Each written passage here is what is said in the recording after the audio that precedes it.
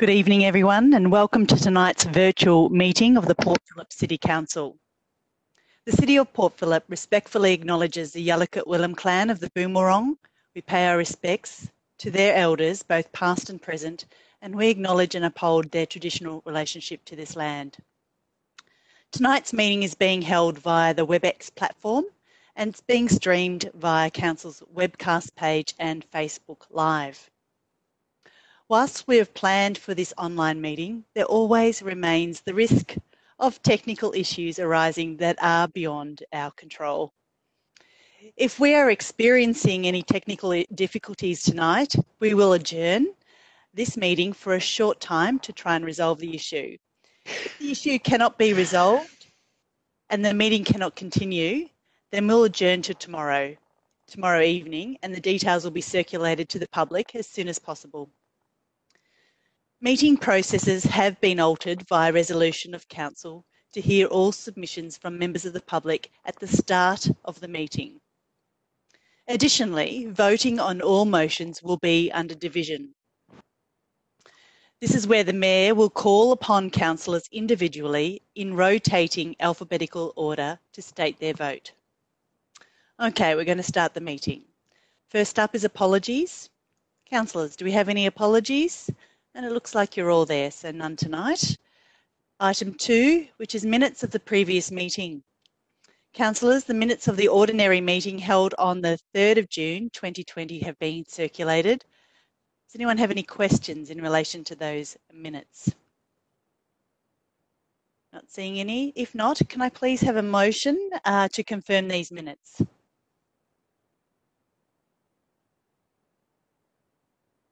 Councillor Crawford to move. Do I have a seconder? Councillor Copsey to second. Thank you. I will now put that motion under division uh, and call upon each councillor for your vote. The first up is Councillor Simic. For. Councillor Voss, for. Councillor Baxter. For. Councillor Bond. For. Councillor Brand. For. Councillor Copsey? For. Councillor Gross? For. Councillor Pearl? In favour. And you miss me. Councillor Crawford? Didn't For. mean to miss you. For. Thank you.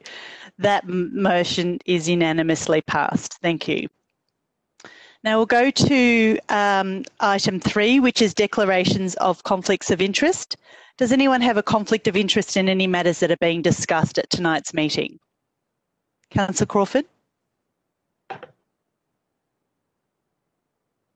You're on mute. If you would mind Oh, just taking yes. yourself off mute. I, I do have a conflict of interest. Would you like me to read that now or later?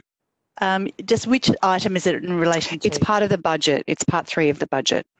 Okay, thank you. And what's the nature of the interest?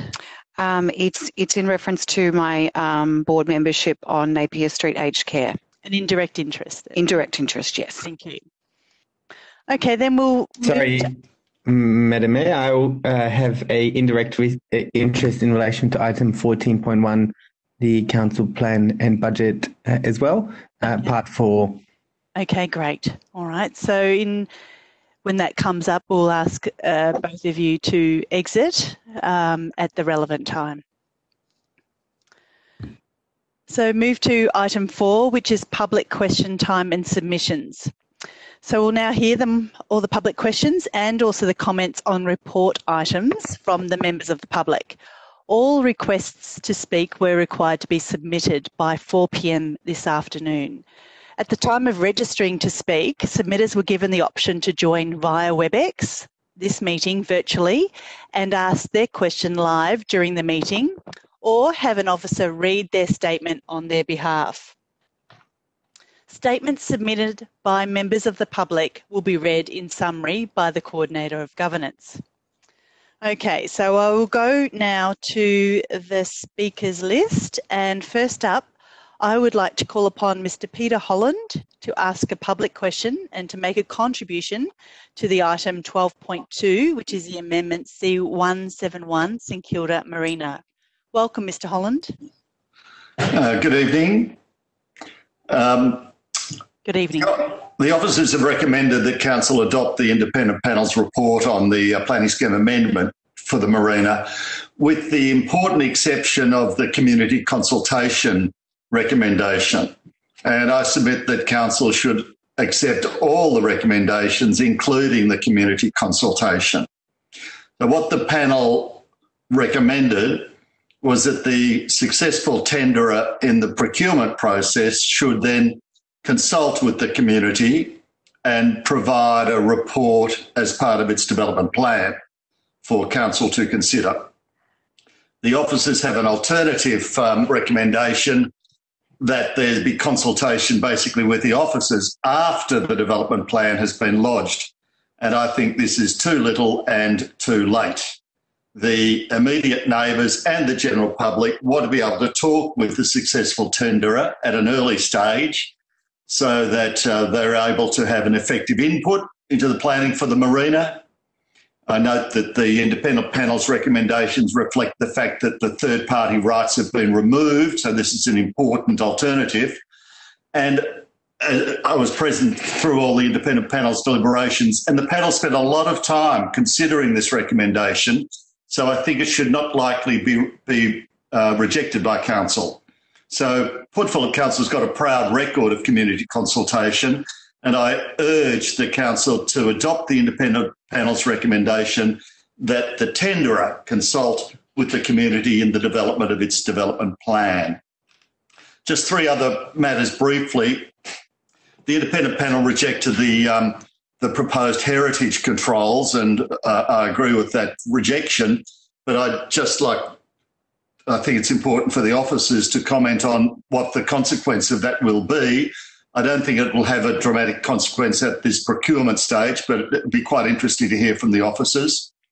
Secondly, the bridge, the panel uh, adopted council's position that a bridge over the marina is nice to have, but not a have to have.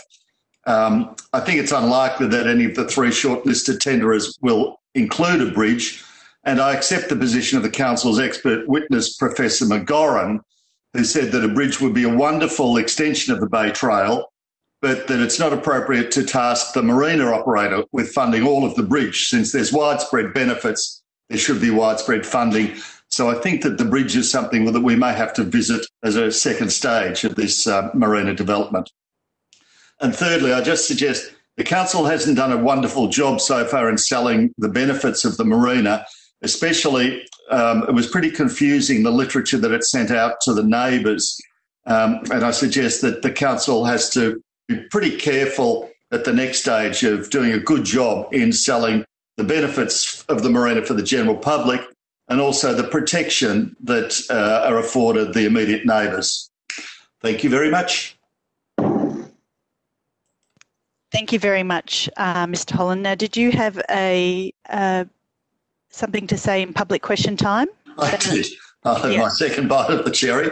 Uh, so I haven't got the exact wording of the question, but it was something along the lines that whether council would make a submission to the National COVID Coordination Commission uh, supporting the Financial Services Council proposal to allow self managed super funds to invest in infrastructure.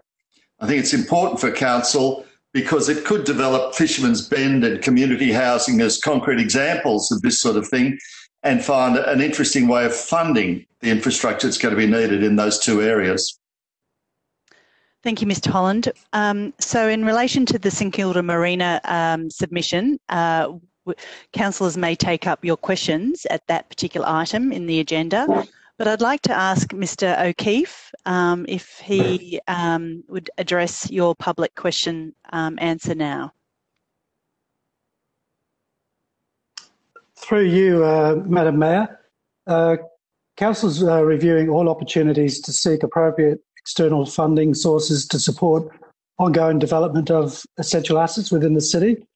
Uh, we will be engaging in due course with the Fisherman's Bend Task Force on investigating this option as raised by Mr. Holland, uh, and indeed other opportunities to look at uh, appropriate funding vehicles.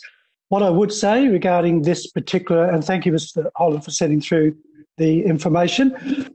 What I would say about this particular vehicle is that uh, councils may struggle to find a range of assets that would meet some of the required return on investments for these funds. But that said, um, it still is something that we will uh, take on notice and uh, hopefully at some stage report back to council with uh, the outcome of those investigations.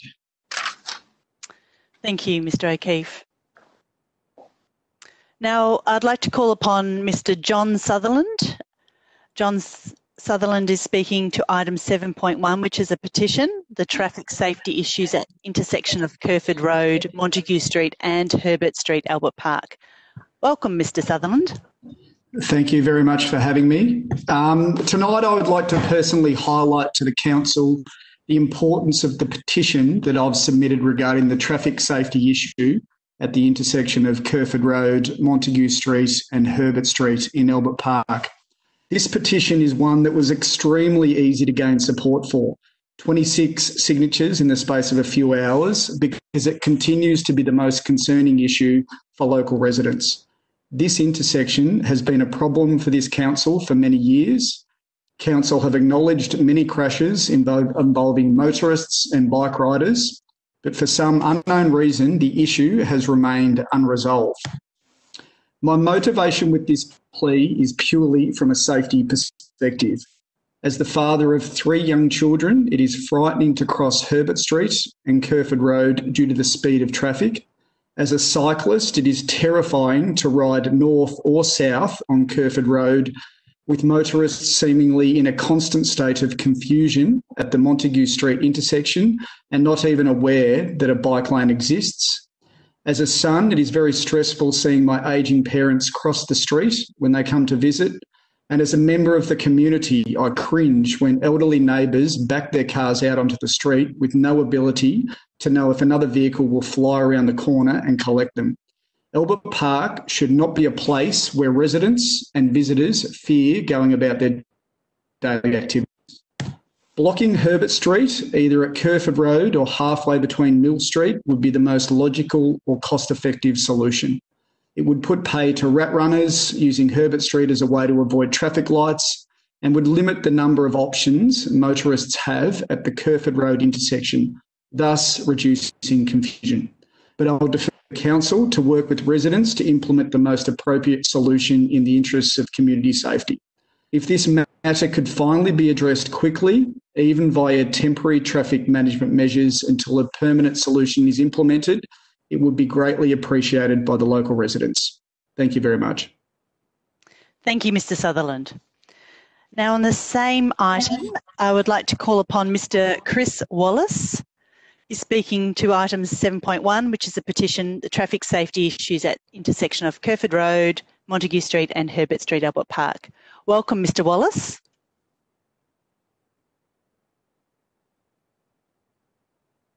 Madam Mayor, we don't have Mr Wallace in attendance at the moment. Oh, sorry, no, he's just uh, available. We will just connect him now. Thank you. Just one moment. Thank you. Hello, Mr. Wallace. Yes. Welcome. Hello. Yes, hello, please speak. Hello. Hello. Hello, Mr. Wallace. Can you can you hear us? Kirsty, I think we might be having some problems. We might come back to Mr. Wallace. No problem, Madam Mayor. I'll call upon Michael Gawenda, and he's also he, he'll be speaking on item 7.2, which is a petition request for the removal of, of a tree, Wordsworth Street, St Kilda. Welcome, Mr. Gawenda. Uh, thank you, uh, Madam Mayor. You could state your name and your suburb again, please. Okay, my name is Michael Gawenda. Uh, I'm in St Kilda. Thank you. Okay, so so thank you for this opportunity to speak to our petition, asking for removal of the tree at the rear of our property at 83 Spencer Street, St Kilda. Uh, I think the petition the petition sets out pretty clearly the problems we have had with the tree that is actually situated on Wordsworth Street, which is the rear of our property. I wish to emphasise some of the points we raised in the petition Uh, one of the things that I want to say is that we we uh, limited the petition to uh, our immediate neighbours because the tree is specifically a problem uh, to us, and I didn't want it to go any wider. Um, uh, the tree has caused a huge disruption to our lives and has created a situation where we simply cannot use our rear courtyard, which is the only usable open space we have on our property. We've had this problem for years. We couldn't work out what it was. We thought that somehow in our courtyard there was glass. Uh, we kept sweeping the courtyard. We even got cleaners in to clean the courtyard. Uh, but it turns out that they were spores from this tree. Uh, it meant that we couldn't hang our clothes. Uh, uh, we couldn't spend any time out there. When our grandson was a little baby, he's still quite a little child, uh, we couldn't have him out there crawling Uh, because of the spores. So this has been uh, a huge problem f- for us.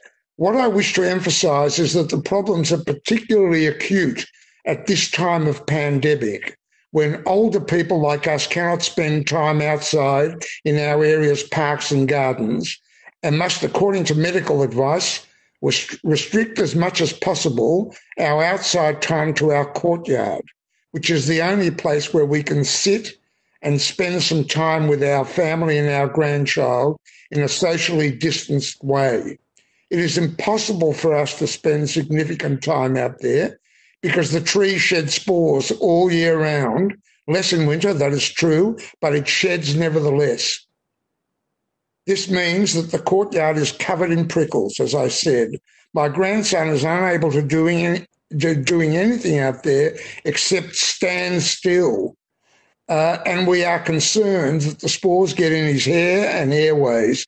He suffers from asthma.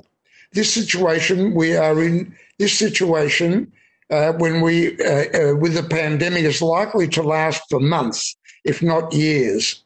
And we older people are going to be stuck inside or, or severely restricted in what we can do, which means the problem will, with the tree will remain particularly acute for a very long time. After we contacted the arborists at the council, a team came to trim the tree. The team said that they were entirely sympathetic to our problems. They hate trimming these trees. Later, we received a call from one of the arborists who suggested we do the petition. As we state in the petition, he said ours was a unique situation because of our three street frontages, with only the courtyard as usable outdoor space. He was most sympathetic to our plight and said he would support us when the council came to the arborist department for advice.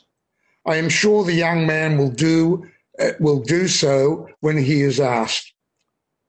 Finally, I want to thank Council for the speedy consideration of our petition in these difficult times. We look forward to a positive outcome. Thank you.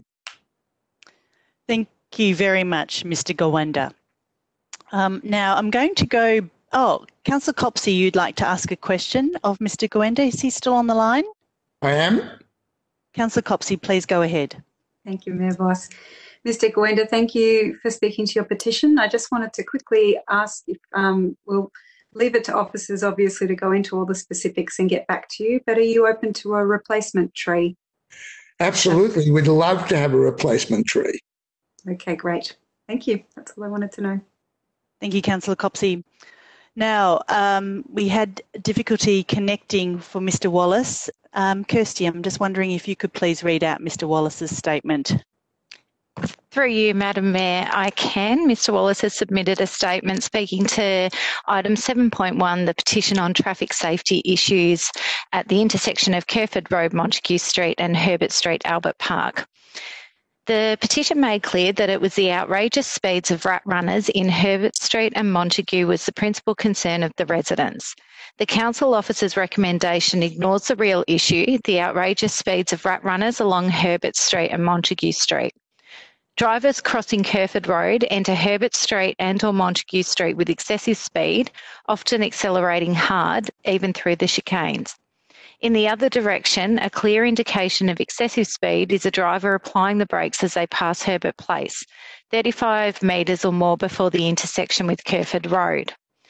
Council maintenance of traffic signage and road markings in Herbert Street is lamentable. The 40 kilometre an hour signs are not within sight lines.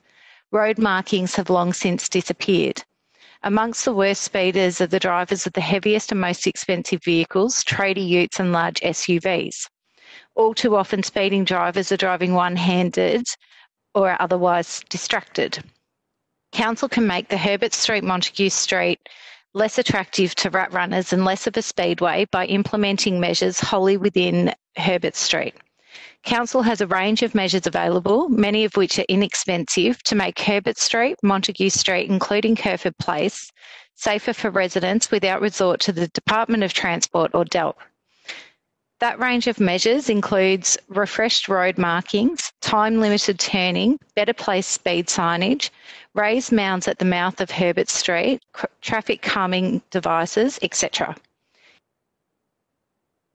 This safety issue contrasts unfavourably with the $190,000 recently incurred to resheet Young Street and renew all the road markings along that street. Council can make Herbert Street to Montague Street and Kerferd Place safer for residents.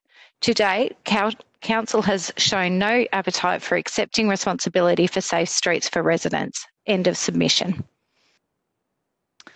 Thank you very much, Kirsty. Now I'm going to call on Peter Moriartis. He's speaking to item 11.1, which is the annual procurement policy. Mr. Moriartis, if you could state your name again and your suburb, please. Uh, my name's Peter Moriartis, and in, it's okay, and I live in St Kilda. Um, so my my um, recommendations relate to um, the council's procurement policy. I'm a member of um, Stop Adani Macnamara. Council has stated that it will review Council's procurement policy in the light of the Council's climate emergency declaration. However, the proposed revision has made minimal changes to the existing policy. Although Council officers have stated that a deeper review will take place next year, there appears no reason that steps cannot be taken in the course of this Council to practically apply the intent of the Climate Declaration to this important policy. In our request to Council, we have proposed two options. The first is to request Council make substantial amendments to the procurement policy consistent with its climate declaration tonight. The second is to consider our recommendations tonight, but defer a decision till these and other potentially and, and other and potentially others can be more fully considered. We appreciate that we're in an epidemic and Council has a lot on its plate. However, we heard this afternoon that it may be the case that state legislation requires Council to complete its annual review of the procurement policy by June 30th. Now, if that is the case, it appears to mean Council needs to decide tonight on the procurement policy. We hope that it is still possible to defer a decision given the extenuating circumstances of the pandemic. It is, after all, also a legislative requirement the community is involved in consultation over policy. So, a question Can the procurement policy, if it were passed tonight without amendment, be brought, be brought back to Council for further amendment in the, new, in the near future? So, I'll just keep going. I won't just, I won't, you know, I'm not expecting an answer to that question at the moment. If it is the case that um, option two, deferring a decision, is not viable, then we request that councillors move a motion to amend the policy to incorporate our recommendations. So our recommendations are the council a exclude from further contracts, tenders or business dealings any companies involved in developing or in facilitating the development of new thermal coal mines. B explain to companies seeking to contract with the council the basis for this policy.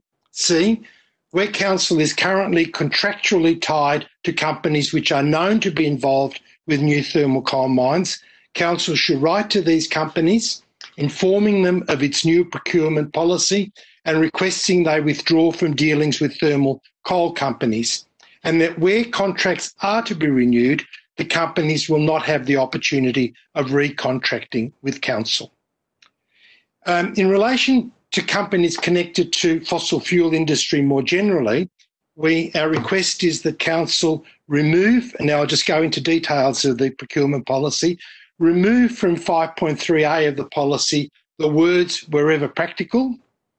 Um, B, revise the corporate responsibility schedule to, to include in part three of the schedule that any organisation that declares involvement with any of the categories, I won't go into them in detail, offshore detention, tobacco, but importantly for us, fossil fuel energy and generation and so on, um, that they be given a negative weighting of 10% in 2021 and that this weighting be increased by 5% annually and in the um, corporate responsibility schedule to re- remove the words in part three wherever practical.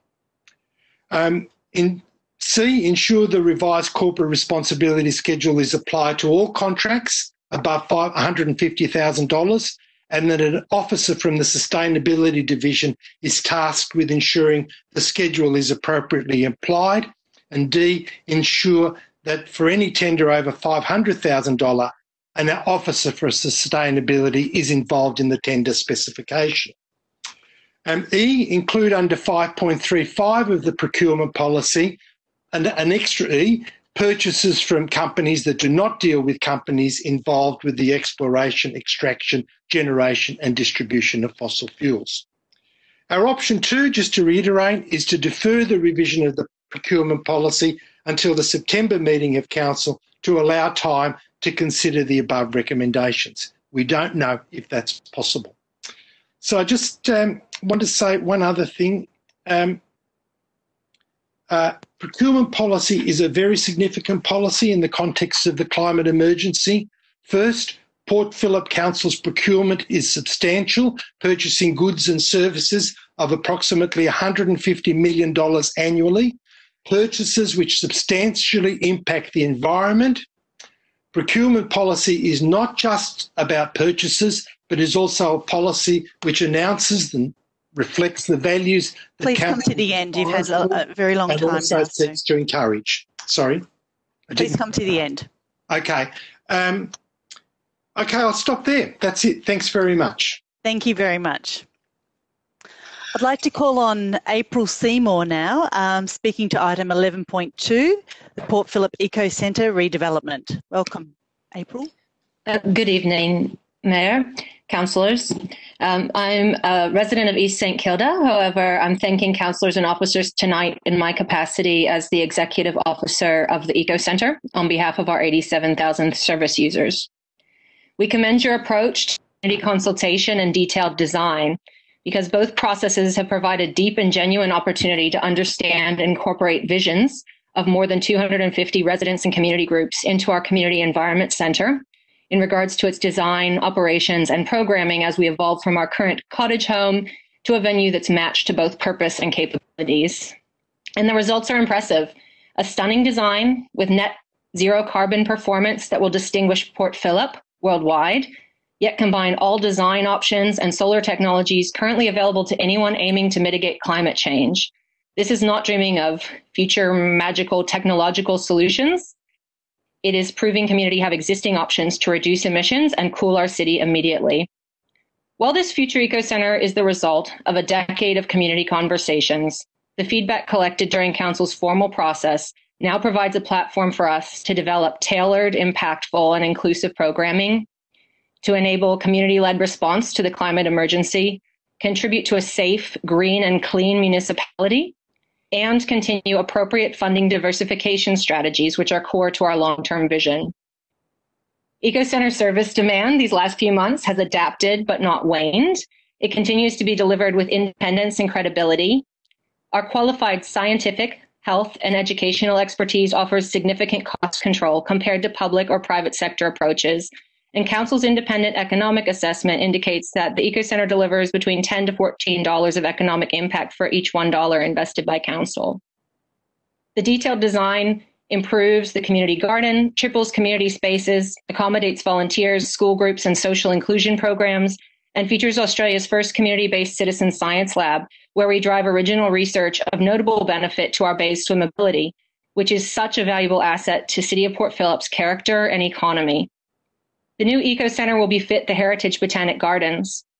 We can more than triple our family programs, training and meeting options for our 30 affiliate community groups, and enable expanded projects from the Repair Cafe to multilingual energy efficiency training, community plantings, and nature play for young families. Importantly, the Eco Center's operational model, coupled with this capital investment, is a confirmed multiplier of economic stimulus, community well-being, and environmental benefits, all of which are even more critical in our coronavirus world. And, of course, must be cost effective, far reaching, and credible with community to enable the COVID crisis recovery. So, in closing, the Eco Centre and our community reference group are pleased to endorse tonight's officer recommendations and thank councillors and officers for your leadership with the Eco Centre. Thank you, uh, Ms Seymour. Now I'd like to call upon Ms Rhonda Small, speaking to item 14.1, Council Plan and Budget 2020-21 and the endorsement of draft document for public consultation. Welcome, Ms Small. Thank you, Mayor and councillors. Can you hear me okay? Yes, we can. Good. I have just three questions in relation to this item. One, how locked in are the parameters around which the draft budget is framed? Two, what room is there following this consultation phase for Council to make amendments of substance to the draft plan and budget? And three, once the 2020-21 budget is struck on the 5th of August, is there still scope for Council to consider prudent borrowing for capital projects currently being proposed for deferral? And I ask this particularly in light of the fact that we will have a new council after the elections in October. Thanks very much. Thank you, Ms Small. I'm sure a councillor will take up those questions later on at that particular item. Now I'd like to call upon uh, Mary Stewart, please, speaking to item 14.1, the Council Plan Budget 2020-21 and the endorsement of the draft document for public consultation. Welcome, Ms Stewart. Madam Mayor, Ms Stewart's been unable to um, connect. She has submitted a statement which I'm happy to read on her behalf. Thank you. And the statement reads The state government, as part of its financial support package for Victoria, determined that all Crown lease properties managed by the state would have their Crown lease rent for the 2020 calendar year forgiven. This was in recognition of the significant impact on business of the COVID 19 shutdown, with the loss of revenue and the viability issues that would inevitably arise. For Luna Park, this means we are not required to pay Crown lease rental payments for the period January 2020 to December 2020. The properties subject to our request on the foreshore are foreshore traders' businesses and properties managed by a mixture of Crown land managed by the council and Crown land managed by state government. It does not seem right to us that Luna Park is in a better position, relatively speaking, because we are a Crown lease managed by the state. We have all been closed and struggling to pay ongoing overhead costs with no revenue and struggling to maintain staff in their jobs. The rents paid by these businesses are set amounts regardless of turnover. The council cannot afford to ignore capacity to pay when turnover has been decimated, when the future is most uncertain, where recovery is a distant hope, and knowing the rentals set have been based on normal trading conditions. There is nothing normal about now. Donovan's, Stoke House, Palais Theatre, and the Sea Baths are significant businesses in St Kilda, and they are important for revenue generation in the city through visitation and through amenities such as the car park. And like many other businesses, their capacity to survive is running very close to the wire. These businesses have returned significant revenue over many, many years for the City of Port Phillip, and they deserve assistance in this time of great need. Landlords across the country have foregone rent in order to help businesses to survive. This council must look to providing a lifeline for survival. What would St Kilda look like without these important contributors to the economic prosperity of this city? What would St Kilda look like without all of the people that visit this city because of these businesses? The council would be poorer, the city would be poorer, and the ratepayers would ultimately pay a price for the loss of these businesses. It is very important that the hospitality industry and entertainment industry and artists supported by the Palais are given the opportunity to recover. The council should not turn its back on their plight. To do so will hurt not just them, but the capacity of St Kilda to recover from the economic downturn that is only going to get worse before it gets better. I urge the council to heed us and act proportionately. End of statement. Thank you, Kirsty, for reading that. I'd now like to call upon Pam O'Neill, President of the Eco Centre. She's speaking to item 14.1, which is the council plan and the draft budget. Welcome, Ms O'Neill. Oh, thanks very much, Mayor and councillors, for the opportunity to talk. Um, I'm talking about a part of the budget which recommends that the the um, council funding for the Eco Centre redevelopment be redeferred, be deferred until um, start next year. Well, sorry, start the year after next, start 21, 22. And I'm asking that that not be deferred or not all of it be deferred because of a couple of major issues connected to it. Um, the first one is that currently the Eco Centre or the council has put in a submission to the state government under the Building Works package to get matching funding for the money that the council has allocated, subject to getting matching funding, I must say. Um, so the council has now applied to the state government to get some get 2.75 million dollars from the state government under the Building Works, which is a a stimulus package under the COVID 19 um, package. And in it, we, the council had to say that they were the pro the project would be shovel ready, which means we would have to start, or the council would have to start in the next few months. It was fantastic that the council was able to say that, and I know that officers worked very hard to make that happen, and so that the timeline, so they reduced could reduce the timelines and tell the government that we could start, you could start this year, I mean, as in this calendar year. Um, so if you put off the, if you defer the total $2.75 million, that would be contradictory to what you've told the state government and would possibly jeopardise the project. So that's the first reason I think it would be very, it's very important not to defer the total money that you have planned subject to getting matching money um, for this for this project. And the second reason why is that um, the paper under 11.2, which is to do with the Port Phillip Eco Centre redevelopment, which April Seymour just spoke to, um, and which I also commend the the design of. I've been involved in looking at those designs and I think I think it's fantastic, and the community consultation panel thought that too, and we and so did the council officers. We're all really happy with these designs, and we're happy that they're ready to be put in. Hopefully, after you approve them today, put into the state government. Um, but I, in that paper, and it, it, you have said that um, the project that you have mentioned the fact that you've applied to council to the state government for this funding for 2.75 million, and that seems to contradict what you're putting in the budget. So I don't think it's a good thing that you would have two papers going to the, the, the public and two papers, if it were to be passed, that were contradictory to each other. So um, I just urge you to not defer all of the money that you have um, allocated to this redevelopment, not defer it um, and keep some of it so we can start building it, or you can start building it this calendar year. Thanks very much, Mayor and councillors. Thank you very much, Ms O'Neill. Um, now I'd like to call upon Craig Eyes, please. He's speaking to the item Community Sports Infrastructure Stimulus Program. Thank you. So, Welcome. Craig, Craig Eyes, uh, Albert Park, on behalf of Powerhouse Rugby Club for the Community Sports Infrastructure Stimulus program funding application.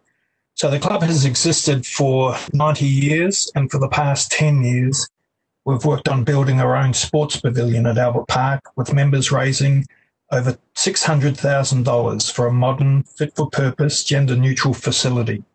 The project is now shovel ready, and we're seeking support from councillors to nominate the Stan Bisset Pavilion for funding from the Victorian Government for a million dollars. This is at the lower end of the scale for the grants and strategically means easier for assessment and approval by the Department of Sport and Recreation from their limited funds. Over 250 members compete in men's, women's, and wheelchair competitions in junior colt, seniors, and masters grades, with 80% are aged from 5 to 30 years old, with many from lower socio-economic Pacific Islander backgrounds, and family and community events are an important part of the culture. The club is active in the community, hosting its own Anzac Day service and developed the Rugby versus Leukemia Challenge. The construction of the, gen- of the gender neutral pavilion will immediately double participation by women from one team to two and attract 50% more younger players. Sports participation within the city of Port Phillip would increase, being more inclusive of our wheelchair rugby team, inclusive of women participating with the private non gender facility, whereas our women currently get changed on the sidelines. Junior participation would increase with the pavilion providing a safe space, and 70% of our members are from culturally and linguistically diverse backgrounds. Referees will utilise it for weekly training. Its central location will catalyse and attract new international, national, and local club and schools competitions such as Sevens Rugby. Australia is bidding for the Rugby World Cup in 2027 the third largest global sporting event. This will increase participation across the region. We had to send junior players away as there's no facilities for them. Our goal is to attract junior girls and boys back to Albert Park with the pavilion being the foundation for a junior academy. We have no access to water on the fields to fill water bottles. We have no toilets for spectators. We have no shelter in winter for mothers and children. We have no canteen for sales of food and drinks to generate income. The club sadly missed out when the Grand Prix development built many football and cricket pavilions as the money ran dry. We were promised a new pavilion when money was available. That was 24 years ago. Councillors, what we do have is first class, high performance trainers and experienced international coaches. We have two players in the Australian women's Wallaroo team and six in the state Super Women's Rebels team. The pavilion is to be named after Stan Bisset, MC, OAM, MID. He was captain of Powerhouse in 1938 and was selected in the 1939 Australian Wallabies team to tour Great Britain. Stan served in the Middle East and in 1942 defended Australia against the Japanese push through Papua New Guinea, fought many battles on the Kokoda track. Both Stan and our rugby club has a long history of helping out in the community. In the 1970s, we raised funds and built a combined school, hurricane shelter on the island of Quamia in Fiji. Now, please come to the end, Mr. Eyes. Just there. Now we need our own place where we can shelter, our own place to call home. Councillors, I ask you, how can we be a powerhouse with no home? My question to councillors will you please nominate the Stan Bisset Pavilion project for funding from the Victorian Government's Community Sports Infrastructure Stimulus Program? Thank you very much. Thank you, Mr. Eyes. I'd like to call on uh, Mr. David Spokes, please, uh, Middle Park from Middle Park Bowls Club, speaking also on Community Sports Infrastructure Stimulus Package. Welcome. Uh, thank you, councillors.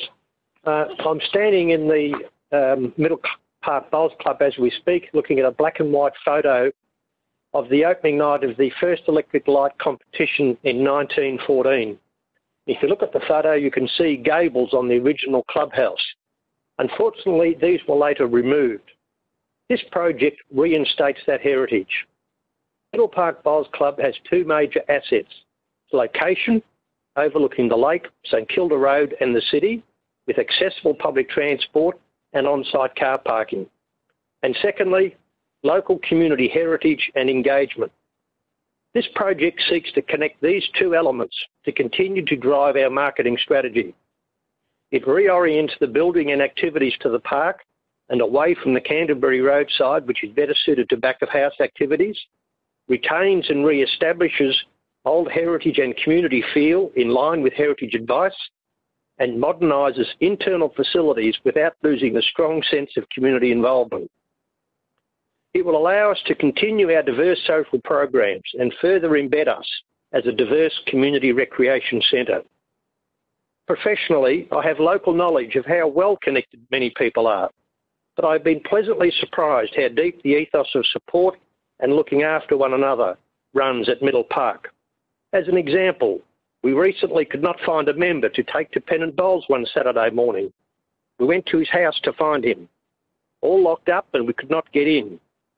It turns out he'd already left with someone else, a senior's moment for us all. But there was genuine concern and care on display that day.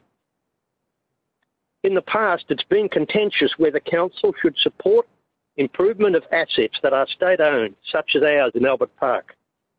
If we've learned one thing from the last three months, it's that old assumptions can always be overturned in the broader community interest. There are many instances where state government has supported council initiatives. We think this is an opportunity for council to reciprocate. Nomination of the project can leverage almost $3 million to strengthen a local community asset used by ratepayers, residents and visitors alike. The way of the future is partnerships, not brickbats. Lawn Bowls does suffer a little from an image problem as a game for oldies with nothing better to do. But this is far from the truth. Middle Park is far more like Crackerjack. Bowls Victoria figures for the last 10 years show a major shift from competitive bowling to social bowling. We've been leaders in shaping and responding to that trend to make the sport more attractive. Our location and history can do that. We have doubled our revenue in the last four years. And finally, in policy terms, ageing in place has driven care of the elderly in recent years and will be a common mantra to councillors. In practical terms, it means being able to die at home in your community should you choose. We think it also means the right to live in your local community should you choose, enjoying activity and camaraderie and reducing the strain on our health system. Again, we have seen in recent months the importance of keeping an eye on the bigger community picture. We seek your support to ensure Middle Park Bowls Club is open to everyone from 0 to 100 for the next 100 years. Thank you. Thank you, Mr Spokes. I'd now like to call upon Claire Syme, speaking to the same item, Community Sports Infrastructure Stimulus Program. Welcome. Thank you. Thank you, Madam Mayor. So I'm Claire Syme, representing Lord Somers Camp and Powerhouse and chair our Albert Park Advisory Group. We are a 91 year volunteer led community organisation with a vision to create a stronger, more inclusive society through service to others.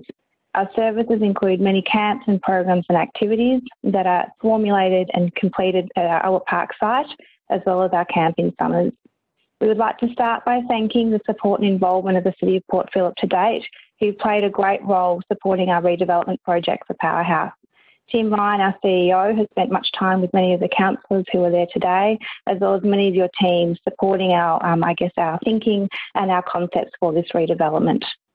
Our Albert Park site has been a critical community asset for over 90 years, and our goal as part of this project is to ensure that it remains that way for another 90 years the difficult position council is in regarding the stimulus program limiting to three submissions, and we've heard of two great ones already. We wanted to outline what our project means for the local community. Powerhouse is a beacon of hope for marginalised, disadvantaged and sometimes forgotten communities. It's been the home of many not-for-profit community programs and our aim continues to be to deliver unified, silo breaking and community engagement across lots of different services delivered through often City of Port Phillip, private enterprise and a range of different community organisations that we run in partnership. The building currently has about 8,000 active and engaged users that use that building on a monthly basis, and we have another 25,000 indirect users in the building each month. The building is unfortunately at the end of its useful life and it needs to be rebuilt. It's asbestos ridden, is inaccessible, and is not safe for people to be attending at night time. Although the building is on Crown land, it is still a key part of the City of Port Phillip community, and the new building aims to support this active community through a range of different programs, including improved public amenities, arts and entertainment, specific age-based programs such as the Living Longer and Living Stronger program, um, as well as other different programs and sports events within there, as well as rowing. We have to date received a $5 million federal government commitment, as well as over $2 million from philanthropy and from our own endeavours. As part of our staged approach, this final stimulus commitment will allow the project to commence immediately, delivering greater community infrastructure, um, real great amenities for our runners around the lake, a state of the art rowing facility, as well as gymnasium spaces. Our ask is that you prioritise our project for the Community Sports Infrastructure Stimulus Program so that we can continue to support our strategic priorities together. Thank you very much for your time. Thank you very much, Ms Syme. I now call upon Megan Simpson, um, also speaking on behalf of to the Community Sports Infrastructure Stimulus Program. Welcome. Madam Mayor, um, Ms Simpson has not been able to connect this evening and has not submitted a statement to be read out this evening. All right then. So uh, we've, councillors, we've received a further six submissions and Kirsty is going to kindly read them out on behalf of the members of the public. I'm going to call each name. Um, all right, first up we have Belinda Plunkett. Through you, Madam Mayor, Belinda Plunkett submits two public questions. Question number one Has the policy or management of graffiti removal been altered in 2020 as there has been a significant increase in lead times actioning the removal, with some not being removed at all? Question two Can Council also confirm their commitment to graffiti removal in the new budget and tell us what will be allocated for this in the 2021 budget? Thank you. I'll go straight to uh, Mr. Johnson, please, if uh, Mr. Johnson can answer those two questions. Through, through Madam Mayor, uh, there has not been a change in the graffiti policy uh, or the graffiti management plan, which was adopted by Council in May 2019. I just need to get some water. Sorry, Madam Mayor, it's a very poorly timed cough. Um, However, there has been a slight change in the way graffiti removal is approached. Um, we entered into a new contract in March and there have been 100 jobs backlogged, so there has been a slight delay. Okay, and the second question was uh, confirm the commitment to the graffiti removal in the budget? Uh, through you, Madam Mayor, yes, I can confirm that the draft budget that'll be considered by council later this evening has $350,000 allocated to graffiti removal, which is in line with last year's budget. Thank you, Mr Johnson. Now, Scott Hayward. Kirsty? Through you, Madam Mayor, Scott Hayward submits. As a recent assault victim on Fitzroy Street, St Kilda, I have discovered that the CCTV camera placed near the corner of Jackson and Fitzroy Streets only has a limited range with no camera overlapping its field of view. The camera in question only captured part of my assault because its view only covers a 7 Eleven storefront and that of half of the shop next door, with no other camera picking up the view after that. I also note that the camera outside 1 Fitzroy Street has been out of commission since March, providing further blind spots along Fitzroy Street. Can Council please confirm? Will the CCTV camera outside 1 Fitzroy Street be fixed and if so, when? How many other CCTV blind spots are there along Fitzroy Street, such as the one beyond the 7 Eleven at the corner of Jackson and Fitzroy Streets? And are there plans to improve the coverage of the CCTV cameras along Fitzroy Street to eliminate those blind spots and improve the quality of the footage that they capture? Thank you, Kirsty. I'd like Mr. Tony Keenan, please. Can you answer those questions? Uh, thank you. Through you, Mayor. Um, Council is aware of the maintenance requirements for the camera outside 1 Fitzroy Street, and the delays there were due to the impact of COVID 19 and our ability to source parts from the supplier. The parts required arrived yesterday and the current repair is in progress and contractors hope to reinstall the camera at the earliest this Friday, if not next Monday. In relation to the blind spots, the camera placements along Fitzroy Street are consistent with the public space CCTV policy, which states that camera locations are guided by the advice of the Victoria Police and CCTV design experts in order to maximise surveillance priorities. The system was built within a budget and doesn't purport to cover all areas and eliminate perceived blind spots. In order to work out blind spots, we'd need to commission an audit, and that's not currently identified as a priority for Council. Um, while Council supports regular maintenance of the CCTV system, there are no current plans for any additional cameras in Fitzroy Street. Thank you very much, Mr Keenan. Now, James Woollett is the next speaker, or Kirsty. Through you, Madam Mayor, James Woollett submits. In recent correspondence with members of the Middle Park Library Action Group about the continued closure pardon me, of Middle Park Library, the Mayor has stated that the small size of Middle Park continues to make it operating unfeasible at this time. The latest information on the Victoria DHSS website says libraries are permitted to open with no more than 20 people allowed in each separate space, subject to the four square metre rule, in addition to those required to operate the library. From 11.59 on 21 June, restrictions on community services will be libraries, including toy libraries, may have up to 50 people in each separate space. Groups are limited to a maximum of 20 people. Middle Park Library's floor space is approximately 54 square metres. Applying the DHSS's four square metre rule, that should be enough room to accommodate at least a dozen library users. In light of the Victorian State Government's easing of restrictions, will the City of Port Phillip Library Service be opening Middle Park Library on Monday, 22 June? If not, what are the reasons for keeping this valuable community asset close to local residents? Thank you. Mr Keenan?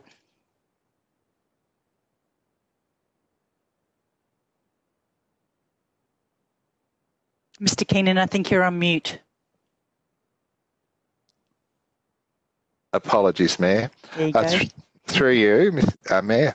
Um, whilst the state government has advised when libraries can open and increase numbers, uh, what councils do is the remit of individual councils with the advice of their health and safety uh, health and safety units.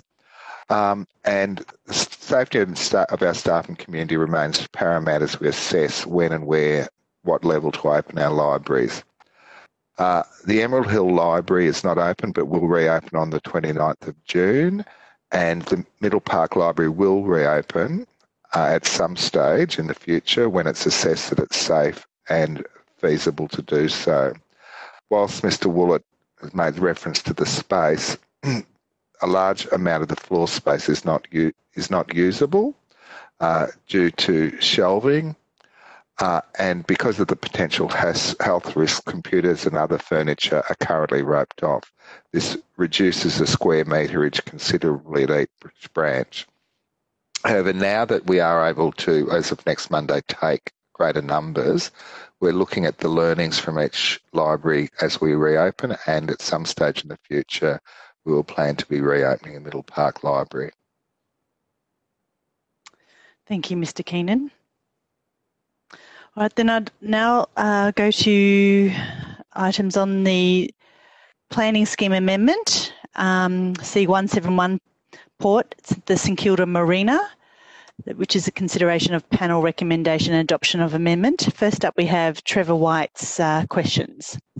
Through you, Madam Mayor, submission from Trevor White reads Question one How many bidders put in an expression of interest for the redevelopment and operation of the St Kilda Marina precinct were received by the City of Port Phillip?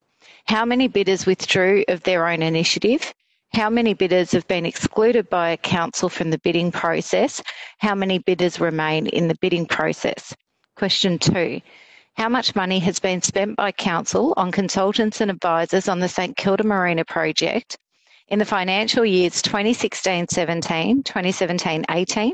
2016-17, 2017-18, 2018-19, 2019-20, proposed for the 2021 budget periods? How much money has been spent by council on staff time on the St Kilda Marina project in the financial years 2016 17, 2017 18, 2018 19, 2019 20, and proposed for 2021 budget periods. Question three, given the social and economic costs associated with the COVID-19 pandemic, if the remaining bidder's financial capacity and if the expected net income to be received by council is not up to expectation, will the council extend the lease of the current operator till the economic situation is more certain and hopefully recovered, giving more certainty to the bidders and a higher net income return to the council given that the lease will probably be for over 20 years? Thank you. Um, councillors may take up that question when we look at that item. Now we'll go to 14.1, um, and that is the council plan and budget. Sherelle Haywood. Through you, Madam Mayor, Sherelle Haywood submits, can Council confirm of any plans to reduce the street cleaning for Acland and Fitzroy Street in the next budget? What is the frequency planned for the 2021 period of this core essential service?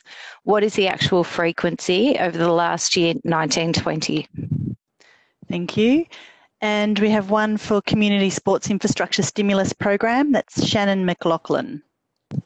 Through you, Madam Mayor, Powerhouse Rugby Union Club seeks the support of Council by applying to Sport and Recreation Victoria for the Community Sports Infrastructure Stimulus Program on behalf of the Stan Bisset Pavilion. Council are eligible to submit up to three applications requesting up to $10 million for each application with a minimum of $1 million in funding requested. Powerhouse Rugby Union Club has already liaised with Sport and Recreation Victoria and Parks Victoria with their support of the project already gained. The pavilion will enable Powerhouse Rugby Club to cater for growth with gender neutral and accessible facilities required for our women's team and wheelchair rugby team. Currently, no appropriate facility is available for these members. The facility will also accommodate junior members by providing a safe and inclusive environment to participate in sport. Thank you. Well, I think that's the end of our public questions and submissions. So that was a mammoth effort. Thank you very much, Kirsty, for reading all those out. And thank you everyone else for participating. Um, so we'll we'll move on on the agenda. Item five is councillor question time. Councillors, do you have any questions of the officers? Okay, can't see any. So we'll go to item six which is the sealing schedule, and we don't have any items for sealing tonight. Item seven is petitions and joint letters. And we have two petitions on tonight's agenda. First up is 7.1, and that's the traffic safety issues that we heard about at the intersection of Kerferd Road, Montague Street, and Herbert Street, Albert Park. Are there any questions of the officers in relation to this particular item?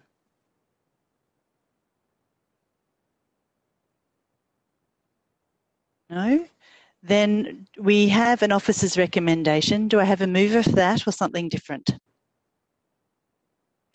Councillor Crawford to move. Do I have a seconder?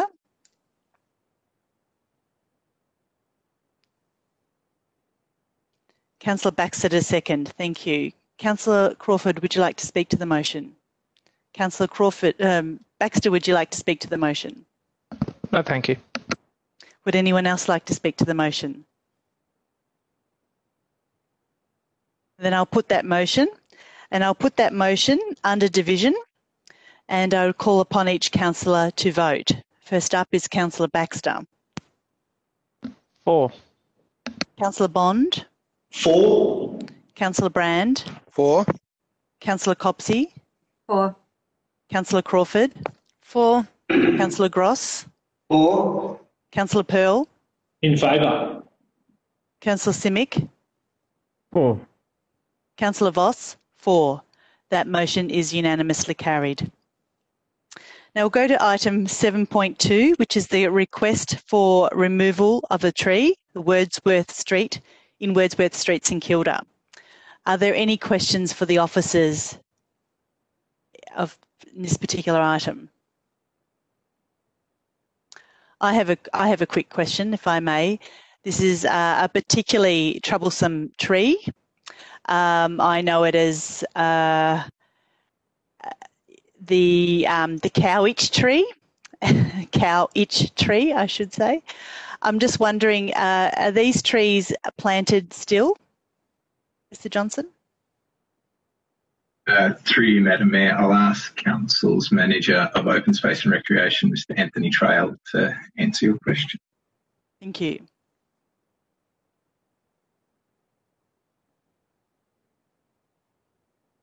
Welcome, Mr Trail. You might need to take off your mute button. There we go. Through you, Madam Mayor, um, we do not uh, plant that tree anymore in uh, the streetscapes or parks of Port Phillip. Okay, thank you. Councillor Brand has a question. Um, yes. Um, uh, could you just clarify why uh, Mr. Gawenda needed to um, raise a petition for this request? Just what's the status of it? Uh, why, why has it come this way? Uh, through you, Madam Mayor, uh, Council has a policy uh, around retaining uh, street trees. Uh, obviously, Council has some targets as well that relate to canopy cover across the city. Uh, we do look at um, all options when considering the removal um, of trees. Uh, and in this case, the, uh, the residents have um, uh, have put forward a petition to council to make a decision hmm. on this particular tree considering those policies that we have. Excellent, thanks. Any further questions, councillors? If not, we have an officer's recommendation. Do I have a mover for that? Councillor Gross to move and Councillor Copsey to second. Councillor Gross, would you like to speak to the motion? Uh, no, thank you. Councillor Copsey? No. Would anyone else like to speak? Councillor Crawford? No. Then I'll put that motion, all those in favour, and I will read your names out. And uh, so we'll do this under division again. Councillor Bond. For. Councillor Brand. For. Councillor Copsey. For. Councillor Crawford. For. Councillor Gross. For. Councillor Pearl. In favour. Councillor Simic. For. Councillor Voss. For. Councillor Baxter. For. That motion is unanimously carried. Thank you. Now we'll go to the substantive items in the report tonight. Uh, presentation of reports. So the first one we have is 10.1 and that is the parking controls and camper van parking in Port Melbourne. Councillors, do you have any questions of the officers?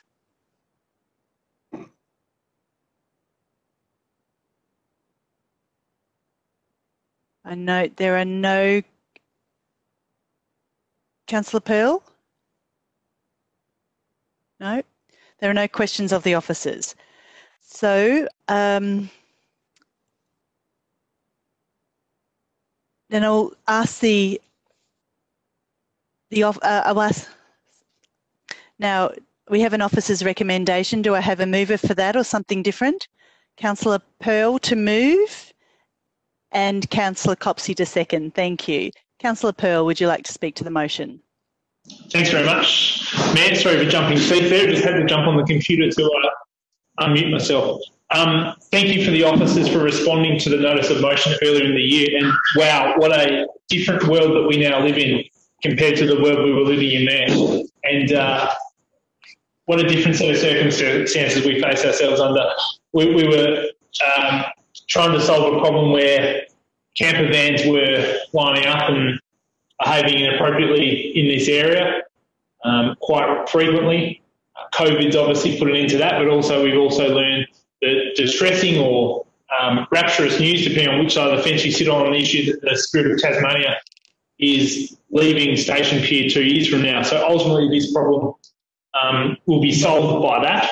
Uh, the report was written in a time where the world was just becoming a very different place. So some of the data contained in the report might not um, necessarily be accurate in terms of peak summer months and some of the troubles that we were facing. Uh, so we gleaned into that what we would, but we asked the officers to do the job. They did the job properly for us, and we, we're very, very grateful for that. So I'm happy to support the officers' recommendation. I was pushing towards a four-hour parking limit on weekdays on the beach side of this area Um, I've had some initial conversations with my colleagues about this, and I don't think there's full support for that, um, which is fair enough. But let's monitor this issue. We now have some good data and a base level of data to monitor the issue uh, moving forward, which is a good thing. So, councillors, I, I, urge you to support this. It, it provides some good practical measures around trying to resolve the problem and also support the residents that live uh, in this wonderful area of the world. So thank you to the officers for responding to the notice of motion that was passed earlier in the year. And um, wow, this is another motion where we can really reflect on what's happened since that motion passed council. Thanks, Mayor. Thank you, Councillor Pearl. Um, Councillor Copsey, would you like to speak to the motion? Would anyone else like to speak to the motion? I will also speak to the motion and thank Councillor Pearl for bringing this um, to us all because this this did come from a member of the community who has rung many times to complain about, in particular, the camper vans. But it is one of those difficult issues where some of the community want and like the spectacle of the camper vans and the and the and the tourists, and the others don't. Some want to be able to have parking permits, and others don't want to pay for them. The beach is actually there for everyone, so we do need to consider that and not just those that have those those magnificent views. And council does need to ensure campers travelling don't break the laws and litter and stay, you know, there too long, which was on occasion occurring. Council needs to ensure that there is the local amenity, uh, but the road and the beach is there for all to use. Officers, along with the Victorian Police, have done an outstanding job in relation to removing the permanent campers that sort of set up outside the Sandridge Lifesaving Club quite a few years ago. But at this stage, I'm really comfortable with the recommendations of additional signage and the continuation of monitoring parking and overnight stays to remind the visiting community what their obligations are. So fully support the motion and thank you, Councillor Pearl, for bringing it forward in the first place. Would you like to close, Councillor Pearl? No? Then I will put that motion again under division councillors. So first up is Councillor Brand.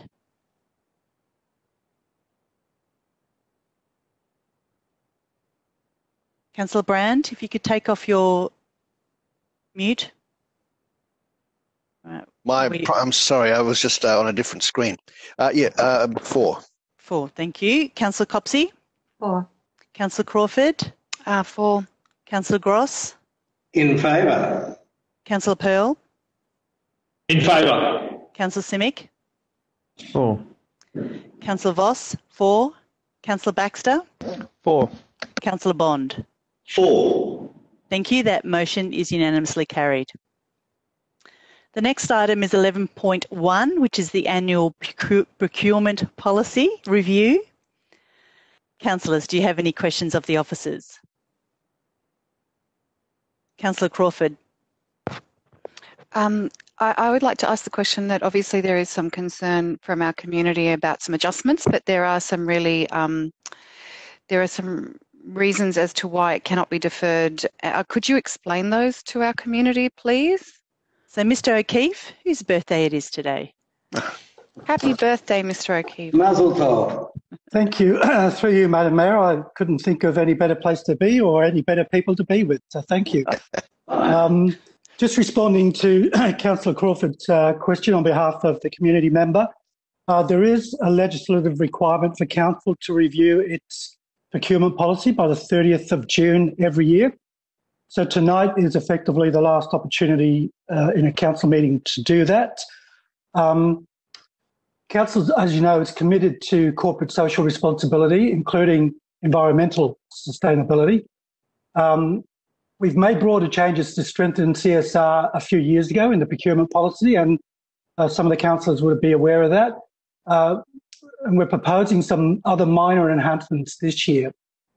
Currently, as council would know, we're moving to a new finance, supply chain, and asset management system which is a very complex uh, new system for the organisation to get used to. Uh, we need stability with our procurement policy as we are building into this new system processes and workflows. We are currently developing a social procurement framework involving cross-organisational working group and advice from external experts. And the intention is to leverage this work off the state government uh, social procurement framework. alongside this, we are in addition planning a broader review next year to reflect changes in the Local Government Act that's recently been enacted. Uh, you would be aware that there are some significant changes in the pipeline with regard to procurement policies for councils. And officers' view at this point in time is that it would be appropriate uh, to align with the new council early in the new year uh, to take on board some guidelines we're expecting from the state government regarding the new procurement policies for procurement plans for councils. And so we're expecting a much more significant review of the policy for next year. And this would include uh, corporate social responsibility framework development and broader policy review. Thank you. Thank you. Councillor Gross, you have a question? Oh, look, it was a similar question. I just wanted to ask um, uh, Mr. O'Keefe, birthday boy, um, what is the actual date that we'll start talking with the community about this uh, next review? Thank you. Uh, through you, uh, Madam Mayor. Uh, Councillor Gross, our expectation is that we will be in a strong position once we have some direction from the state government, which we're expecting to be late this calendar year. Uh, that would coincide with the inauguration of a new council. Um, not sure if that's the right word to inaugurate the council, but uh, the new council. And we would then, uh, very early in the new calendar year, uh, we would commence the work internally um, following review of those guidelines uh, and also then take on a significant community engagement process to ensure that a wide uh, reflection of community sentiment on this issue is as much as possible put before councillors for decision prior to the 30th of June 2021. Thank you. Thank you. I think it's swearing in is the word. Councillor Copsey. Thank you, Mr. Keefe. I understand there the, the, there's sort of two processes. There's the social procurement guideline um, and then potentially this larger piece of work. I just wanted to understand if there is any um, ability or community involvement in the social procurement component of that work that's being undertaken, or if it's just in the CSR policy development early next year. Yeah, through you, Madam Mayor, uh, thank you, uh, Councillor Copsey. Uh, we would see the um, social procurement element uh, as one of uh, two or three legs to the stool, so to speak. Uh, the environment, sustainable environmental aspect of corporate social responsibility, local procurement to support our businesses as they come out of this COVID period, uh, and also to support uh, Indigenous procurement, so you uh, buying products through Indigenous organisations, Indigenous owned organisations, and also from a perspective of uh, diversity and inclusion as well. So it may be that at the moment the internal work with regard to social procurement has had a bit of a head start because we've been able to engage internally uh, and put some work together. And we do have the guidelines from the state government to give us some direction with regard to uh, social procurement. But the policy that would go out for review, the procurement plan and policy that would go out early in 2021 would give all uh, the community an opportunity to uh, engage across all those three stools of, or three legs, I should say, of the stool of the procurement policy. Thank you, Mr O'Keefe. Are there any other questions from councillors? Then we have an officer's recommendation. Do I have a mover for that or something different?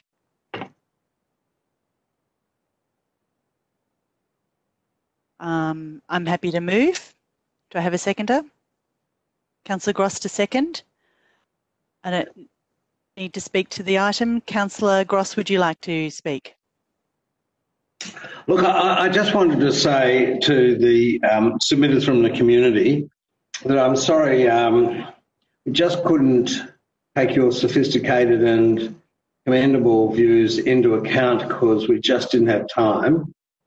Um, and uh, I'm sorry about that, but given the extraordinary uh, urgency that this has to be completed before um, June 30th, we just couldn't, I just couldn't see any way that we could um, take those sophisticated views into account and mould them to the work that officers have done. However, please do not despair because, as you can see from the title of this item, it's an annual procurement policy review. So every year it's reviewed. And as um, the Chief Financial Officer said, um, it's going to be reviewed with more urgency and more comprehensiveness because of the changes of a new council, a new computer system, new um, uh, logistics and purchasing systems. So please don't despair. Uh, we just couldn't fit it into this year, but all you, these views will come around again and be uh, considered uh, sometime early next year. Thank you. Thank you, Councillor Councillor Baxter.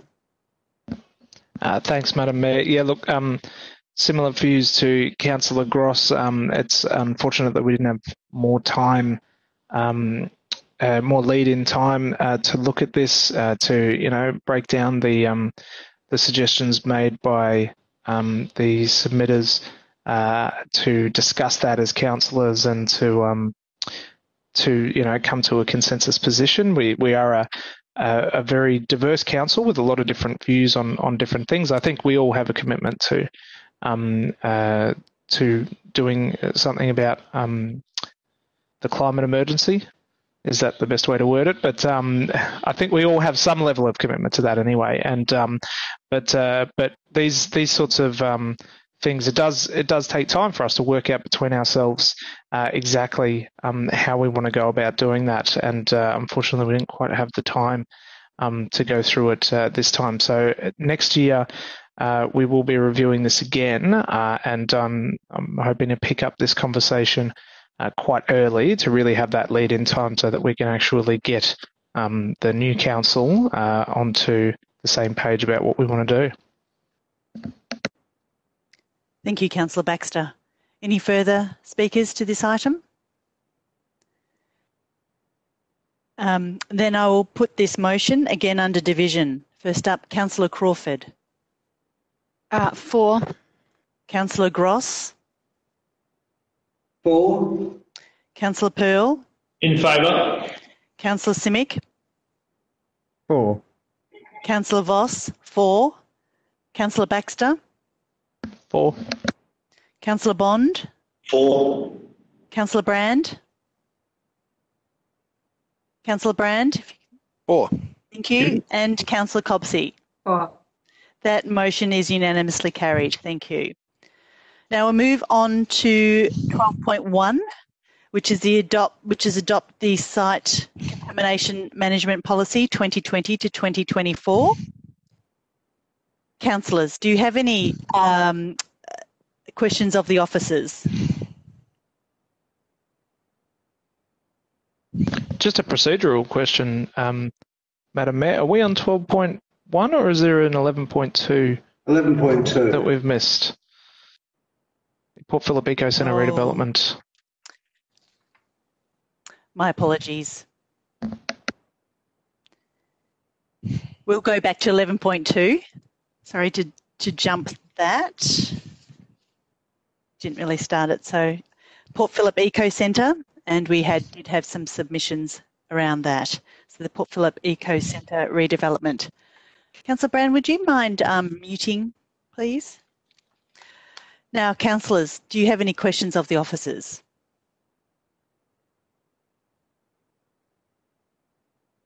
Um, Councillor Copsey, is that a question for that no. Okay, there's no questions. So, councillors, we have an officer's recommendation. Do I have a mover for that or something different? Councillor Simic to move. Do I have a seconder? Councillor Back. I, um, I, I, I, I put in the thing that I moved and seconded. Thank you, Councillor Gross. Um, unfortunately, uh, that only is applicable once I ask for a mover or a seconder. So Councillor Simic move and Councillor Baxter second. Councillor Simic, would you like to speak to the motion? Uh, thank you, man. Unfortunately, um, my internet cut out uh, just earlier as um, people were speaking to this.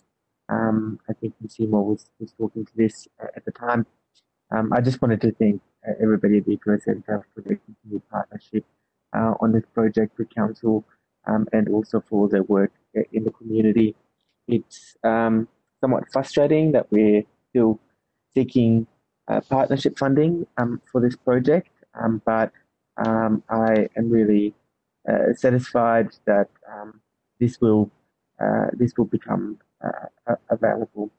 Um, I am uh, happy to hear that uh, members and supporters of the Eco Centre support the officer's recommendation, and they're also thankful for the officers um, working with them on on on, on this project. Um, I probably don't need to say much more on it, um, other than that I, I commend it to all councillors. Thank you, Councillor Simic.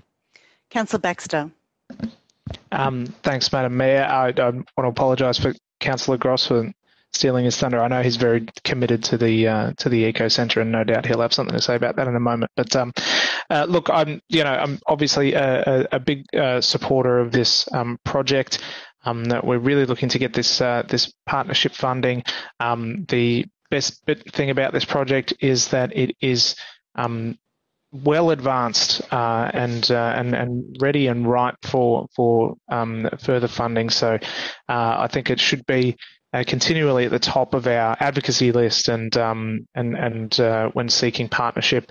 So uh, and it goes without saying all the benefits that the Eco Centre provides to our community and um, and and our council. It is absolutely punching above its weight in so many ways, and uh, just you know to to get a um, a suitable home for them.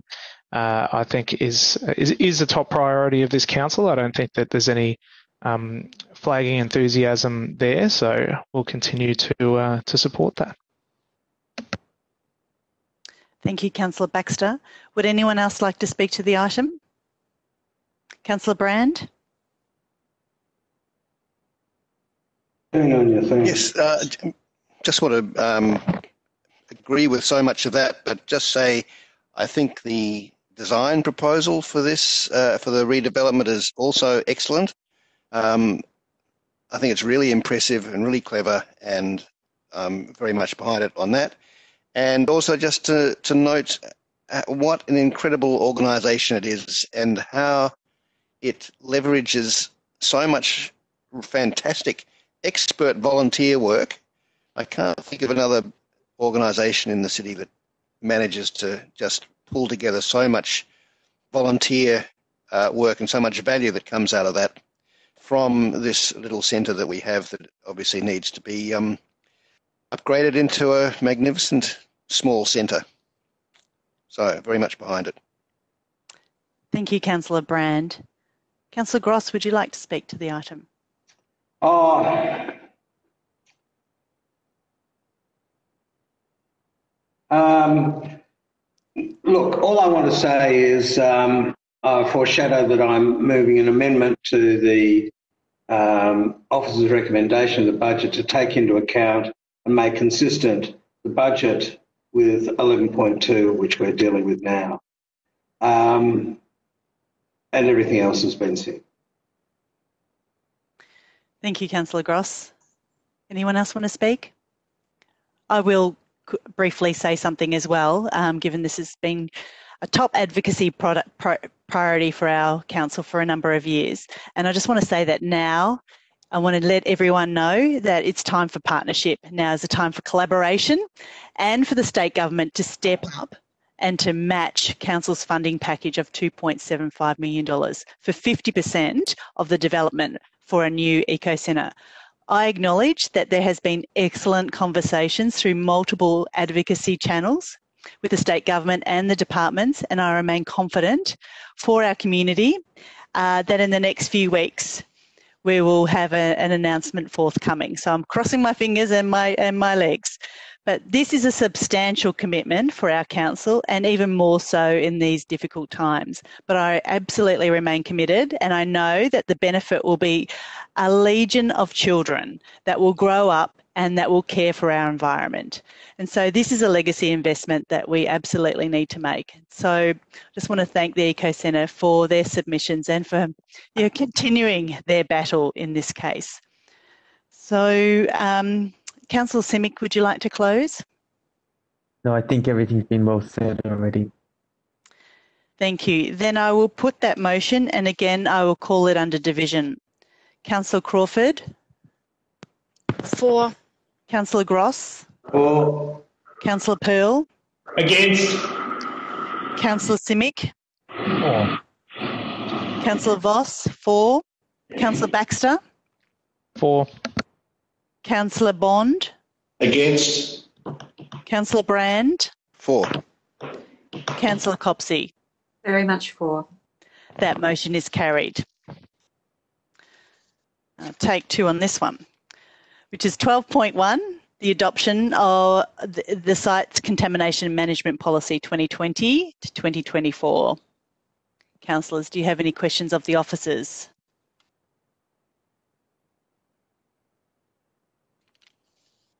There are none. Councillors, um, then we have an officer's recommendation. Uh, do I have a mover for that or something different? I'm happy to move. Do I have a seconder? Councillor Copsey to second. Thank you. And I just want to say that, you know, our municipality is the densest and certainly one of the smallest, and we're blessed with significant environmental issues, and one of them is soil contamination. It's particularly pervasive and problematic, and especially in old industrial areas of our city. I live in Port Melbourne, and I tell my neighbours not to plant their veggies in the ground. Only use raised garden beds. It's actually not safe. The ground, if not tested, could have asbestos, arsenic, heavy metals, hydrocarbons, amongst other things.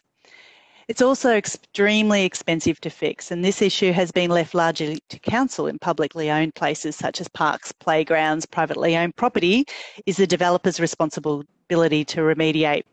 So this is uh, overdue to be updated, and um, I have to congratulate the officers because the policy is well constructed, it's comprehensive, and it's very clear in the steps that need to be taken in order to make decisions and the ranking of sites and ensuring that council is ready for when the new EPA Act comes into effect.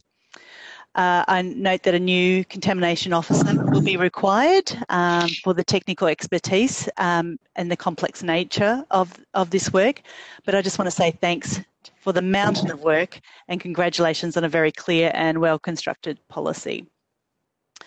Um, Councillor Copsey, would you like to speak? I will, thank you, Mayor. And I think um, potentially Councillor Gross, you might want to mute. Um, thank you. I think that you gave a really good overview of the policy. I just wanted to, I guess, exp- express my frustration that um, it's it's very good that we're moving to a more coordinated way to address contamination across the state. My frustration is that this, uh, as you say, Madam Mayor, is falling occasionally to councils and therefore onto our communities in order to address legacy contamination. And what I really hope, um, though we've seen a delay to the introduction of the new EPA um, requirements, is that we're going to see a much more proactive approach to managing the activities that lead to these issues in future.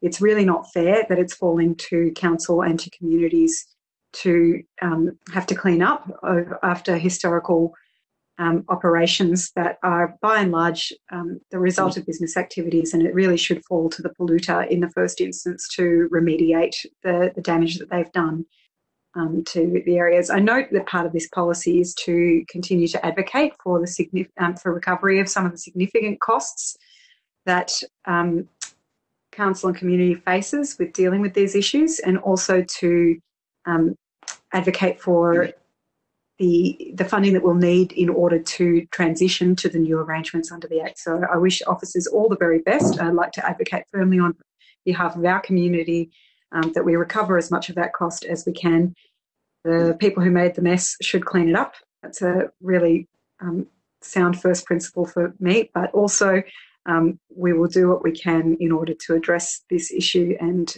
I hope the state takes seriously the responsibility um, to avoid the creation of such issues going forward because communities really shouldn't be bearing the brunt of it. Thank you, Councillor Copsey. Would anyone else like to speak? Councillor Crawford? No. Then I will put that motion again under division. Councillor Gross? For. Councillor Pearl? Yeah. In favour. Councillor Simic? For. Councillor Simic, thank you. Councillor I a Voss? problem with the buttons. For. Councillor Baxter? For. Councillor Bond? For. Councillor Brand? For. Councillor Copsey? For. Councillor Crawford? A for. That motion is unanimously carried. Thank you.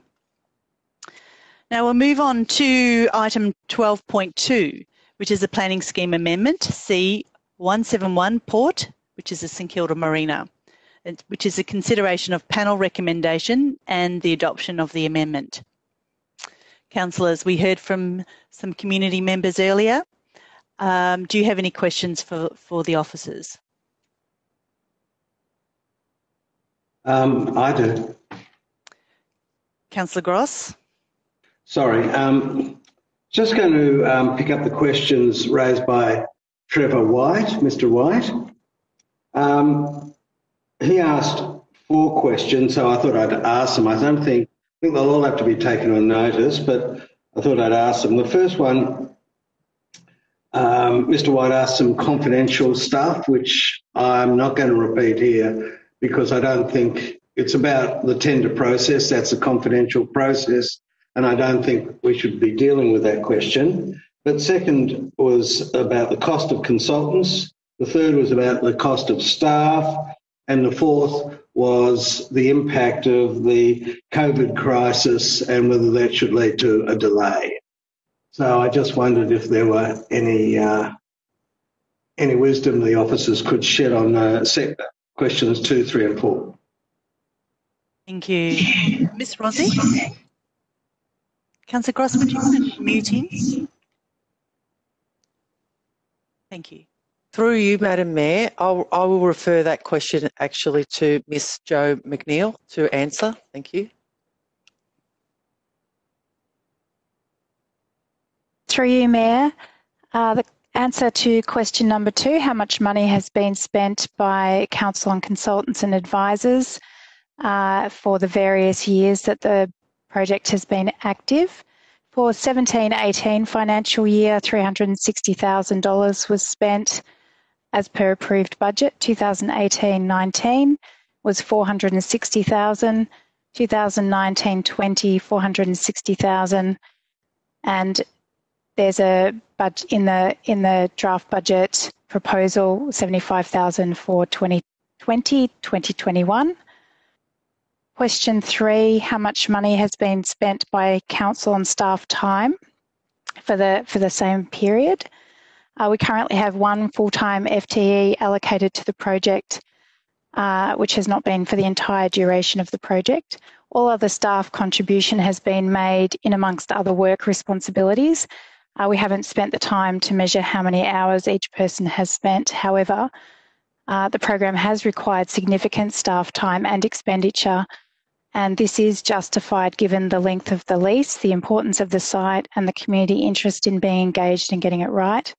Uh, for instance, the Palais Theatre long term lease required a similar level of effort and expenditure to achieve a lease um, valued at $60 million over 35 years. Question four the social and economic costs associated associated with COVID nineteen pandemic, uh, and a question about will council extend the lease of the current operator um, if the remaining bidders' financial capacity, etc., is not up to expectation.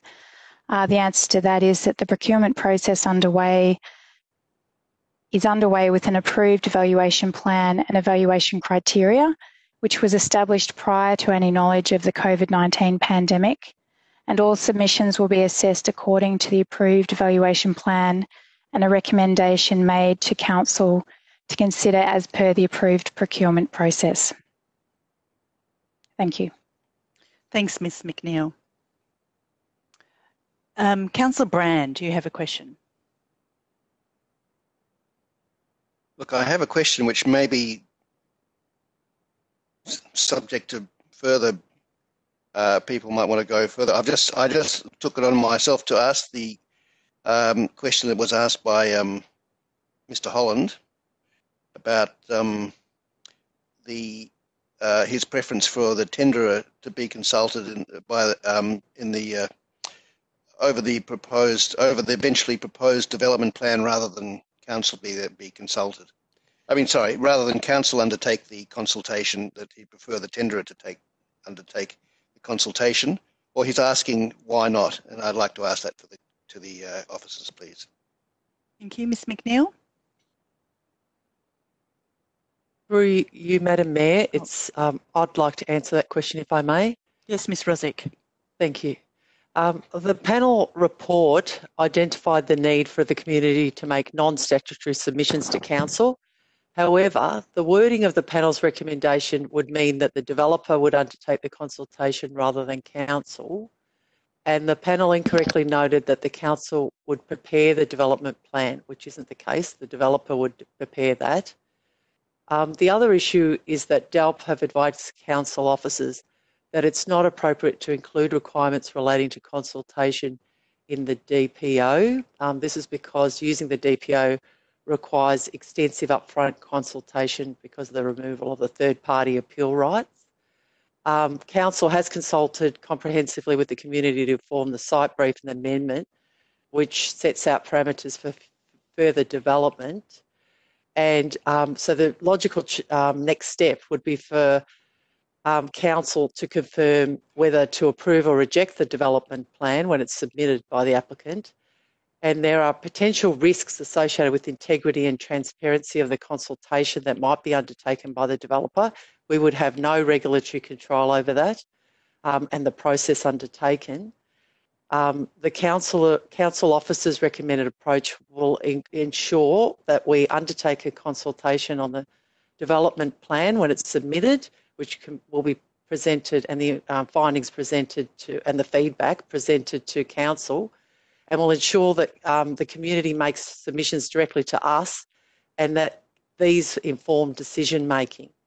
And this commitment has been proposed to be locked in via the resolution for this meeting tonight there is a risk that once um, we submit this to the Minister for approval, if the Council's officer um, resolution is endorsed, that if um, that requirement for the developer to undertake the consultation to develop the development plan, is removed, then there may not be an opportunity or a commitment um, by council to um, to consult with the community, which may um, which the, uh, and provide that opportunity for the community to provide feedback on any development plan.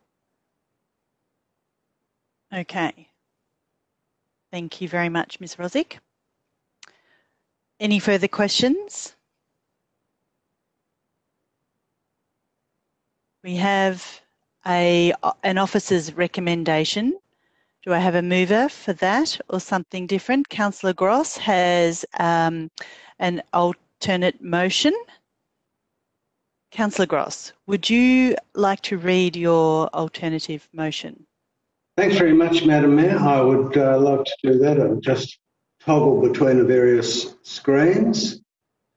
Okay, so my alternative uh, is um, the last email that everyone would have received, so they can read it there, but it's um, the Council 3.1 uh, adopts uh, Amendment C171 Port to the Port Phillip Planning Scheme pursuant to Section 29 of the Planning and Environment Act 1987, bracket the Act, close bracket, with the changes reflected in the amendment documentation and attachment 4 to the Council report, um, amended to include a new requirement in DPO2 for a community consultation report as part of the development plan.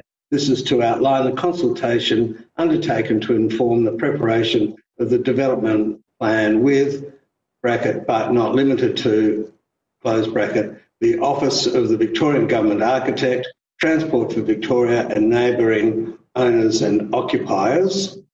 3.2 is as the uh, office has recommended. 3.3 is as the officers recommended. 3.4 um, includes, is as the officers recommended, but um, ex, an, an excision of the lines or deletion of the lines with the exception of the recommendation to include a requirement for a community engagement report as part of the content of the development plan in DPO2. Uh, 3.5 is the same, except for the last few lines is deleted, which is in, uh, deletion of the words instead of the community engagement report mechanism recommended by the panel, and 3.6 is as the office has recommended. Thank you, Councillor. now we're just going to. Oh, could you just move? Thank you we just might wait um, until the screen is um, updated and we make sure we get that right. Um, just take a minute or two. I assume you've you've sent this through to the officers so they've got a copy of it. Um, and um, what I will do is then, after we've confirmed this is right, I'll ask for a seconder and um, Councillor Gross can speak to the amendment. Um, and then I'm I'll also very happy to take any clarifying questions.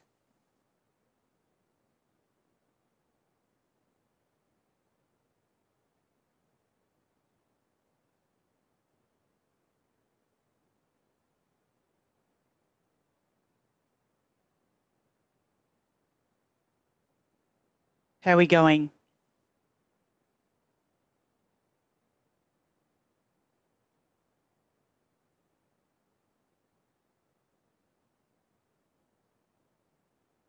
Okay, so we've got the addition to 3.1.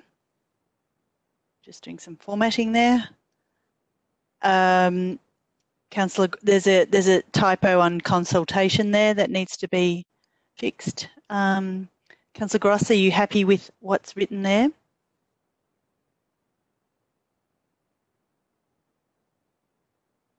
Yep, that looks pretty good. Okay. If we can just go to the next slide uh, to see what was removed.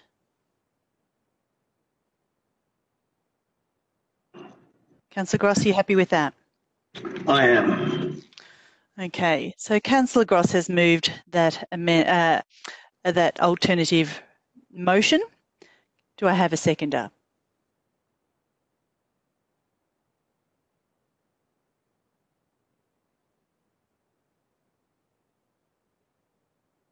Okay, not seeing a seconder, so that motion lapses.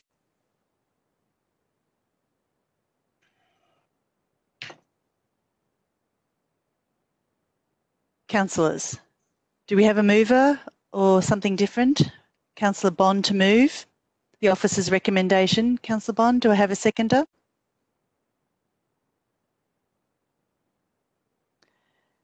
Councillor Pearl to second. Thank you. Councillor Bond, would you like to speak to the motion? Uh, yes, I would. Thank you, Madam Mayor. Um, I'm 50-50 about whether I support this, but this is just a response, uh, regardless of my thoughts about the original proposal and what we've gone out to um, the three tenderers with. Uh, this is just a uh, response to the planning scheme amendment. So, whilst I do have a few concerns here, I, I will be supporting the officer's recommendation. Just a feedback for Councillor Gross. I didn't support that because I don't think the community consultation can be done by a developer. Um, I think there's probably elements there which I think a developer doing their own community consultation or preparing their own community consultation report would not be as thorough or as independent as, say, council preparing a community consultation report on a proposal which the developer is going to be to be putting forward. So that's why I didn't support the, the amendment. Um, look, I think there were some good responses from the panel here. I'm glad they took out the um, the heritage requirements across the entire site. I don't think they should have been in there in the first place. I worry that the inclusion of those heritage um, requirements or potential heritage requirements may have, um, yeah, I don't know how it would have influenced the three people that are that are bidding for for this proposal. So I had concerns that it may impact what they, the three of them have put forward to us, but I'm just not so sure. Um, so I'm glad it's now clear um, that these three proponents have certainty re- regarding the heritage. So it's it, it's not going to impact their proposals to us. So um, I think what we've got here is, is, some good responses from the panel. It's, it gives certainty to the, to the people uh, who are putting forward proposals to us. So yeah, therefore, I will be supporting this officer's recommendation. Thank you very much, Councillor Bond. Councillor Pearl, would you like to speak to the motion? Um, yes, I will, if that's okay. I just encourage councillors to support um, what is it's not a procedural motion; it's obviously a, a response, etc. But um, those of you that know that I, I, was very much against the way council went about consulting on this project uh, initially, and I thought that was um, an overspend of money, an overcapitalisation on the process that we were going through. Council disagreed with that, and we've, we've gone through a exhaustive process to get to this point. Um, and I'm happy to support this um, to continue the process moving forward, albeit it's um, it's um, still in a very confidential phase, etc., uh, and moving moving um, well in accordance to probity. So I, you know, I think this is uh, worthwhile for support to keep that process moving um, as we head closer to a decision or otherwise as the formal process takes shape. Thank you, Councillor Pearl. Councillor Brand.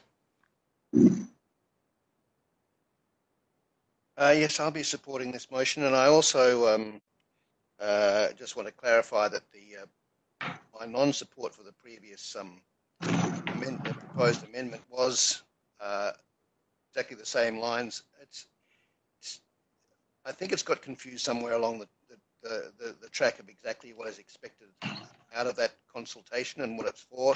Councillor Brand, if you could pop your microphone down a little, it might be able yeah, to hear um, that's better. I'm sorry about that. Um, yes, I think it's uh, it is definitely uh, council's uh, duty and responsibility to actually do a proper consultation on the development plan, and uh, whatever inputs go into the plan, um, that's not the same as a that's not the the same as this um, community consultation. This is about the plan, uh, which we have to see before us, um, and we need to do that and not the developer. But I hope there'll be a, a lot of other um, opportunities for um, comment and input as we go through, of course. Uh, there'll be a, quite a period of um, when that's when that is is uh, possible. Um, one just I just want to mention one aspect of this uh, of of the um, amendment, uh, which is the heritage thing. um, I uh, I have no particular problem with what the panel asked. I'm very, uh, I, am very strong supporter, I think, of the heritage um, value that we uh, placed, uh, uh well, attempted to place on the um, existing uh, design of the of the of the marina, and it was quite the way that we did it. I think was quite cleverly put um, and it allowed an enormous amount of flexibility as long as there was a respect. And I think what the panel has asked us to do is to say take that out of a heritage protection and put it into um, the uh, the basic uh, design requirements um, of the amendment itself, uh, with a well worded um, clause on um, uh, the requirement uh, for the developer to demonstrate how the existing heritage values of the of the uh, of the marina are respected and incorporated and um, and interpreted. And I think it does pretty much exactly the same thing as the heritage uh, protection did, and maybe in a simpler way. uh, a much more straightforward way, and I think actually a pretty good way, and I'm very happy with it. Thank you, Councillor Brand. Uh, Councillor Gross, would you like to speak to the motion? I will speak to the motion, although I don't know whether I'm um, going to vote for or against it because I'm still cranky that I didn't get a seconder. Um, okay, the theme of my speech on this matter is the difference between the substantive stuff and the headline. And I want to talk about two, uh, several things the heritage and the consultation. But prior to that argument, I just want to say, make two points. You know, how good is it that we got corroboration for our efforts on this matter from an expert panel? It does indicate that we are on the right uh, track and that this incredibly significant, complicated project has got a tick from an expert panel, that's something to be celebrated.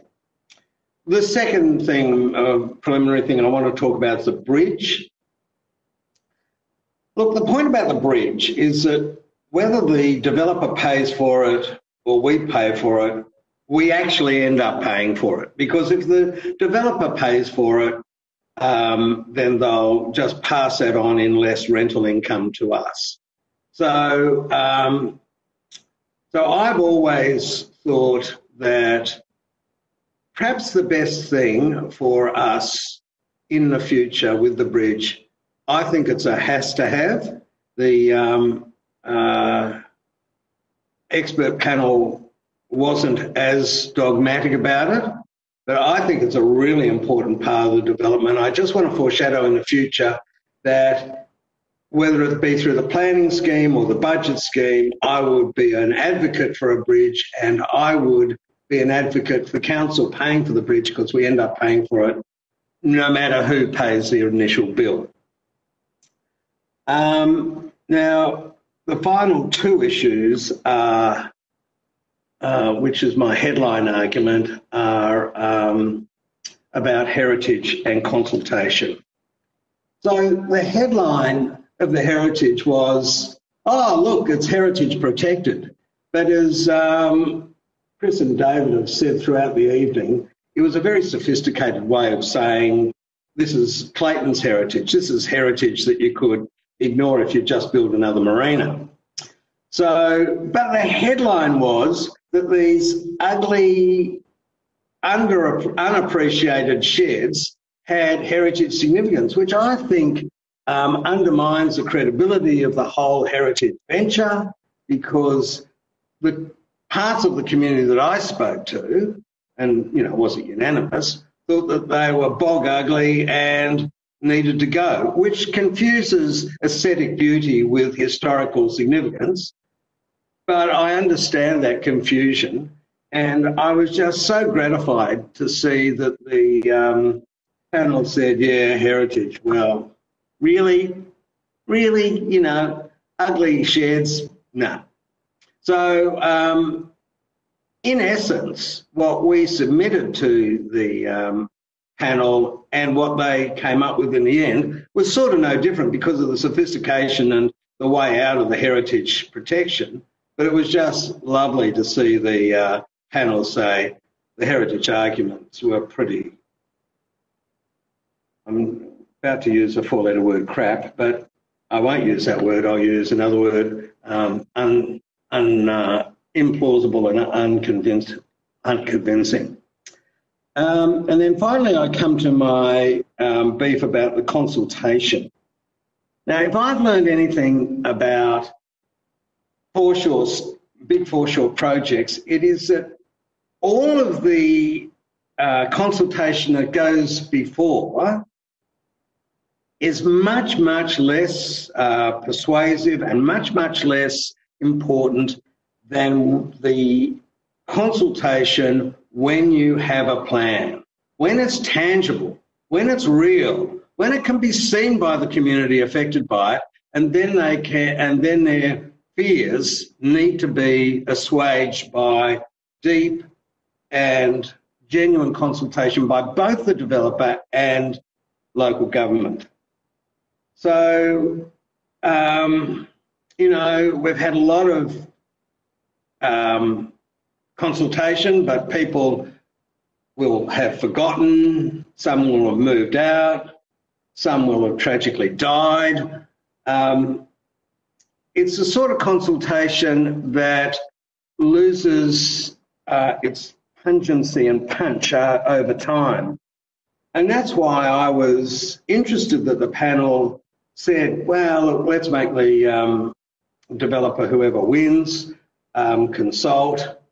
And I think that would have been a good thing as we sort of hand over the project from us to the developer. You know, please, uh, uh, you know, let's get the developer in the firing line. Well, I lost that argument. I'm still sulking, but um, uh, I think that overall this is a great moment for this council and a great moment for sensible approaches to heritage as opposed to fundamentalist and purist approaches to heritage. Thanks very much. Thank you, Councillor. Councillor Copsey. Thank you.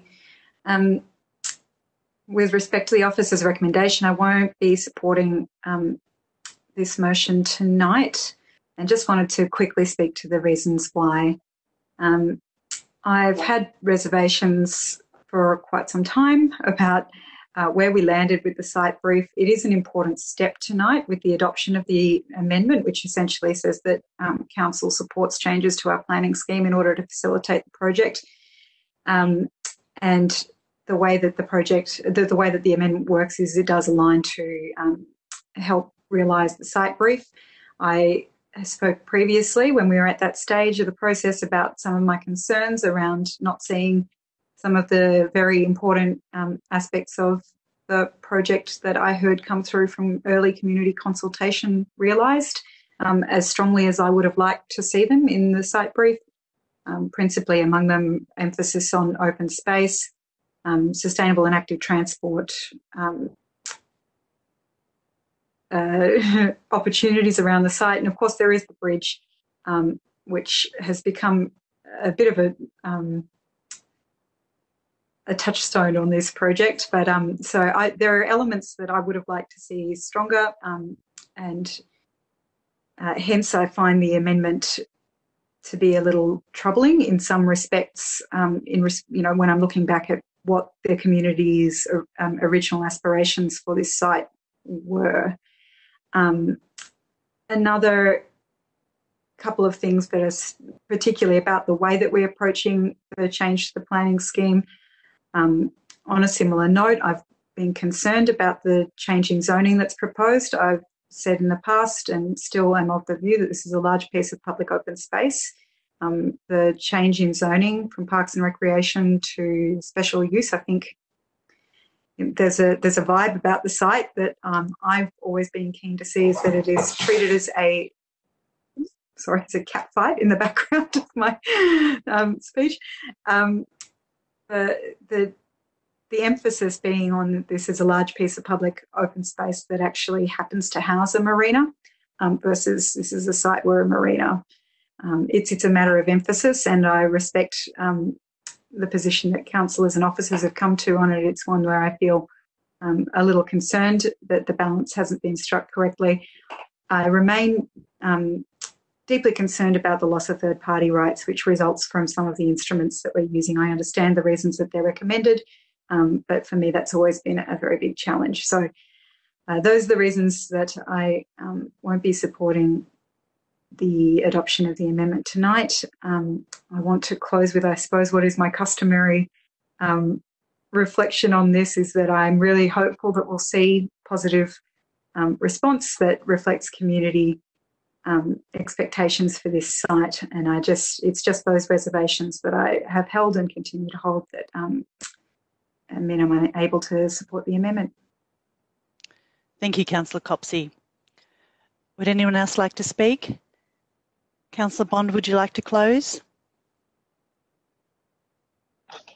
Uh, yes, I would, Madam Mayor. Um, I just to address a few of the points raised by my fellow councillors. I share Councillor Copsey's concerns with the, the site brief. And I also have many concerns with the site brief that we put out, although I'm probably coming at it from a very different position to Councillor Copsey. Um, the, re- the report before us tonight is about not about do we have concerns with the site brief, it's about what is our response to the, the panel recommendations. Um, so that's what we're dealing with here tonight. Um, I do accept that Councillor Gross has much more experience than I with big foreshore projects. Um, however, what I've learned from previous big foreshore projects is that the consultation is certainly much better done by council than it will be done by handing that function over to the developer.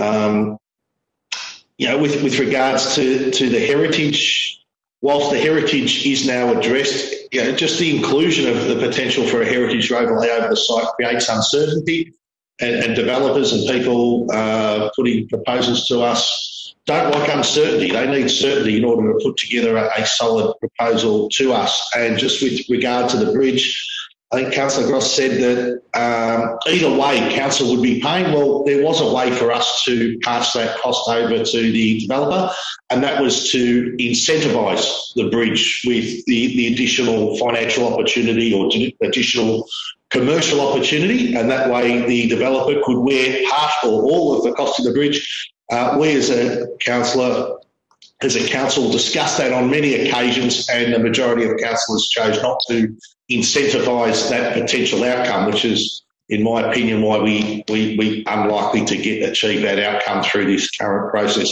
And the cost of that will have to be borne by ratepayers at some point in time in the future, unfortunately. So that's that's an opportunity missed. So I'll leave it there, and I, I urge all my fellow councillors to support this. Um, this is not about do you or do you not have concerns with with what's being proposed or, or the, what we put out there. Um, it's about the response to the to the panel hearings. So that's all we're, we're looking at here tonight. Thank you, Councillor Bond. Then I'll put the motion under division and call upon each councillor for their vote, please. Councillor Pearl.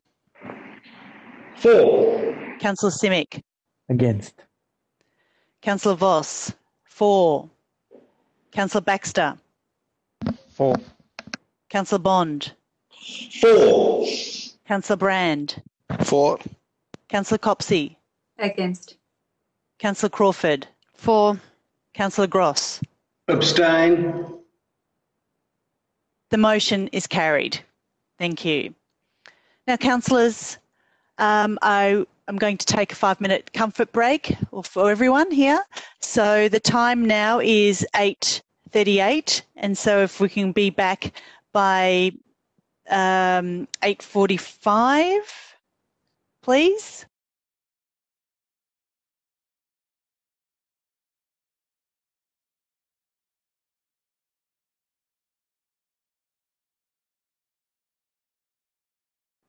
Okay, so thank you.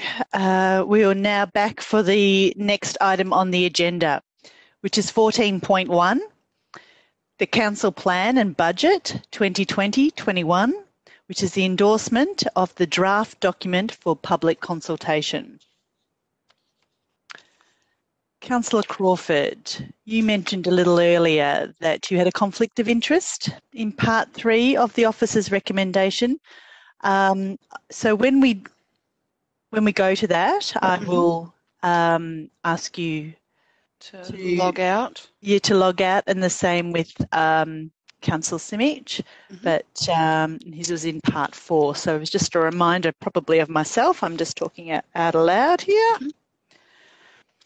Okay, so councillors, I do intend to um, take just before I go to questions, um, to move this item in parts tonight.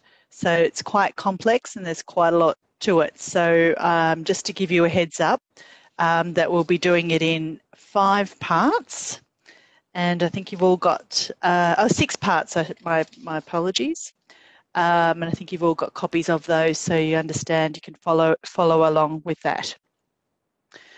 Now, councillors, go to questions of the officers. Um, so there were some some submitters on this as a reminder. Um, but do you have any questions of the officers?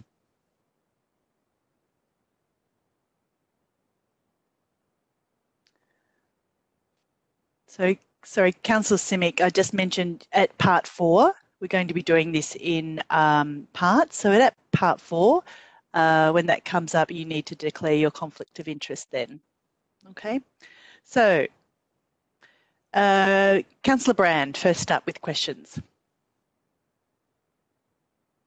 Um, Madam Mayor, I have a question for you first. Just, uh, I'm not quite, I haven't got hold of the different parts breakup of the thing. I'm just not quite sure where to find it. On email.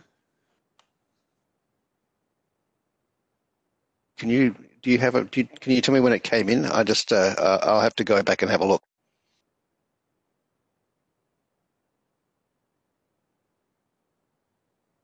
No, okay.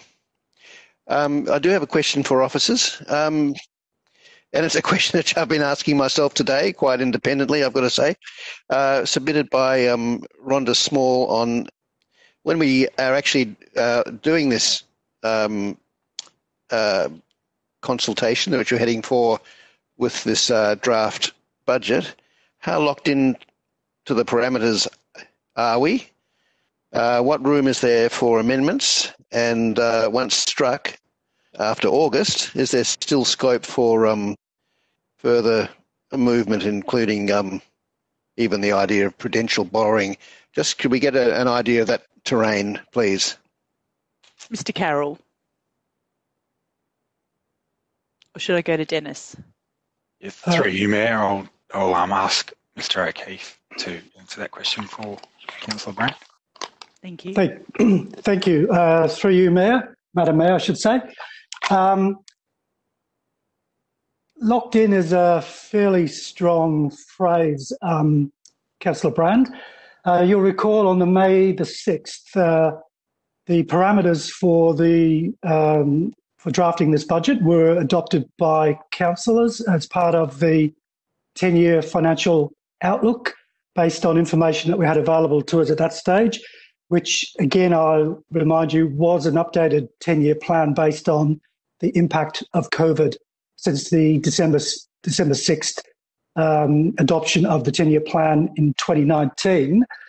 Um, we tend to, in that May 6th 10-year plan, uh, we outlaid for councillors the financial strategy of the City of Port Phillip in how we endeavour about uh, ensuring the financial sustainability of this beautiful city. And it's part of that strategy, or the two key tenets of that strategy, is that we seek to achieve a low overall financial sustainability risk rating um, using the VAGO, the Victorian Auditor General's Office uh, risk rating uh, for sustainability of local government councils. Um, and then we also use a mix of levers that council has a level of control over to ensure that the mix of those levers keeps us in that financial sustainable position. And those levers, uh, I'll just re- refresh your memory of them. Uh, not applying for a rates cap variation.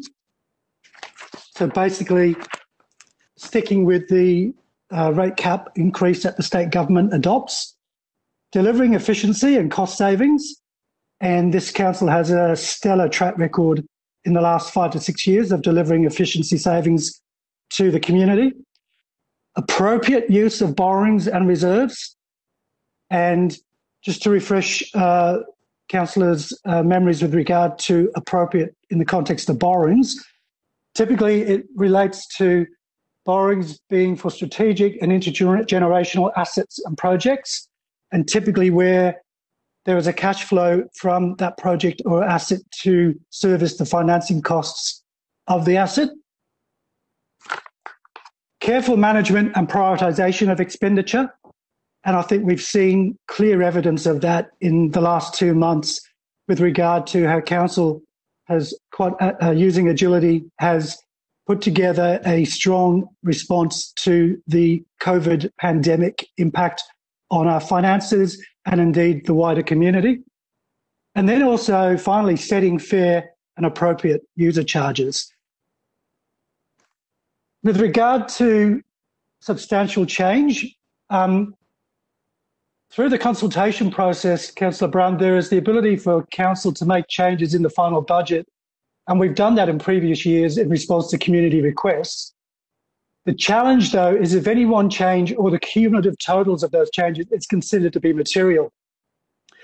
And for example, with respect to material changes, this includes a financial position that would see an increase to the rate in the dollar, new borrowing, which I just referred to, and a downward movement in the financial uh, sustainability rating, which again is that uh, risk rating that we use from Vago.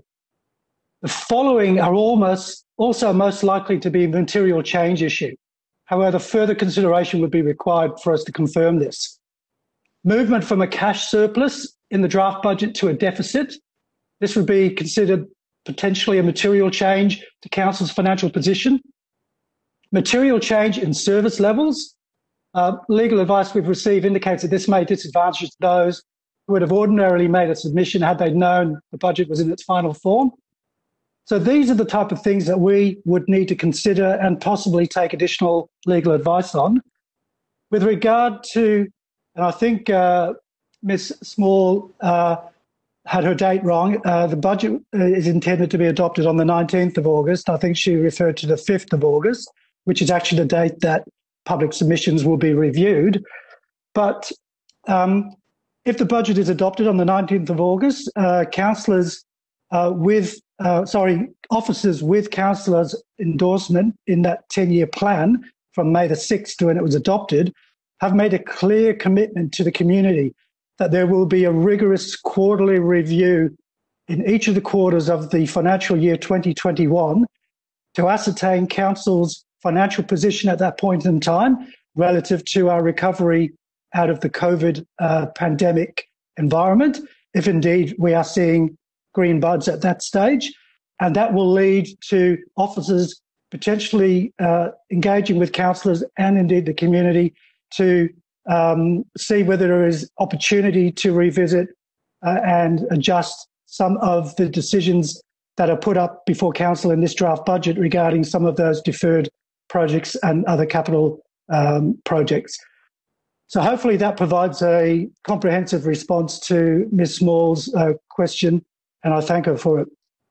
Uh, there's one just further requ- um, refinement on, on, your answer, which I wouldn't mind hearing if that's okay.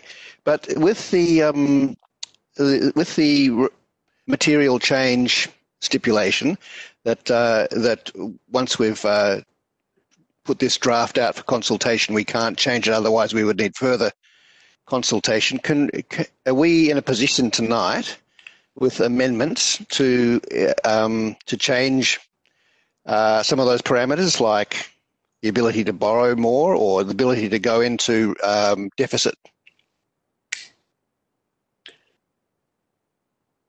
Through you, Madam Mayor. Um, if I understand your question correctly, Councillor Brand, um, to actually um, to borrow funds would require a process, as I understand it, um, that council would need to go through. Um, whether there is sufficient time or capability between now and the budget date to do that, um, I would have to take that question on notice and get advice from our governance colleagues. Um, with respect to, and if you could just repeat the second half of your question. Well, the other, the, these are both just examples of, of different um, material changes that could take place. But the one I made was, um, for instance, could we decide to uh, amend uh, amend the draft budget tonight to say that we actually could, uh, following public consultation, go into deficit? Is that amend- is that is that achievable whether, whether through an amendment tonight or or not? I would have to defer to my to my colleagues in, in governance with regard to that specific aspect of your question. Thanks. Through you, Madam Mayor. um,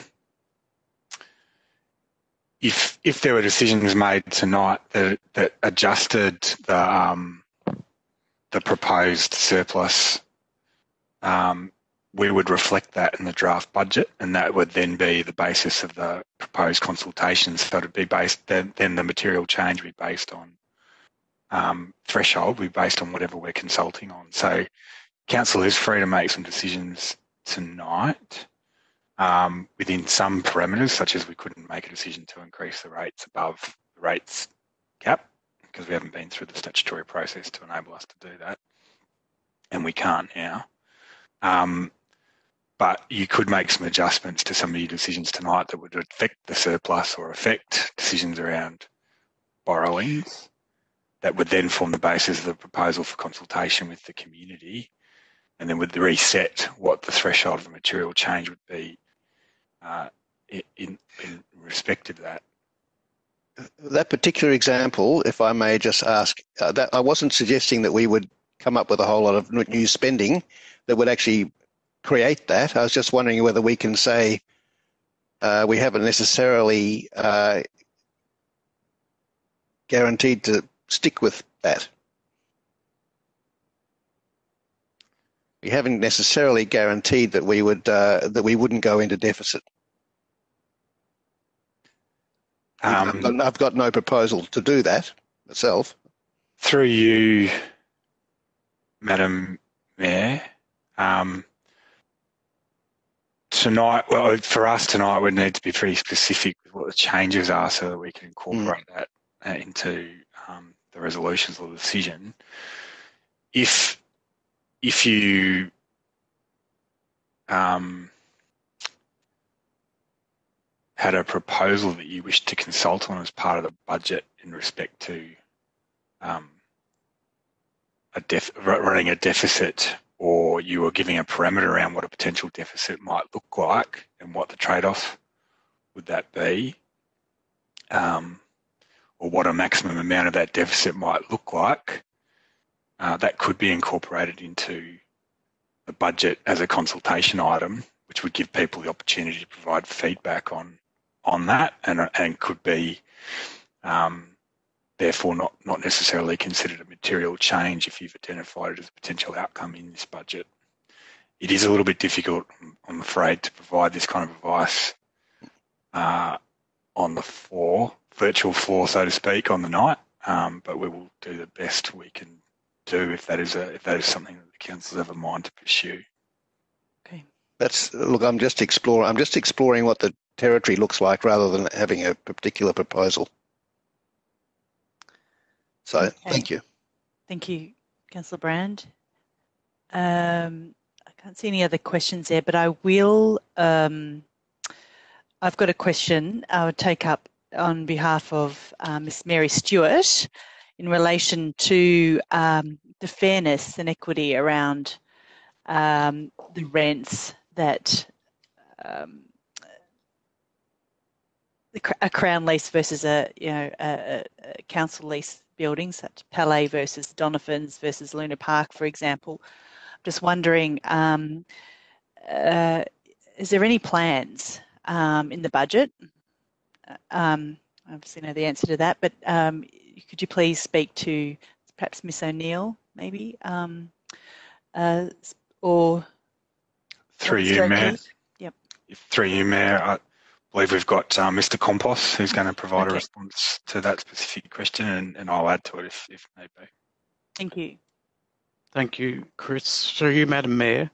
Um, I guess what we have tried to do in putting forward a number of initiatives in tonight's budget is develop a package of measures which is consistent and fair and targeted towards um, the uh, parts of our community that will be most in need, and that ranges across business, uh, community, and uh, and residential ratepayers. Um, we acknowledge that the foreshore traders are doing it tough in the current environment, and they've been significantly impacted. Um, and for those operators who are tenants of in council properties, um, we have offered uh, a package of rent relief consistent or in excess of um, the state government uh, code to support uh, commercial tenancies. And we're continuing to monitor that and we'll continue that assistance through to the end of September when at the moment um, those arrangements are flagged to come to an end. Um, we, um, but we have to uh, ensure that we support um, all of our stakeholders across uh, the community. Um, uh, so that's what we've been trying to balance. Um, uh, we've also uh, put forward an initiative in respect of deferral of rates, uh, which I think um, some of the uh, some of Mary's submission dealt with. Um, the specific comment about aligning our package to the packages available um, on Crown land. I guess we have to acknowledge we're in slightly different circumstances financially than the state government in the sense that we are rate capped in terms of um, future raising of revenue, whereas the state government has more flexibility and more ammunition to adjust their revenue collection activities to match whatever assistance they're able to provide to tenants in their property. So we have to be a little bit uh, careful and conservative in our approach, um, but we have committed to sort of work with our tenants um, as things evolve and and and see. So we ha- we have a sort of natural, a bit of a natural stop and think um, as it comes into the end of September to see where we we go from there. Um, so I just wanted to make that point. Um, is there anything else that I wanted to add? Um, All right. Well, I think yeah, and, and and like uh, just just to put it into a little bit more context as well, uh, we have a commercial um, ratepayer base of about twenty five million dollars um, across the municipality. It's about a fifth of our total rate base. Um, we did some initial modelling which suggested um, if financial hardship was to continue and we were to try and offer some um, discounts across the ratepayer base that would cost a substantial amount of money because we did estimate there would be about potentially up to $7 million in rates where um, commercial tenants may be seeking relief. So it's just a matter of being able to prioritise where the initiatives go and how we target those initiatives. And I guess that's where we've um, ended up in the initiatives that we've proposed to date. Thank you, Mr. Compos. Um, I have another question as well. Um, it's around, well, I, I, I, remain quite concerned about the end of September, October period of time um, when, uh, you know, what, what sort of social and economic environment we'll find ourselves in and um, when the various government supports will finish. And I'm just wondering if you could um, speak to uh, what mechanisms we have have available to us, like the quarterly review, for example, to stop and have a look and see are we doing everything that we need to do? Um, can we do more? And can the surplus be used potentially for any additional um, requirements? Um, just wondering if you could just explore that, please, briefly. I'll answer that. Okay, Mr. Um, Carroll. Madam Mayor. That's absolutely right. Our strategy here has been that we do have a, a, quarterly review process already built into our budgets and also a monthly review reported through the CEO report um, to the community um, to sign off on any changes and adjustments we need to make every, every month. But we're committing to do a deeper review over the next 12 months on a quarterly basis to really monitor the situation, um, monitor our own finances and capacity to help and and also um, monitoring what's happening in the community, what other layers of government are doing, and making sure that any support we provide is really well targeted um, and and fills gaps um, and is impactful. It is our intent and I know it's the council's intent to, you know, this is the package that proposed tonight is a start. Um, there's some things that will run for the full year. There's some other things like the rental assistance that we propose at this stage goes to um, end of September, but there's a there is an intent to review that, and if and if necessary, to extend it when we have better information around what's going on. Um, and we are looking at um, liaising with a range of different agencies around data, and um, so that we can form inform those decisions as well. And um, you know, I, I want to thank the four foreshore traders for their submission um, tonight. we have been working closely with them, you know, and I don't know, um, officers uh, will continue to do that and um, help where we can. Thank you, Mr. Carroll. Um, and then I'd take up um, one other question from Sherelle Haywood. Um, this one's probably for you, Mr. Johnson, around um, cleaning um, of Acland Street and Fitzroy Street in the next budget. What, what plans are there term, and the frequency? And what has the frequency been? Uh, thank you, Madam Mayor. Through you, uh, so street sweeping, rubbish removal, litter picking, etc. currently occurs seven days and nights a week uh, along Acland Street and Fitzroy Street. Uh, that's not proposed to change under the draft budget. What is proposed to change is that the nightly pressure washing service will cease with trouble spots responded to by the daytime rapid response team. Thank you. That was very concise. All right, now, no more questions from councillors on the budget. It's been an extensive conversation that we've had, so um, that's good. So, as I mentioned earlier, councillors, given the complexity of this item, I'm going to consider the recommendation in parts. So, part one um, will be 3.1, 3.2, and 3.3. I would I seek a mover and a seconder for that, please. Councillor Crawford to move and Councillor Baxter to second. Thank you. Now, um, you will just notice, as was on the screen, there are a few minor changes. For example, who the local government minister is, um, etc. You can see there from the original one that went up out to the community. Councillor Crawford, would you like to speak to the motion? Councillor Baxter, would you like to speak to the motion? Um, yeah, just briefly, that um, obvious, there, there, are obvious reasons why uh, the dates had to be changed uh, for this, given the COVID uh, stuff. So that's that's why we're doing this. Uh, the other change being, uh, who knows who the local government minister is at any particular time these days. Thank you. Well, now we'll put that motion under division and call upon each councillor to, to vote. Mayor, sorry, I'm not in the chat. I just wondered if we could have the second part on the screen. Thank you. Do you have a question? No. It is in all our emails. Yes. So, um, Councillor Bond, you would like to speak to the motion?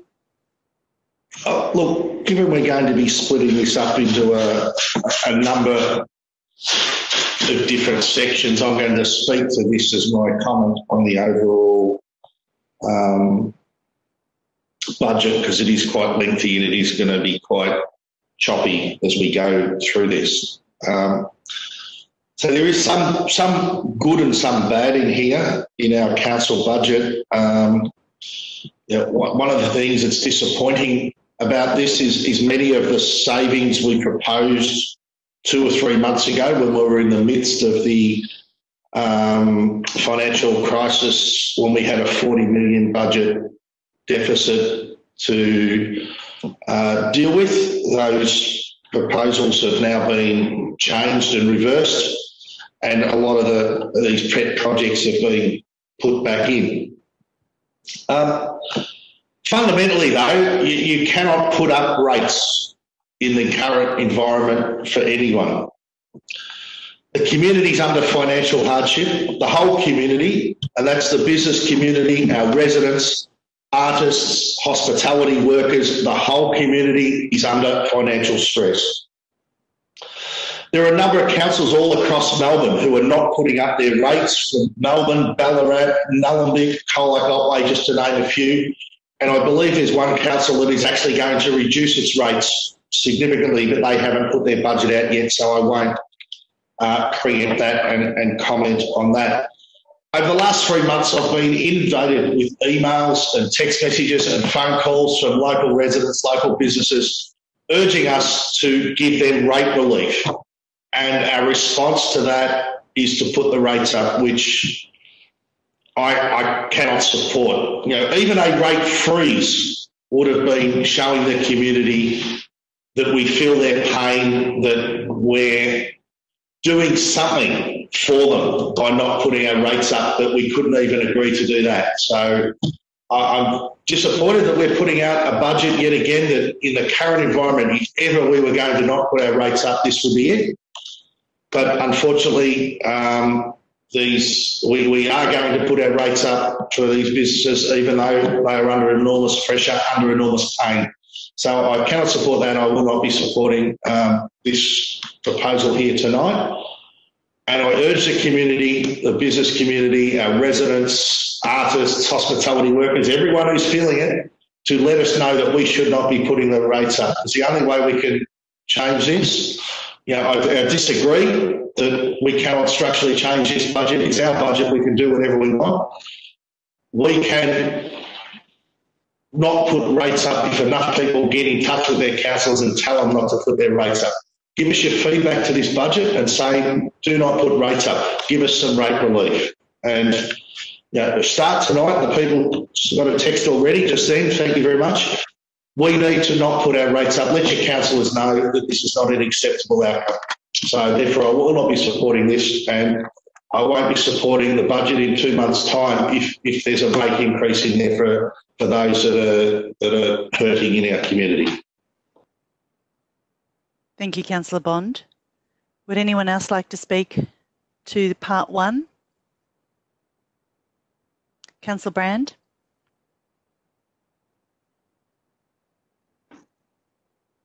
I'm not at all clear that this is the right time to uh, um, debate the entire budget because I don't quite understand the breakup of the parts. But since Councillor Bond has started and given an overview of the whole budget, I'm going to give my overview of the whole budget um, here as well. And I want to say I think the um, the the the work that has gone into forming this budget and the principles and um, the effort and insight has been absolutely remarkable, I think, uh, to achieve what we have achieved in this time of crisis in such a short time, um, to find the savings that we've found, to um, readjust everything from the from the bottom up, to restructure from the bottom up uh, in response to the crisis and the economic crisis that the uh, pandemic has brought, has been truly extraordinary. And to get to the point where we are um, I think is just, uh, I, I, just, uh, it is quite fantastic, I think, what we've achieved. And what we've achieved is um, a budget with uh, very little carryover into. Um, the, in, into the following years of, um, of, uh, of, of pain, there is there is some, uh, but we're sharing that across, and um, we're going to have a. We're proposing an operating budget, uh, an operating surplus of almost a million dollars, which is like a contingency sum, which is important to have. A whole lot of things. I am a bit disappointed in in one aspect myself. I think that we should be offering more uh, rate relief ourselves on an emergency basis to ratepayers um, and businesses and residents who absolutely need it, who are in who are in dire, you know, the ones who are really sort of um, uh, on the brink of survival. Uh, but I am, and I would, and I'm, I would invite the community also to um, put um, submissions in on what sort of what sort of um, financial assistance we can give, uh, but under three, under four very very clear um, parameters.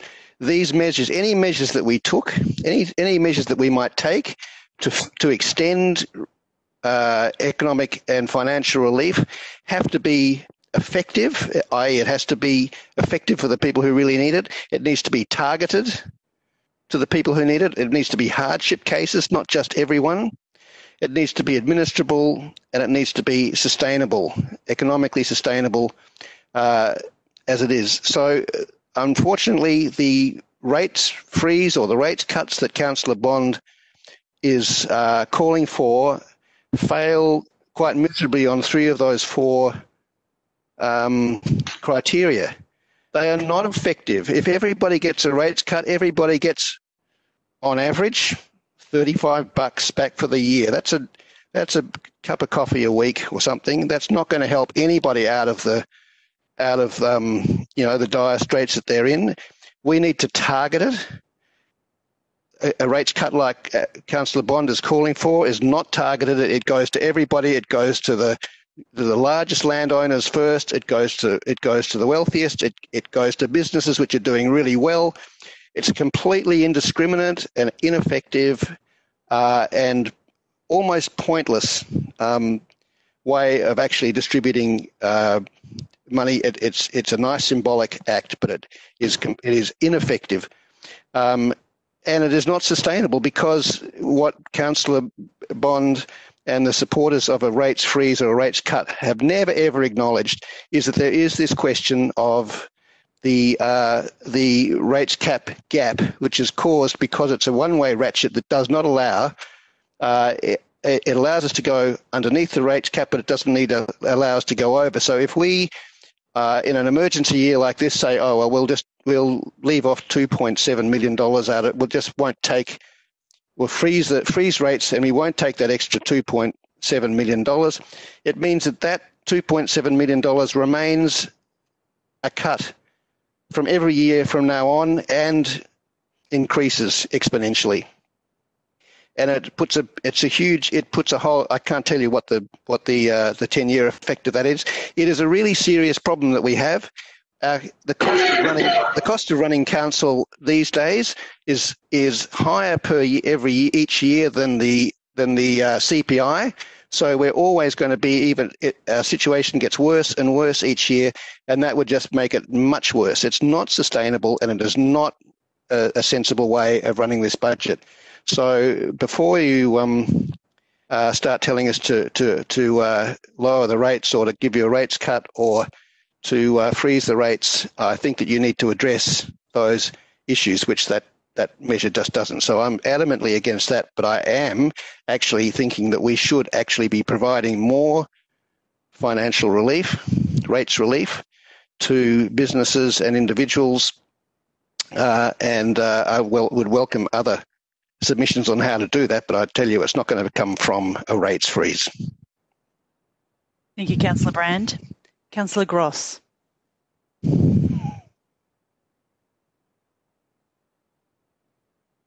Sorry. Um, I'm going to treat this as my one and only one go talking generally about the budget. Um, I don't know how relevant it is given we've cut it up. But anyway, here, here I go on my general views on this budget. One thing that we've been, um, I don't think we've talked widely enough, is this um, virus crisis has really deeply and profoundly affected the financial um, situation of this council. When we first met after the pandemic was um, declared, the initial figures were um, 20 million to be lost in the first three months, and then another 20 million to be um, pulled out of the budget in the next financial year. These are huge numbers in local government land, and it was very traumatic. And we went on a, um, a campaign of hacking into the expenditures of the comp- of, of this council. And so now we have a situation where we have expenditure of $243 million, uh, 220 million of that 243 will be funded by our revenue, uh, and 23 million will be drawn from reserves for our capital payment, which is incredible that there's no borrowings, no um, sort of cash negative in that those reserves were set aside for the reasons that they are going to be expended. Um, it is, as Councillor Brand said, remarkable at the end of this incredibly traumatic uh, assault on our financial viability that we will come up with, okay, slightly depleted reserves, but a $1 million cash surplus. Now, how have we done that?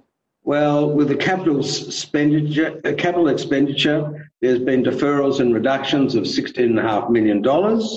And in the operating uh, expenditure, that's diminished by $4.35 million. Some of those are temporary and some of those are permanent. And it's also at a time when reform of the waste sector has, is going to lead to very significant increase in costs and better services, but more costs. So I just want the community to understand yes, terrible things are happening to some people in the community because of this corona crisis, but also pretty devastating um, impacts for this council have occurred, and yet um, our officers have crafted this budget in the way that has made us both um, sound and still giving plenty of money uh, to help the rest of the community deal with it. So we've already had one package of money to support the community, which has mainly been in assistance with um, dealing with rate deferrals. Um, and secondly, um, we've got another series of funds which we'll get to in a later uh, motion uh, for this financial year assisting the community. Now, there's one thing, I, a couple of things that I wanted to say, which is um, Councillor my thunder, so I'll try not to repeat them too much. But, you know, cutting rates is a very blunt instrument.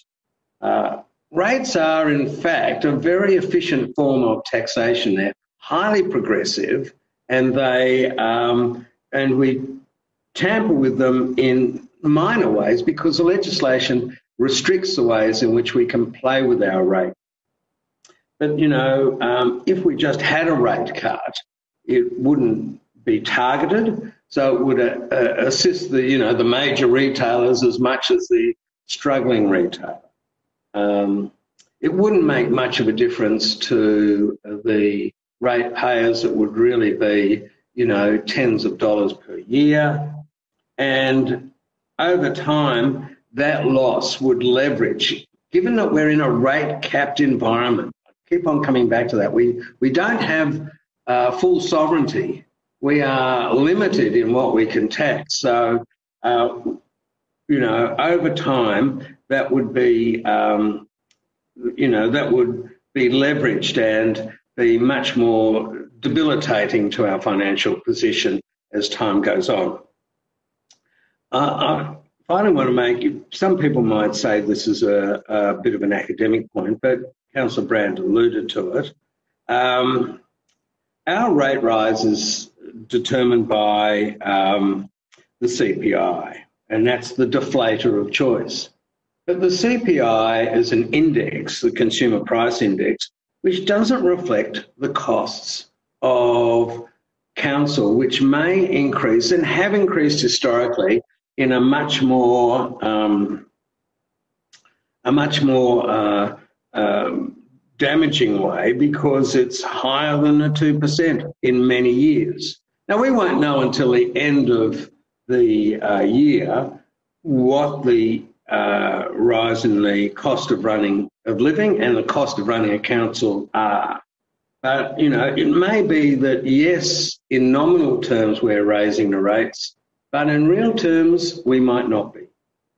It sounds like a, um, uh, an academic point, but it is a real point that we, you know, at the end of the year, we might discover that the deflator that applies to the costs that a council encounters might not uh, actually have risen as much as the 2%. And so, in real as opposed to nominal terms, there might not actually be a rate rise.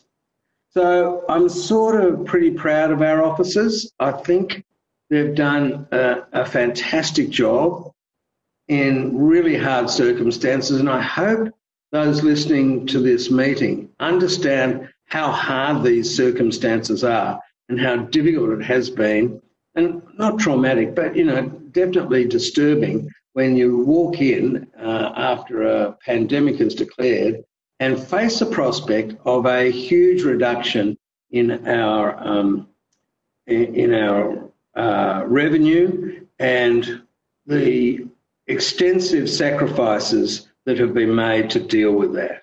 So I commend this budget to everyone, and I think that um, we should be proud of the work our financial officers have done in crafting it. Thank you. Thank you, Councillor Gross. Oh, if you wouldn't mind putting on your mute, please. Would anyone else like to speak? Councillor Pearl? Thank you very much, Mayor. I don't know if Councillor Brand's been listening to me for the past three months, but I think we've categorically gone through those issues, and I'll, I'll do so in a short moment. But before I do that, let me read with you and share with you one of the more than 400 emails I received in response to a call out I made um, to the public to give for them to give me feedback on the budget. Good evening, Marcus. As a pair of pensioners, we are struggling with our current rates. It's not our fault that our humble house has increased so much in the past 38 years that we've lived in this suburb. We've decided to die here, and we hope to do to be able to do that in a short time with each other. Here in the house where we raised our three children, how can we cope with an increase with our rates and continue to live with dignity day by day by day? As with most people, we expect that property values to drop 5 to 10% in the coming year, and we look forward to a rate reduction Please do everything you possibly can to help me and my wife survive through what is a very difficult period. And they're the sort of people we're facing at the moment because most of our population thinks they're going to get a rate decrease this year because their property values are going down. People are confused, they don't understand the details of how rates work. Uh, and most people in our community are going to be expecting rate relief this year, regardless of where we set our rate it's um, a heartbreaking situation for many. And the principles I walked into this budget process with were very, very clear, and it's worth repeating to you now. That council should focus resources on areas of the greatest community need that are under our control. Secondly, it would be unconscionable to increase rates in a year when so many are losing their incomes. And thirdly, council must never use debt to fill a budget hole in the short term, short term solutions can often become long term nightmares. And I'm happy to hear that uh, the debt option hasn't been used, uh, but it troubles me still in terms of the first two items around some areas where council is spending money, and I'll talk about that later in August. And secondly, which I've already gone through before, the rate increase. I oppose a rate increase for three reasons. Firstly, it's unconscionable to raise rates in a year when so many people are losing their incomes across our community. And I've discussed this with um, many people previously uh, that it fails to meet the basic principles that, that I've set out before. Secondly, council can afford the rate increase without going into debt. Now, to Councillor Brand's point, and I hope he's listening, the total impact of a zero rate increase is less than 1% over the 10 year forecast you have to find $30 million out of a three, almost $3 billion budget. That's the cumulative effect that you're talking about.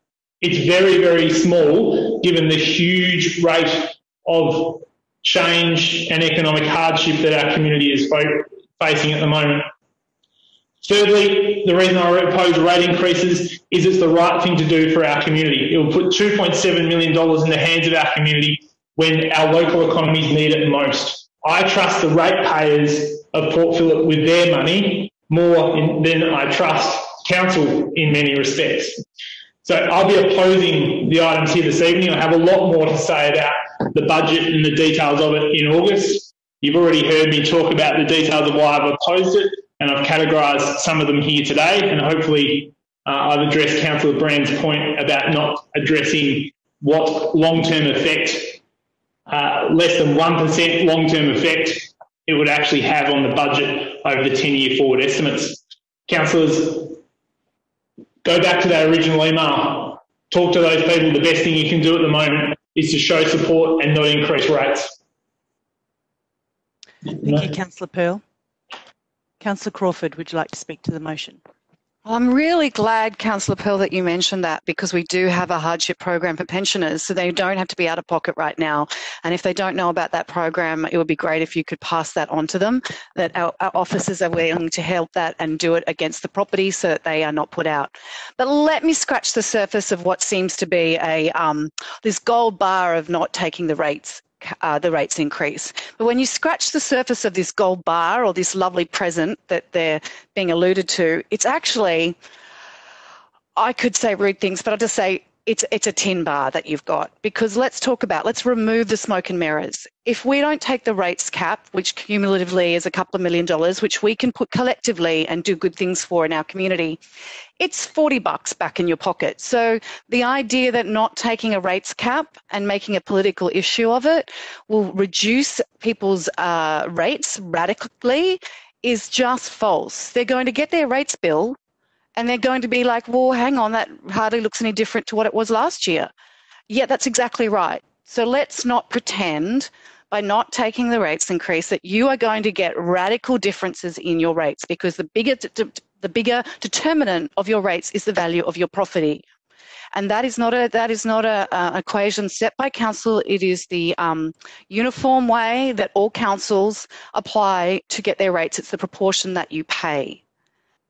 So what does forty dollars in your uh, in your uh, rates like if that gives you what does that actually give you? As councillor brand said it might give you you know a week's worth of coffees. It might uh, do those nice things. But what does it cost you if we don't have those couple of million dollars, that's things like unable to upgrade childcare centres, community centres, uh, keep our parks uh, green, plant more trees, uh, fix footpaths as quickly as we'd like to, upgrade roads, uh, open libraries, um, put more extra drainage and look at those things in areas that flood, support our arts community, which have been the most devastated and most deliberately ignored by the federal government in all shapes and forms. Let me just say, we've just had uh, about 100 applications for our arts response uh, to COVID um, program, and that is showing how hugely our arts and creative community is hurting. And if we don't take that rates increase, that's less money that we can target back into our arts community who along with our um, hospitality and tourism community, are suffering the most because it requires people in close proximity.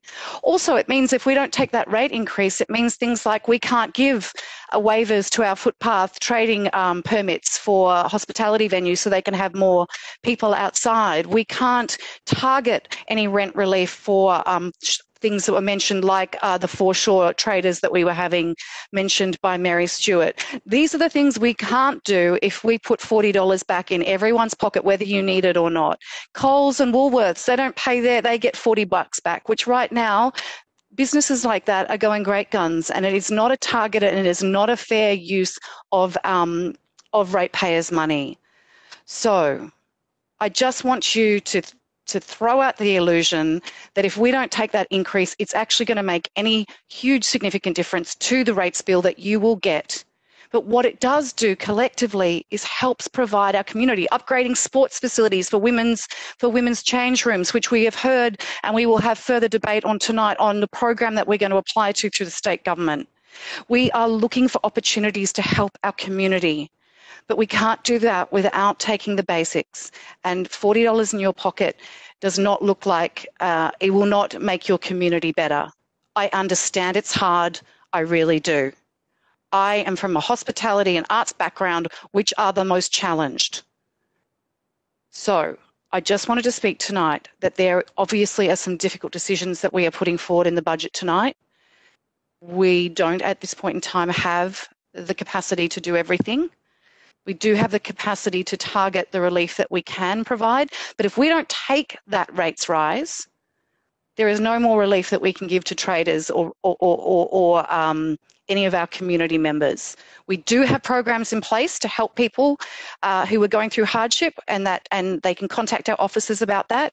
But I just want to be clear. Do not fall for the illusion that a zero rates increase is going to make any substantial difference to your rates um, bill that will come out later this year, but it will make a difference to uh, taking it will make a difference to having a better community, whether it's childcare, whether it's parks, whether it's sustainability, whether it's planting more trees, whether it's supporting our arts community.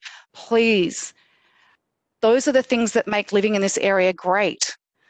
If you fall for the illusion, none of those things are, are, or less of those things are able to happen. Thank you, Councillor Crawford. And I'm now going to put that motion under division and call upon each councillor for your vote. First up is Councillor Baxter. For. Councillor Bond. Against. Councillor Brand. For. Councillor Copsey. For. Councillor Crawford. For. Councillor Gross. For. Councillor Pearl. Strongly against. Councillor Simic. For. Councillor Voss. For. That motion is carried. Now, part two um, will be 3.4 and 3.5 is what you're going to see on the screen. Um, now, um, I'm going to ask for a mover or, or, and a seconder, please. And I might get in here and move, actually and Councillor Crawford to second. Thank you. Now, um, I would like to move an amendment, um, sorry, an alternative motion to 3.5.3, please, and I'll read it. Reducing assist council counter service at Port Melbourne and South Melbourne town halls for 12 months and for officers to complete a review before July 1, 2021 to assess the impact of the change on community members who do not have online access to our services. Point of order, Madam Mayor. Who moved part two of this motion? I've moved it. Then you can't move an amendment to your own motion. Someone else will need to do that. Sorry. I, I, I think that's right, I'm happy to move that amendment. Sorry. I moved the whole thing. I just asked for the seconder a bit too quick. So I've moved that whole alternative motion. Could I please move an amendment, Madam Mayor? Um, you can second my motion. No, it's been seconded, hasn't it? Not yet. I'm sorry, I did ask for that a bit early. So I've just moved an, an alternative motion. Point of order, Madam Mayor. The original motion without 3.5.3 has already been seconded. If You called it seconded. I didn't actually. I didn't no, second that amendment. Correct. I didn't. Haven't actually spoken to second that overall. Okay, we'll take this online, and I'll I'll ask for. Thank you, Councillor Bond. You, you can be silent now, and I'm going to ask for advice on what I actually moved. Um, Mr. Carroll, or maybe um, some, the governance team? Through you, Madam Mayor, I can advise. Um, I think it's important for you to clarify uh, first whether you've moved an alternative motion or have moved the officer's motion. On the screen, we have an alternative motion. Um, from my records, this hasn't been verbally seconded at this point, so you would need to seek a seconder to continue with the alternative motion. Thank you. So I've moved the alternative motion and now I'm going to ask for a seconder. Seconded. Councillor Gross. Um, well, I'm using chat, Councillor Gross. Sorry, it's just fair for everyone. But that's fine. That's fine by me. So um, I've got Councillor Copsey actually got in first there. So just to be clear, um, councillors just making a very small amendment um, to the officer's recommendation. And so based upon the feedback that I have read um, on how you have your say and in my conversations with some community members that don't have access to the internet, that uh, this amendment in particular around the Port Melbourne and South Melbourne Assist Centres will greatly affect them. Um, so it's my intention that this um, amendment will come back in 12 months' time to assess what the impact is on the community and whether it needs to go forward or what changes, if any, need to be made. Um, Councillor Copsey, would you like to speak to the motion? I would, thank you. Um, uh, thanks for covering off the substance of this. The one that I wanted to particularly highlight was in relation to diversity. I've had some contact from members of the community um, also wanting to make sure that um, should Divercity go online, if this motion is successful, um, that we'll still be making provision for people who don't have online access or um, aren't confident with computers to, to get timely information about what's happening in their community. And I just wanted to state in as part of the meeting that's certainly been something that councillors have raised as well um, and that officers have been attentive to. So we will be um, really monitoring this to make sure that we've got effective ways for people to continue to access that local information um, in a smaller print format um, and hopefully, we'll find that Divercity can actually be a um, more timely and accessible tool for people finding out about uh, what's going on in the city of Port Phillip. Thank you, everybody who's participated in the um, discussion on these. Um, this small amount of service level reductions, which has helped us close that um, budget gap that we were facing. And there, I wanted to note also that there were a couple of service level reductions um, that were proposed that have not proceeded based on the feedback that we received from the community. So thank you for everyone who participated in um, that initial consultation. Thank you, Councillor Copsey. Councillor Gross, would you like to speak to the motion? I apologise if I didn't um, get you to second it. Um, no, I'm good, thank you. Councillor Crawford. Actually, Just, Councillor Brand's next. My apologies. I was actually, I think I was only volunteering to second. Okay. Councillor Crawford then. Uh, I just wanted to point out that these are the kind of reductions we're looking at, um, and these are the kind of things that we've had to make tough decisions on, and there are more of them. And if we don't take the rates rise, there will be way more of these. Thank you. Would anyone else like to speak to the motion? Councillor Bond? Thank you, Madam Mayor. Just to, to pick up on something that, has been raised tonight, Councillor Pearl stole a little bit of my thunder. I was going to address this um, supposed rates gap that we have that everyone keeps raising. Um, you know, it's yes, it is thirty million dollars, but it's thirty million dollars over ten years on a three billion dollar budget. I'll repeat, a three billion dollar budget over the next ten years. That's a one percent rates gap. We can offset that by a 1% reduction in costs. And that's a very easy equation for us to complete. We do that and we close that rate gap.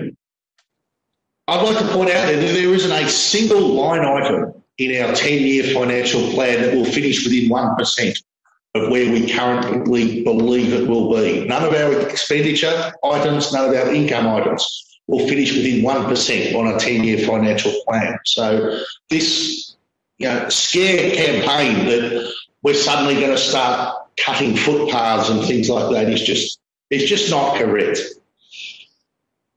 You know, a couple of councillors have spoken about the financial situation of the council if we were to have a, a rates freeze. Well, I'm sorry, but it's the financial situation of our community that I'm more concerned with our businesses, our residents, our community groups, our artists, and our hospitality workers. Yeah, earlier on today, I got an email from a couple of my customers who work for a major retailer.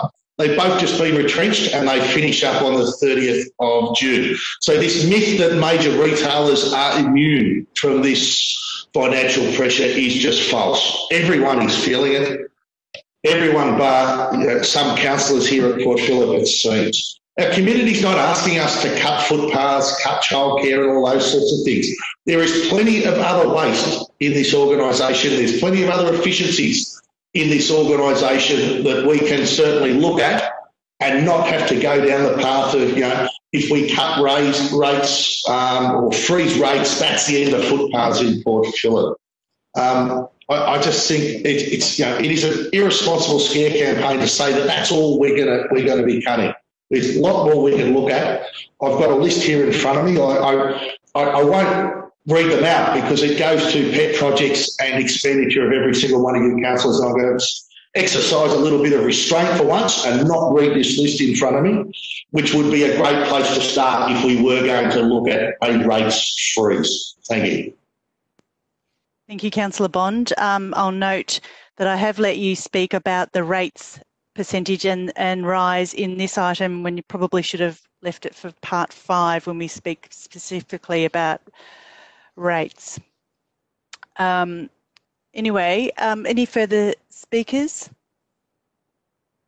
Then I will put that motion under division and call upon each councillor to make their vote. Councillor Brand? For. Councillor Copsey? For. Councillor Crawford? For. Councillor Gross? For. Councillor Pearl? Against. Councillor Simic? For. Councillor Voss, for. Councillor Baxter? For. Councillor Bond? Against. That motion is carried. Now we'll go to part three, um, which will be 3.6 and specifically we'll look at endorsing the Building Safety and Accessibility Program expenditure detailed in the draft council plan and budget 2020-21. Councillor Crawford? Um, yes, so I need to, let me just find the right uh, wording. I need to declare an indirect interest. Sorry, I'm just finding it. So uh, I have an indirect interest by way of conflicting duty in item 14.1, Council Plan and Budget 2020-21, recommendation, recommendation part three. I am on the board of Napier Street Aged Care. Works to the building roof is one of several initiatives within the Business Safety and Accessibility Program, which is included in the draft budget. So I will need to leave now. Need to exit totally out of um, yep out of this system, but don't go far because I think it might be quick. Mm-hmm. Okay. Councillors, um, we ha- do I, I, I, seek a mover, please, uh, for 3.6. Um, how have I got here? Councillor Copsey to move and Councillor Gross to second. Councillor Copsey, would you like to speak to this motion? No, Councillor Gross, would you like to? no, thank you. Would anyone else like to speak to this motion? Then I'll put this motion under division and call upon each of you to vote. Councillor Copsey. For. Councillor Gross. For. Councillor Pearl. Against. Councillor Simic. For. Councillor Voss. For. Councillor Baxter. For. Councillor Bond. Against. Councillor Brand? For. That motion is carried. And we just need, we'll wait for Councillor Crawford to return to the chamber.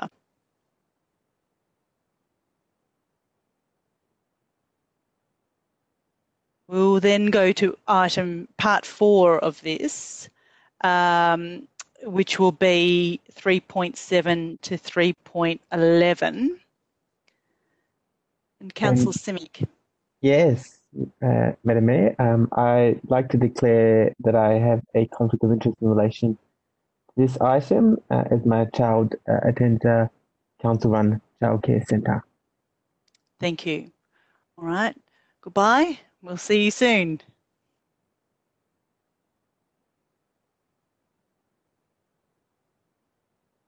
Just still waiting on Councillor Crawford to jump back on.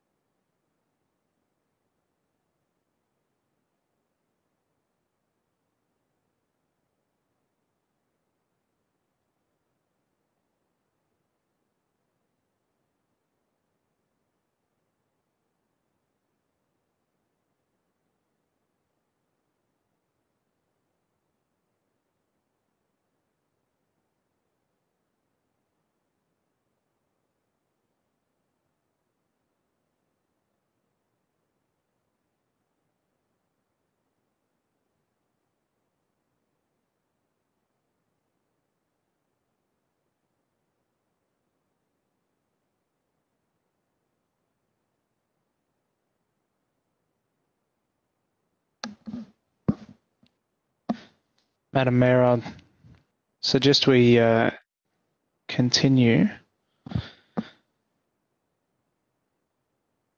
If a councillor is having trouble getting back into this most virtual of chambers, that I'm, I'm not sure procedurally there's much reason to hold on.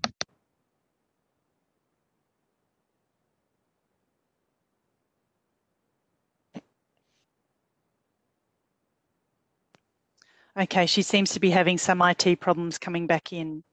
So, all right, we will commence, unfortunately. Um, so I'm going to ask for a mover and a seconder. Councillor Copsey to move. Do I have a seconder? Councillor Baxter to second. Um, just to be clear, it's 3.7 to 3.11. It's part four. Um, Councillor Copsey, would you like to speak to the motion? Councillor Baxter, would you like to speak to the motion? Um, yeah, only to say that um, uh, children's services uh, has been an area in which we've we've spent a lot of time uh, this year, and I know that Councillor Crawford actually has some very strong opinions on this, and would have liked to speak to this uh, if she was able to log back in. Um, I feel bad, but I can't see any reason why we would hang around much longer. Um, but uh, yeah, so uh, I, I'm sure that uh, people who have who have followed Councillor Crawford's views will will know uh, what they are, but um, essentially uh, we endorse these um, these changes, uh, particularly the additional lead family slash assertive outreach resource uh, to make sure that we can meet uh, the commitments that we've made in our children's services policy. Thank you, Councillor Baxter. Would anyone else like to speak to this motion? Then I'll put this motion. All those in favour, and I will put it under division. Councillor Copsey. For. Councillor Crawford's not here. Councillor Gross. For.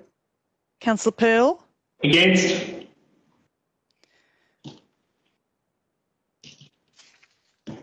Councillor Voss. For. Councillor Baxter. For. Councillor Bond. Against. Councillor Brand?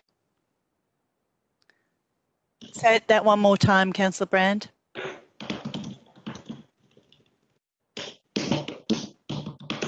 Four. Sorry. Thank you. That motion is carried. Now, will Councillor Simic to return to the chamber?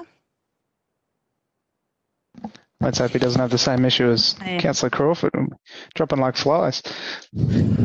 Okay, and now we're going to go to part five. So just to um, explain, part five will be 3.12 or 3.12, 3.13. Um,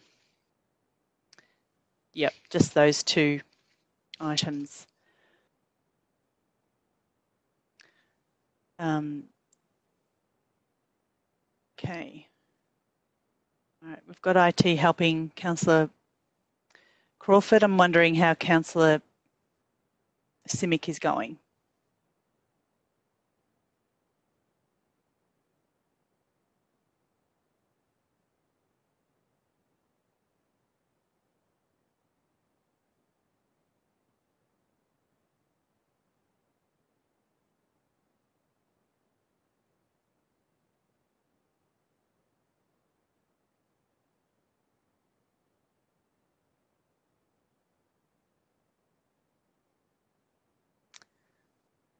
All right.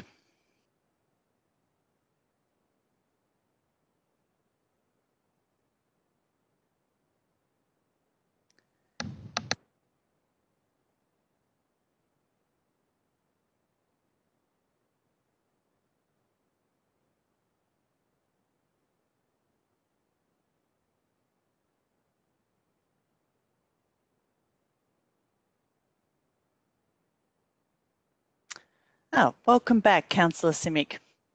Thank you. We're still waiting on Councillor Crawford. she hasn't made it back yet either. Just to let you know. So we're we're looking at part five, um, and the amendment is on part of it's on the screen, so it's all of 3.12 and 3.13. So, councillors. Um, uh, sorry, Madam Mayor, can I just have a clarifying question? Yep. This is not an amendment. This is an officer's alt rec. Is that right? Correct. Yep. This cool. is a, yeah. So they've just put in a, a few slight changes, which is in red. Um, so this is the uh, officer's um, alt rec motion, alt recommendation. All right. So I'm. Well, I think we're going to have to continue on, unfortunately. Um, so I'm going to ask for a mover, please. Um, so Councillor Baxter to move the officer's uh, alternative rec recommendation. Do I have a seconder? Councillor Gross the second. Councillor Baxter, would you like to speak to the motion? Uh, yes, although uh, Councillor Gross, I believe, didn't you have a foreshadowed amendment to this motion? Um, just wondering, just wondering whether you sh should be um, seconding that. Is there any way to take another seconder, or are we locked in for that one? no, um, that's. I got confused too. It's it's not going in a sequential way. So what we're doing is we're we're, we're moving the officer's recommendation, officer's alt rec. Point of order, Madam Mayor. This has already been moved and seconded. Correct. Thank you. I'm just trying to get a word in, but everyone's jumping in here. So um, we have an officer's recommendation, which was moved by Councillor Baxter and seconded by Councillor Gross. Councillor Baxter, would you like okay, yes, I, I, I, will speak to it. So um, I believe that procedurally now Councillor Gross can't move his amendment, so I just wonder whether any other councillor may uh, be willing to do that. And I don't have anything more to say on the uh, on the matter. Councillor Gross, would you like to speak to the motion?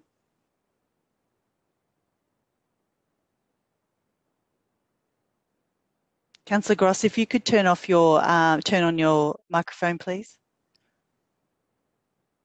Sorry, um, I've got a. Uh, I thought that we hadn't on the Word document I am looking at. What's on the screen is what has been moved and seconded, and it doesn't include. Can I just ask a question, please? Yes, sure. So the um, 3.7 and 3.8, which included a um, question about the reinstatement of the $10,000 for Suai Covalima and my amendment about the 50,000 about the eco centre. That's not those. Are, have we dealt with that thing? It's it's not part of this Councillor. Gross, it, it is. It should be in this, and we haven't dealt with it. We need to make the amendment for that. You're not using the latest document. Um, the latest document um, just came just after six o'clock.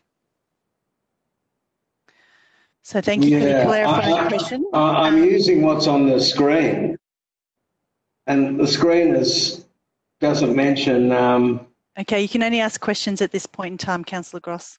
okay, my question is 3.7 and 3.8, which includes one of your amendments and one of mine, um, isn't on the screen. Does that mean we've already done it, or No, they haven't been done. So that means that um, when will it be done? Um, be well, an amendment, Councillor Gross, it, it'll be an amendment to this motion. And I can't withdraw my seconding. Well, that's a bit confusing then. Okay. The screen doesn't represent what I. Thank you. Thank you, Councillor Gross. Would you like to speak to this motion? No. Okay. Um, Councillor Pearl.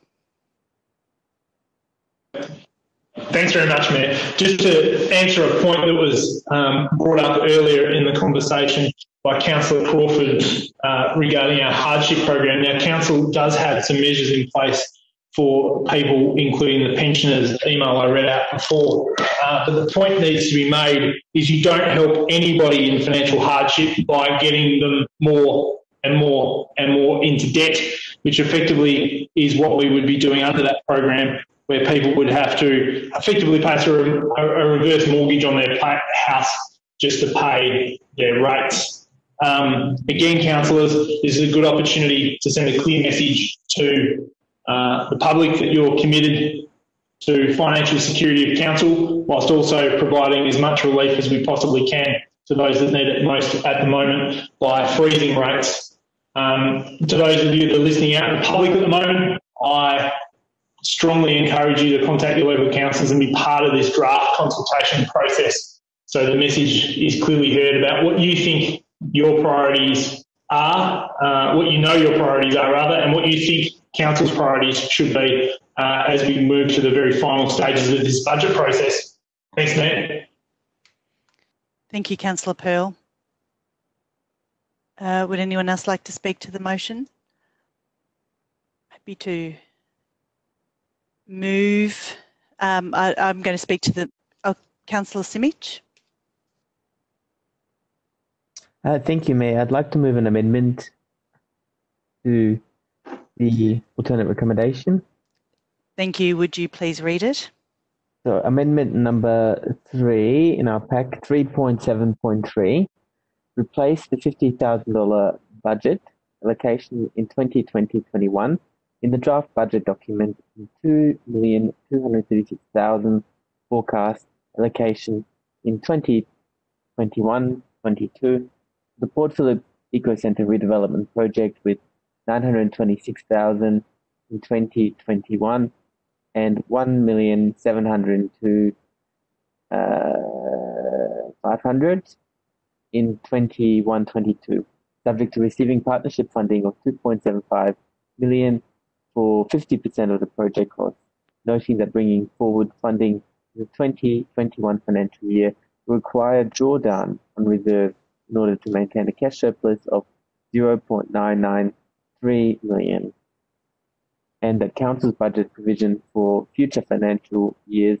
would need to be reduced to replenish any drawdown. Thank you, Councillor Simic. Um, before I ask for a second, I'll just note that the numbering has altered. It's 3.12.2. Are you comfortable Very well, with thank you. Yep, great. Um, do I have a seconder?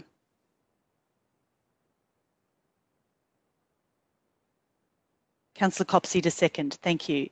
Councillor Simic, would you like to um, speak to that motion?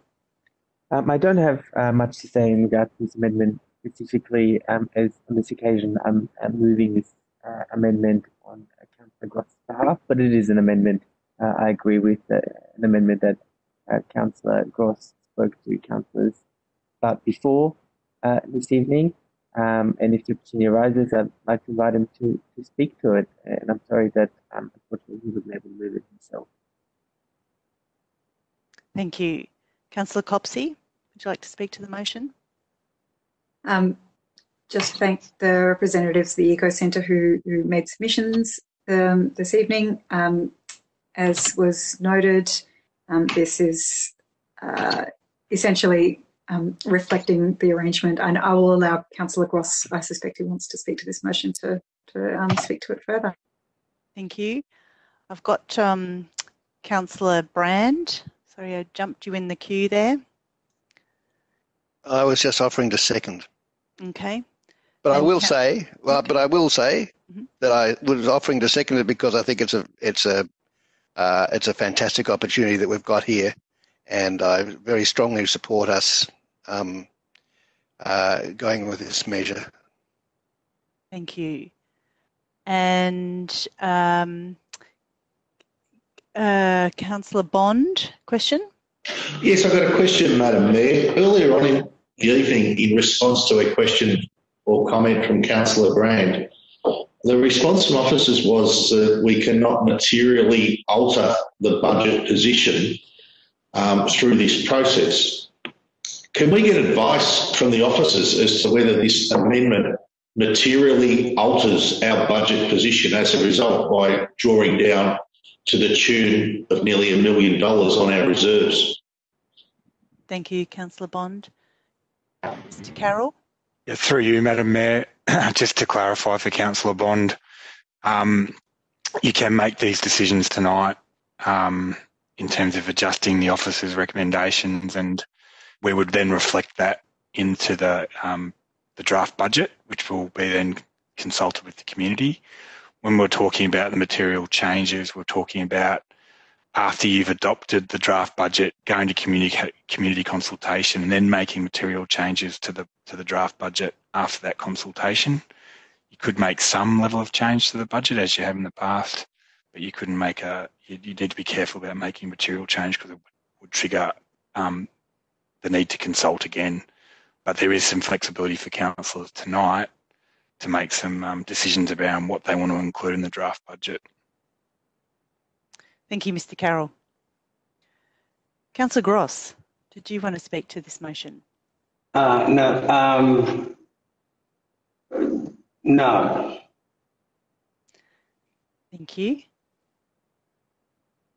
Would anyone else like to speak? Then I'll, I'm going to put that motion under division. Councillor Gross. I'm only.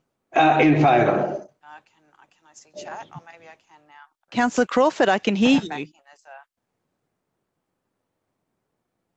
Sorry. On the phone. There you go. So Councillor Gross, say again. For. For. Councillor Pearl. Against. Councillor Simic. For. Councillor Voss. For. Councillor Baxter. For. Councillor Bond. Against. Councillor Brand. For. Councillor Copsey. For. And welcome back, Councillor Crawford. Well, am I allowed to vote? I hate WebEx. Um, yes, you can. Thank you. That motion is carried. I'd like to move uh, an amendment and it will be 3.12.3 uh, and that is um, that agrees to reinstate $10,000 in 2020-21 in project funding for Friends of Suai Covalima for the length of the current Friends of Suai Covalima agreement so that it can be used to one, conduct an annual audit of the Covalima Community Centre accounts. Dot point, uh, ship council computer and technology equipment surplus to requirements and deliver soap and sanitizer to Suai. Dot point three, um, expand the solar lighting scheme. And last dot point, conduct hygiene, maths and science training. This would reduce project funding from $28,000 and not $38,000 as reported. Do I have a seconder? Councillor Crawford to the second. Uh, this this has come about um, from an email that we received from Megs, who was really quite compelling. Um, put to us that you know the difference that that ten thousand dollars would make um, to a lot of people's lives, and um, particularly in Suai Covalima, there is a there's a program of of change um, with this particular um, program um, for the this organisation to become um, self-sufficient and um, do their own fundraising. Uh, but wait, it, at the moment it is, um, yeah, just just they just need a little bit more time, and so that's what this this particular motion is um, in order to um, give them that time and give them the the benefit that that they've they've been used to all this time. Councillor Crawford, would you like to speak? Would anyone else like to speak? Yes. Councillor Brand. Thank you. Um, I fully support this. Um, I'm really glad that it came up. I'm particularly interested in it because um, of the COVID 19 situation. Uh, in particular, the community centre in uh, Suai is such an important part of the um, of the response there, and it takes a, a it takes a, leadership role in the whole of uh, Covalima, and uh, it's really important that it can function at the moment because there is the medical supplies are so short there that the uh, almost the only defence that the people have is is hygiene, hygiene training, um, and uh, information uh, distribution, which which is coming out of the community centre. And I, I, just think it's uh, you know if there's if there's one thing which is really really important that they uh, can continue can, that they can continue to do now through this uh, period, it is that and, you know, it's, a, and I must say, I do see the people of Covalima, the people of Suai, as in a, in a very particular way, very a part of our own community. We've sort of um, adopted each other in a friendship situation where I think that we're, by allowing this, we are, it's our responsibility to allow this because um, they are in a certain way part of our very community as well. And uh, so I certainly welcome this, and I'm sorry that we're cutting anything out of it, but everything's been cut. But it's very, it's great that we've at least got some specific advice on this, and that we know that uh, some of these programs will be able to continue. Thank you, Councillor Brand. Councillor Baxter. Uh, thanks, uh, Madam Mayor. Um, look, uh, I've been working with this uh, group for the past um, three and a half years, and uh, they are able to turn you know a dollar into uh, some amazing things. They really run off the smell of an oily rag, and um, in conversations with um, the Friends of Suai about you know the, the the cuts and the and the shaves that needed to be made uh, in this budget, they were understanding about that, but um, they did feel that they needed to make a point about exactly what the difference is in, in, in $10,000 there and exactly what that will sort of lose you. Um, and uh, to have that actually laid out, uh, you know, in, in the, in the daylight there uh, was very, um, I think, very persuasive and compelling to uh, a lot of councillors. So um, the the amazing work that this group does um, in this uh, in this area, which uh, I believe um, you know Councillor Brand has covered off pretty well, uh, is um, spectacular. It is a they're a testament to our community. Uh, they strengthen our community while they're strengthening one overseas as well. And um, I just uh, I'm, I'm, actually I'm very proud of the work they do, and um, they they have to feel some pain just like uh, everybody else that receives some money uh, from us. Um, but uh, I think this is a good change. Thank you, Councillor Baxter. Then I will now put that under division uh, once again. So we'll start off with Councillor Crawford. Uh, yeah, for. Councillor Gross. For. Councillor Pearl. Against. Against. Councillor Simic. Sorry. For. Councillor Voss. For. Councillor Baxter. For. Councillor Bond. Against. Councillor Brand. For. Councillor Copsey. For. That motion is carried. Okay, so we now go to the last part of this um, six part motion. And it is for 314 to 318. Madam Mayor, I believe it's a substantial motion. This was an amendment. Standard motion. Oh, my apologies. All right, it's getting late. Correct.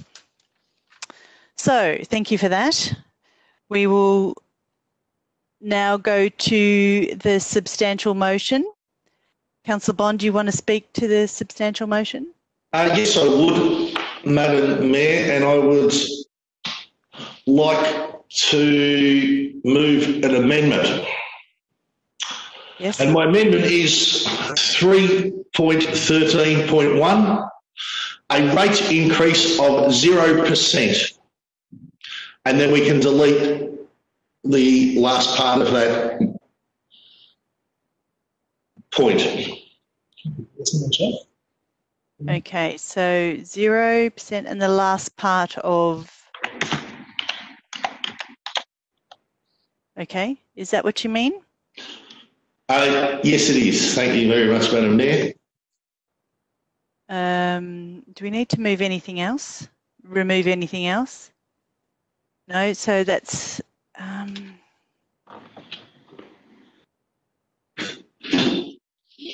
okay.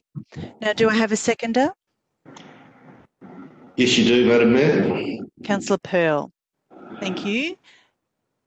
Councillor Bond, um, please speak to the motion. And I remind you, you did have quite a lot to say on this earlier, so please keep it brief. Thank you very much, Madam Mayor. In light of the fact we're now able to make substantial changes to our council budget, um, and this is the appropriate time to make those substantial changes.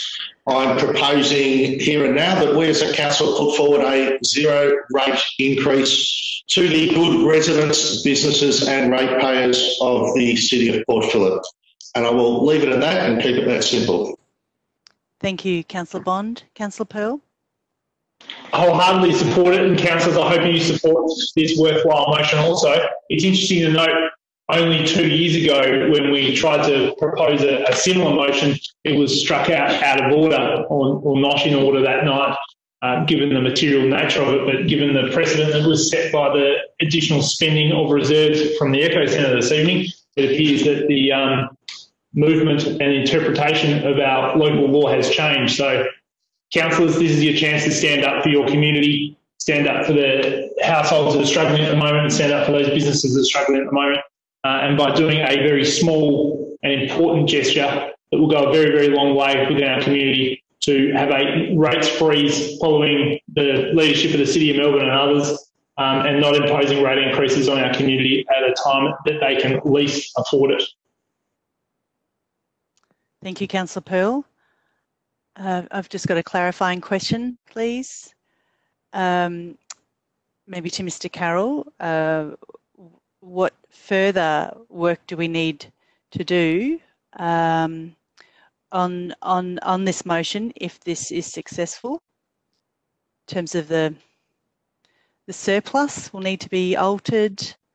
Um, I'm just wondering. There's there's a number of things in this in this whole thing that needs to be changed.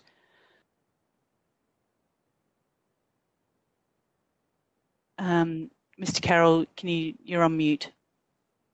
Through you, Madam Mayor, that's, that's right. We would need to, without making, without having prioritised any other changes in terms of, in terms of reducing expenditure, uh, uh, we would adjust the, um, the surplus at this stage, the cash surplus.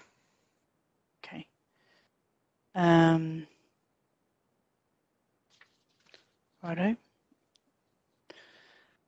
Um, and just one further further question um, in terms of the uh, zero rate increase at this point in time. Um, uh, do you have any advice for councillors um, in terms of our obligations around that? Uh, through you, Madam Mayor, um, just for clarity, if this was a final budget um, and the council was seeking to make a, a change on that for the final budget adoption, which was the case uh, Councillor Pearl referred to last time, that would be a material change and advice would be similar to last time and similar to the advice tonight that you wouldn't be able to do that. Um, however, this is a draft budget um, and it is open to councillors um, to make this kind of decision tonight. We'd obviously need to do some work or at this stage we'd just reflect that as a, as a deficit in terms of the consultation materials. Okay, thank you, Mr. Carroll. Would anyone else like to speak to this amendment? Councillor Brand. Thank you. As you already know, I'll be voting against this uh, amendment. Um, if we're being asked to stand up for our struggling householders and our struggling businesses, well, I believe that we should too be standing up for them, but the struggling ones. This rate cut, a rate cut like this, is just spreads the proceeds of that, which is about two two point seven million dollars, across the entire community. So Coles and Woolies, who are doing well out of this, um, extremely well out of this uh, current economic crisis, and you know, and good on them for being there. That's great. But they would get the same cut. They would get the same percentage cut, not as Councillor Crawford suggested, a cup of coffee. They would be getting be we would be giving them thousands upon thousands. I don't know what they what their rates are, but they would probably go into the tens of thousands. A complete and utter waste of ratepayers' money. Uh, again, for people who, for struggling householders, if they can show that they're struggling with a hardship test, I'd be all for it. This goes to every householder, whether they've lost their job or not lost their job or don't have a job because they're self funded or they're ultra wealthy or whatever. They will all also get the get the um, the benefits of this, and the bigger their property, the more they get. This is a completely irresponsible way of distributing relief. It's just, it's just, it's not, it's an unconscionable way of doing it. Actually, it's actually, it's an easy way, I admit, just say cut, but it is not, it's not a sustainable, it's certainly not targeted, it's not fair. It uh, favors, it favors the wealthy and the well-off. I think that we should be targeting the people who are struggling and in dire straits, whether they're rich or poor. That can happen to anybody at the moment with the with the with the uh, with the uh, pandemic. So I'm not I'm not saying it can't happen to wealthy people. It can happen shockingly to them, and they should be able to come to us and get relief, but not in an indiscriminate splurge like this that spreads it so thin that it makes no difference to anyone. It's just a piece of virtue signalling of uh, a nice symbolic gesture, which is not effective, not appropriate, and um, cuts. Uh, we're, we're, we're, we're offering more than this in in in economic relief. We're offering four, $4.2 million, $2.7 million of that comes from that rate increase under the rate cap. So you can get rid of that and we'd have back to very little. So it's just a, it's just a ridiculous way of doing it. Thank you, Councillor Brand. Would anyone else like to speak to this?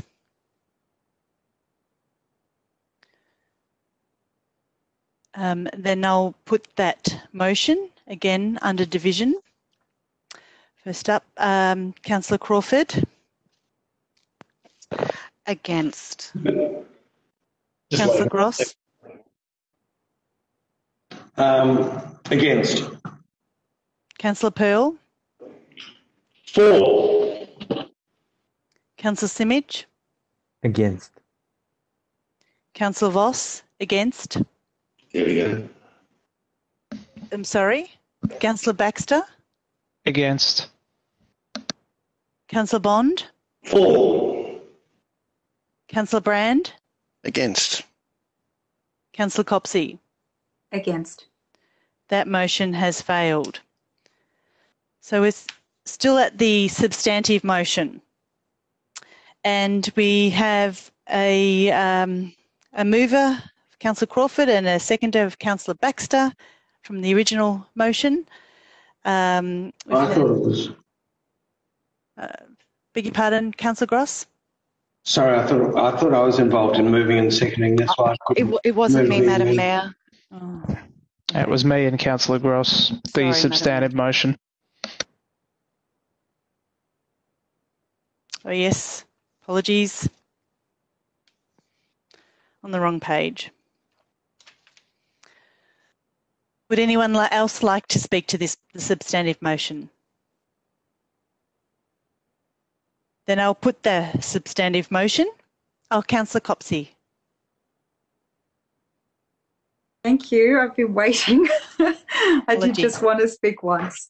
Um, so really, uh, I think Councillor Crawford put it excellently before about um, the outcomes that we deliver for our community through our budget. All I wanted to reinforce was um, really the way that we prioritise investment in services and projects for our community um, produces all of the good things that Councillor Crawford mentioned earlier about what makes it great to live here. I wanted to really emphasise that tonight is the adoption of the draft budget, should this um, motion be successful. What this actually signals is the start of our consultation period on that draft budget. So, for those out in the community, anyone who's managed to stick around, first of all, you deserve a medal. And second of all, we would really welcome your comment on this draft budget. It's been a really, really tough context for Council because of the external factors that everybody's been hit for six by as we started 2020. It's a different budget than we would have than we would have gone um, out with initially. And on that point, I just wanted to take a moment to thank um, our officers who have worked absolutely tirelessly since the news broke about the pandemic to help us reset, to help us put out a budget that actually responds to the circumstances that we're in. And um, I I can't overemphasize how much work that has been uh, behind the scenes. For our, also our acting CEO tonight, Mr. Carroll, I know has been working so so hard to um, have an informed process that actually is responsive and I still am remembering that it's Mr. O'Keefe's birthday, and I know that that team. Um, I hope that this is a good birthday present in terms of getting this budget out to a really significant um, point where it's now ready for our community to engage with. I just wanted to mention the all of the hard work that's gone in from officers. Um, there's plenty more to come, but it's a really mammoth effort, effort that you've gone to to get us to this point. So thank you very much for everybody who's now going to engage with this, um, you can see from the debate tonight, the stakes are really high. There are some there are some elements of this budget that I'm really concerned about. For example, there is some deferral of active and sustainable transport, um, pedestrian and bike infrastructure, which arguably um, is more important now than ever as we see people. Um, we've had a 300% increase in bike riding during this period of the shutdown. So um, I would really encourage people to get in and and let us know what your priorities are, whether they're reflected in this, and what you would like to see council um, focus on continuing to deliver. As we are in this recovery, we're in this you know immediate relief phase and starting to move into the recovery phase. What is the most important stuff? We do have to make some um, really tough choices in this budget cycle, but we want to make sure um, that what we are investing in as a community actually reflects your priorities. So please do participate. And um, I think it's been a very exhaustive debate tonight. You can see that the stakes are high. So um, make sure that you do have your say. That's what this process is for. We've agreed to have an extended budget um, process timeline for finalising the budget this year. Um, and I think it's really excellent that councils have been given that option so that we can produce a document that's not just um, a business as usual document because that wouldn't have been um, able to be actioned in the environment we find ourselves in with COVID 19. This is a responsive budget. Um, it's it's out there for you to engage with now, and we really welcome all of that feedback. So I'm looking forward to the conversation continuing, and thank you everybody for a good discussion tonight. Thank you. Did you want to close, Councillor Baxter? Um, I'll, yeah, I, I, I, suppose I, I should, and then I probably won't speak so much on the next thing. Um, so, I look, I, I understand that uh, councillors, all councillors, have been out talking to the community about what's important to them uh, in a budget in the middle of a global pandemic, and um, I think, I guess, what I would uh, like to illustrate is that uh, most of our residents in the city of Port Phillip are renters. They're not they're not ratepayers. Um, the majority uh, of, of people are residents and not ratepayers. And what they've said to me very clearly, time and time again, is we, we rate cuts or rate freezes that wouldn't help us in any way whatsoever. We know our landlord would not pass that on. Um, so what is actually important to us is to make sure that you don't cut services. Um, what's really important to us is that you don't cut um, you know, childcare. Um, you know, what's really important to us now that we, uh, you know, can't get on a public transport. I, I don't want to get on a bike if it's not safe, right? So, so have, making sure that there are separated bike paths so that I can actually get around in a safe way because you know, getting on public transport is not safe with the virus and that sort of thing. And, and I want my kids to be safe and, and those sorts of things. They've um, asked to make sure that, you know, that our, that our libraries continue to provide the services that they provide and that we continue to provide open space um, that is, that is quality because, you know, when people are cooped up, they need a really, really good park down the street or, or, or maybe a little bit further, but, you know, not too far. Um, so that that's what I hear um, from the community, and I think that the best um, thing we can do for people is to continue to collect the revenue we collect, and then make sure that we are providing those things for people and providing what they need. Um, there are people doing it tough at the moment, and uh, I think that you know measures such as uh, JobKeeper and and um, and the increase to the um, the job seeker uh, should uh, stay uh, for longer than what the federal government has said, but that's not our decision uh, to make. Um, but I guess uh, for me uh, and for seven of the councillors on this council, uh, this has been uh, really hard work crafting this budget, um, making painful decisions about um, what we need to prioritise and what might get pushed off. Um, and for for two other councillors, it's all been one big political game that that um, that they. Uh, point of order, Madam Mayor. I believe. Point of order, Madam Mayor. I believe Councillor Baxter is misrepresenting our position. If you can ask him to speak to the item in front of us. Uh, Councillor Bond, under what under what item is the point of order? One point A, B, C, D, E, F, G, or E? Which one? Uh, Forty-two point one three, Madam Mayor. That's not. Forty-two point one three. Point of order. Councillor Baxter, please be quiet while we deal with this. It's under item 56. Under the Code of Conduct, Madam Mayor, if you want somewhere to call it under. Contravention of the Councillor's Code of Conduct?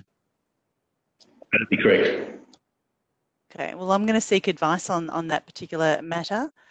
Um, I'm not clear. Mr. Carroll, are you able? Madam Mary's comments were not. Uh, Councillor Bond, councillors. I, I'm going to ask you to cease. The rules are that you don't say anything after you've called a point of order. I ask you to please respect those. I'm asking a question of the officers. I'm seeking advice, and I'll come back to you. Uh, through you, Madam Mayor, I believe that um, Councillor Bond may be referring to point of order um, under 56.1D based on his commentary that it was irrelevant to the matter before Council. Um, as opposed to an act of disorder or conduct in contravention of the Council Code of Conduct. I suggest that you seek um, Councillor Bond's clarification and make a ruling to proceed. Thank you very much, Kirsty. Councillor Bond, are you comfortable that you were seeking a ruling under that item being irrelevant to the matter before Council? Uh, no, no, Madam Mayor, I'm, I'm, seeking a ruling under our Code of Conduct which requires councillors to be respectful of each other's opinions. Uh, I don't believe Councillor Baxter's comments that we haven't taken this process seriously and that we've only done this for political gain um, respects our opinions on this matter. So that's what I'm asking you to rule on.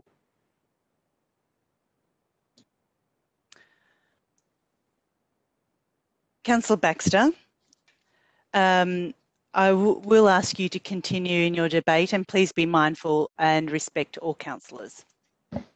Sure, no problem. I will note that many things have been said by both of those councillors about me that uh, that I've let go because I have well, point of order, thick skin. Could Councillor Baxter tell us what we've said about him in a No, Councillor Bond, what is your point of order? My point of order is he's continued to disagree or disobey your ruling, then he be respectful of other No, I'm not going to allow that. Yeah. You, Mayor, can I raise a point of order, please? What's your point of order, Councillor under division, under division 4 and a number of sections in the local law, it clearly states that the Speaker should be speaking to the motion um, accusing Councillor Bond and myself of previously attacking Councillor um, Baxter is uh, not attached to Part 5 of this motion. I'd ask you to rule Councillor Thank Baxter you, thank you Councillor Pearl. That, that'll and, do. Um, Councillor Pearl, thank you. Motion, please. Please, please, um, you can stop. That's not one of the points of order that's under our uh, meeting procedures. Um, I will ask Councillor Baxter, please, to continue, and I would ask everyone else to refrain from interjecting. Thank you. Sure. Thank you, Madam Mayor. Uh, look, as I said, um, most of the councillors have been focused on uh, making sure that we have the best budget that we can uh, bring that strengthens our community, that um, helps them during this difficult time, and makes sure that uh, we are providing the services that uh, that we need to. Um, I, I, I have to say, Yes, so I, I, am speaking to the motion uh, at the at the moment, but um, constantly calling points of order and, and, procedural issues has you know muddled me a little bit up, and um, those sorts of tactics are clearly designed to do that. What I would um, say to finish up is um, just to respond to uh, Councillor Bond has said that he's, he's got this long list of of um, uh, things that uh, he thinks we should cut. So um, he said that in, in, in the spirit of restraint, he's not um, released that. I would call on Councillor Bond to release his hit list. Um, of all of the things he wants to cut, of all of the services, uh, council services uh, that he wants to cut, because I think it's actually really important that the community knows um, uh, how councillors feel about these uh, services that people hold so dear. Um, I'll finish up with that. Thanks. A point of order, Mayor, if I could.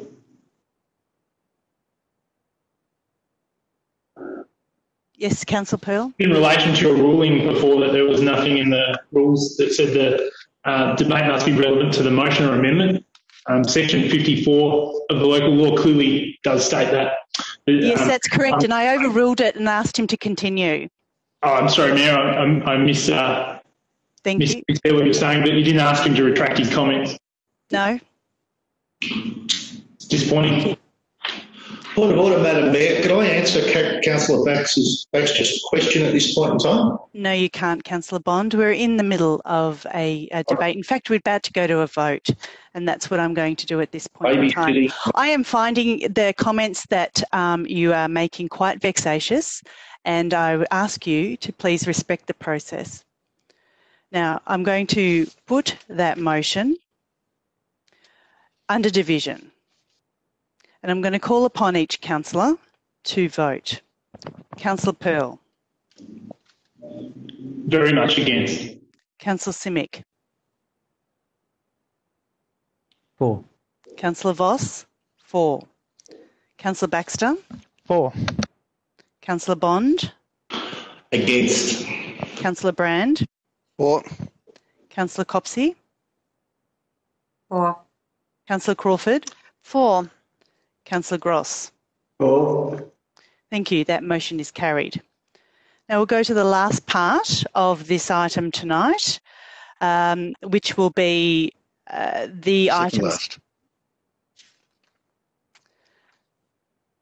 Um, thank you. I think it's part six is the only last bit of this particular motion I've got. Um, it's 3.14 to 3.18. So it is the last. Um, and um, I'll be seeking a mover for uh, this motion, which does have a slight amendment from the officers there, so it is an alt motion.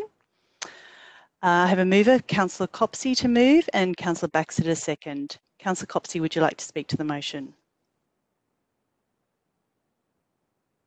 Councillor Baxter? I'll uh, reserve. Thank you. Would anyone else like to speak to the motion? Uh, yes. Councillor Brand? Um, I have an amendment here that I would like to move to yes. it. Um, which I've just got to be able to read. We'll see if we get a seconder. Will, you, will I read it out? Yes, please.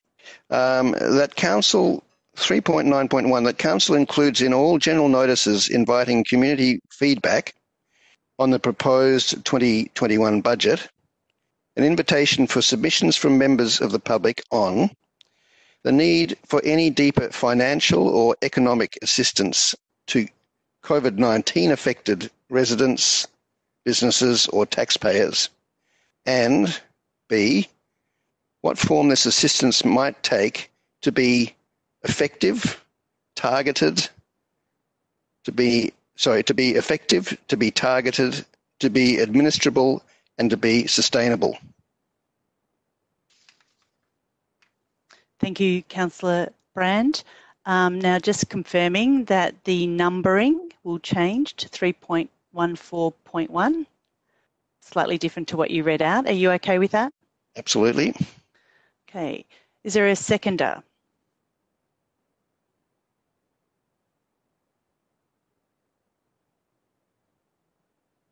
Councillor Crawford to second. Councillor Brand, would you like to speak to the motion? Yes, it's it's a it's a motion which I would seek. Uh, it's a it's an amendment which I would seek to put in it just uh, just to um, I suppose note uh, the one disappointment I have about the, the, the budget is is that I think we haven't gone quite far enough with providing um, rates relief and economic relief. I think we've gone a long way, and I'm very proud of the how far we've gone. But I just think that we could do more in the circumstances. Uh, and it's so it is an invitation to the to the to, the public. They've already got this invitation, but I'm re-emphasising it to um, make submissions on financial and economic assistance that might come from council to businesses or ratepayers in need because they are affected by COVID 19. Uh, with this proviso that the assistance the assistance needs to be effective, it needs to be targeted, it needs to be easily administrable, and it needs to be sustainable. And I suppose if you look at it, there's uh, the uh, the other um, amendment in this uh, part of the motion, which was 3.17. It also needs to be within the bounds of uh, not having a material impact on the on the budget as well. Uh, and I just want to I just want to note that this is not an invitation to ask for a rates freeze or a rates cut across the board because that is neither going to be effective or targeted or sustainable. It would be administrable. But I just want to put this in to emphasise uh, the uh, well to to see what we come up with. The value of it would be that um, the community has a chance to put put forward different measures that they that might be able to produce this and it would be in an orderly way. It would go. Uh, it would then be fed into uh, the off to the officers to um, analyse the effectiveness, um, how it would work, how sustainable it would be, and we could uh, then um, uh, try. Then we could uh, consider that and perhaps include measures, suggested measures in the final budget. Thank you, Councillor Brand. Um, Councillor Crawford, would you like to speak? Would anyone else like to speak to this um, alt mo uh, motion amendment? Um. Councillor Pearl, I think that's a seconding, uh, or did you want to speak?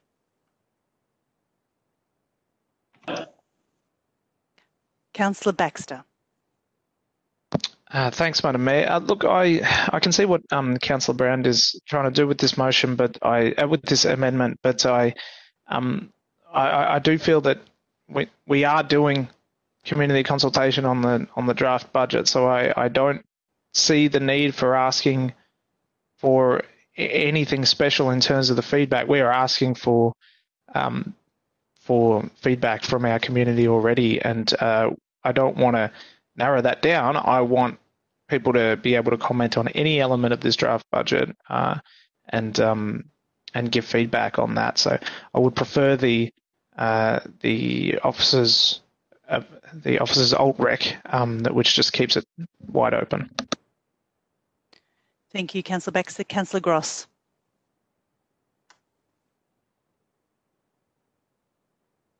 Similarly, I um, I think we have to um, look at the reality of this uh, amendment.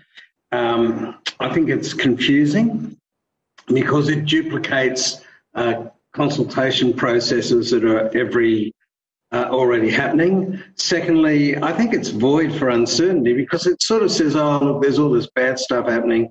I don't have any answers, but I just want to invite a whole lot of speculative um, proposals outside the consultation process set by council. And so I think that that level of uncertainty is something that I can't support. Uh, thirdly, I have no certainty about if proposals came in, what this would mean for the rest of the budget. Um, fourthly, um, part of the problem for an organisation like the council is that there's stuff that goes poorly for people, but actually can't be fixed uh, within the um, purview of council's powers. We're a small part of the governmental community, and um, uh, something like this is an invitation for cost shifting. So um, I think that the intention is admirable, but um, unfortunately, sticking it on at the end of a budget process will only lead to um, uh, disappointed expectations, confusion, duplication, and uh, uncertainty. Thank you. Thank you, Councillor Gross. Councillor Pearl.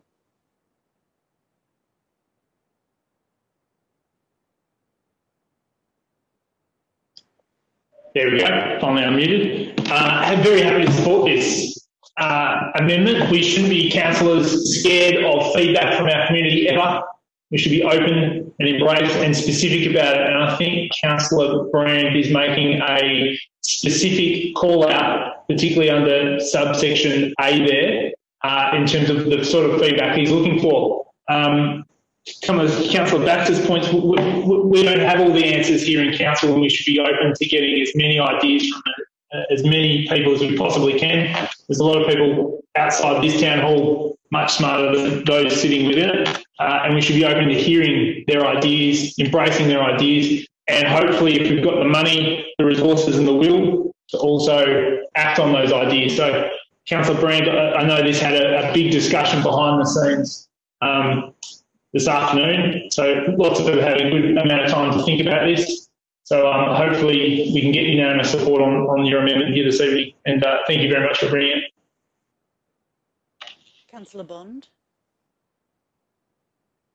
Uh, thank you, Madam Mayor. I will be supporting this amendment also.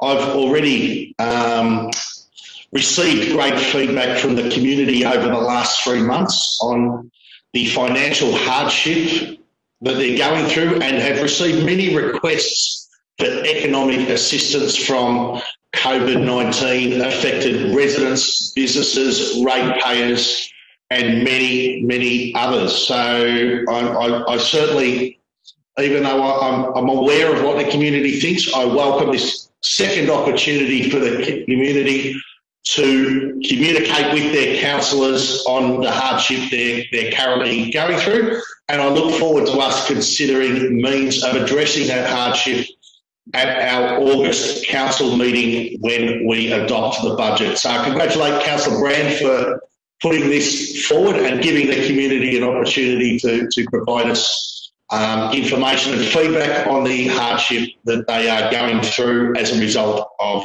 COVID-19 um, impacts on their lives. Thank you, Councillor Bond. Councillor Copsey. Thank you for bringing this, Councillor Brand. I see where you're going with it. I won't be supporting it. Um, I just want to note that the the um, engagement that we've done and, and, the communication that we've put out around the budget, I think, um, invites uh, the responses from the community that it's a budget that's done in the context of COVID 19. So I'm sure that's going to be a theme that comes through in the submissions. I don't think it needs to be specifically addressed through an extra part of the motion because it is already addressed through the budget um, discussions that we've been having so far through the town hall um, kind of information sessions that we had at the beginning. I'm sure it will be a topic um, in the focus groups that are coming up, and I believe it's covered in the commentary that's going out around the budget. So that's around part A. That feedback will be welcome, um, and I think it's already covered by the existing recommendation and materials that we'll be approving tonight in the substantive motion should this fail.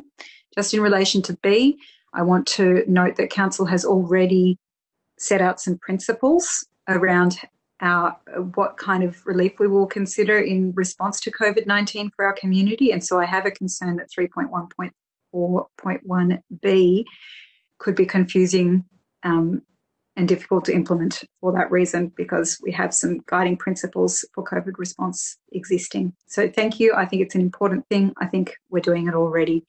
Um, so I don't think that this motion is required.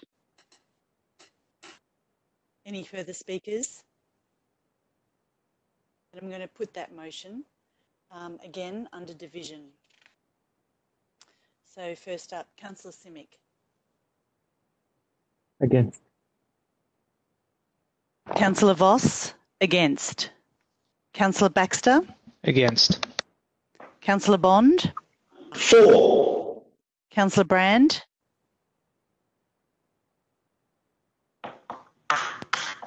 I think you can guess, but I was just trying to say for.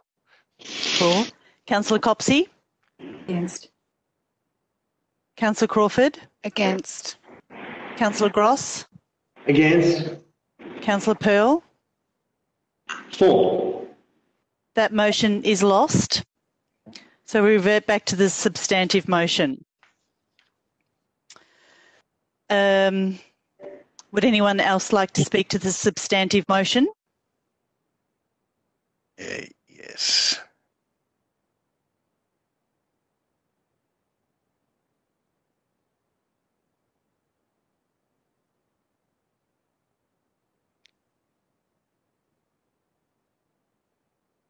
I've said so.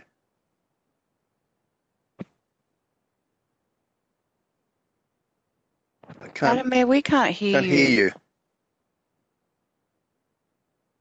Sorry. Yeah. Oh, don't know what's happened. You're back. I'm back. Cutting in Sorry, and out. But yeah, you're back. something must have happened to my thing here. Um, Councillor Brand, please speak to the substantive motion.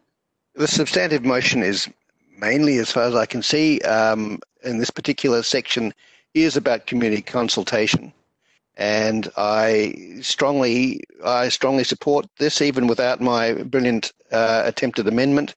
Um, it is about, it is all about public consultation, um, and I thoroughly endorse it. Um, and I think that opportunity was always there, whether I added to it or not. Thank you, Councillor Brand. Would anyone else like to speak to the substantive motion?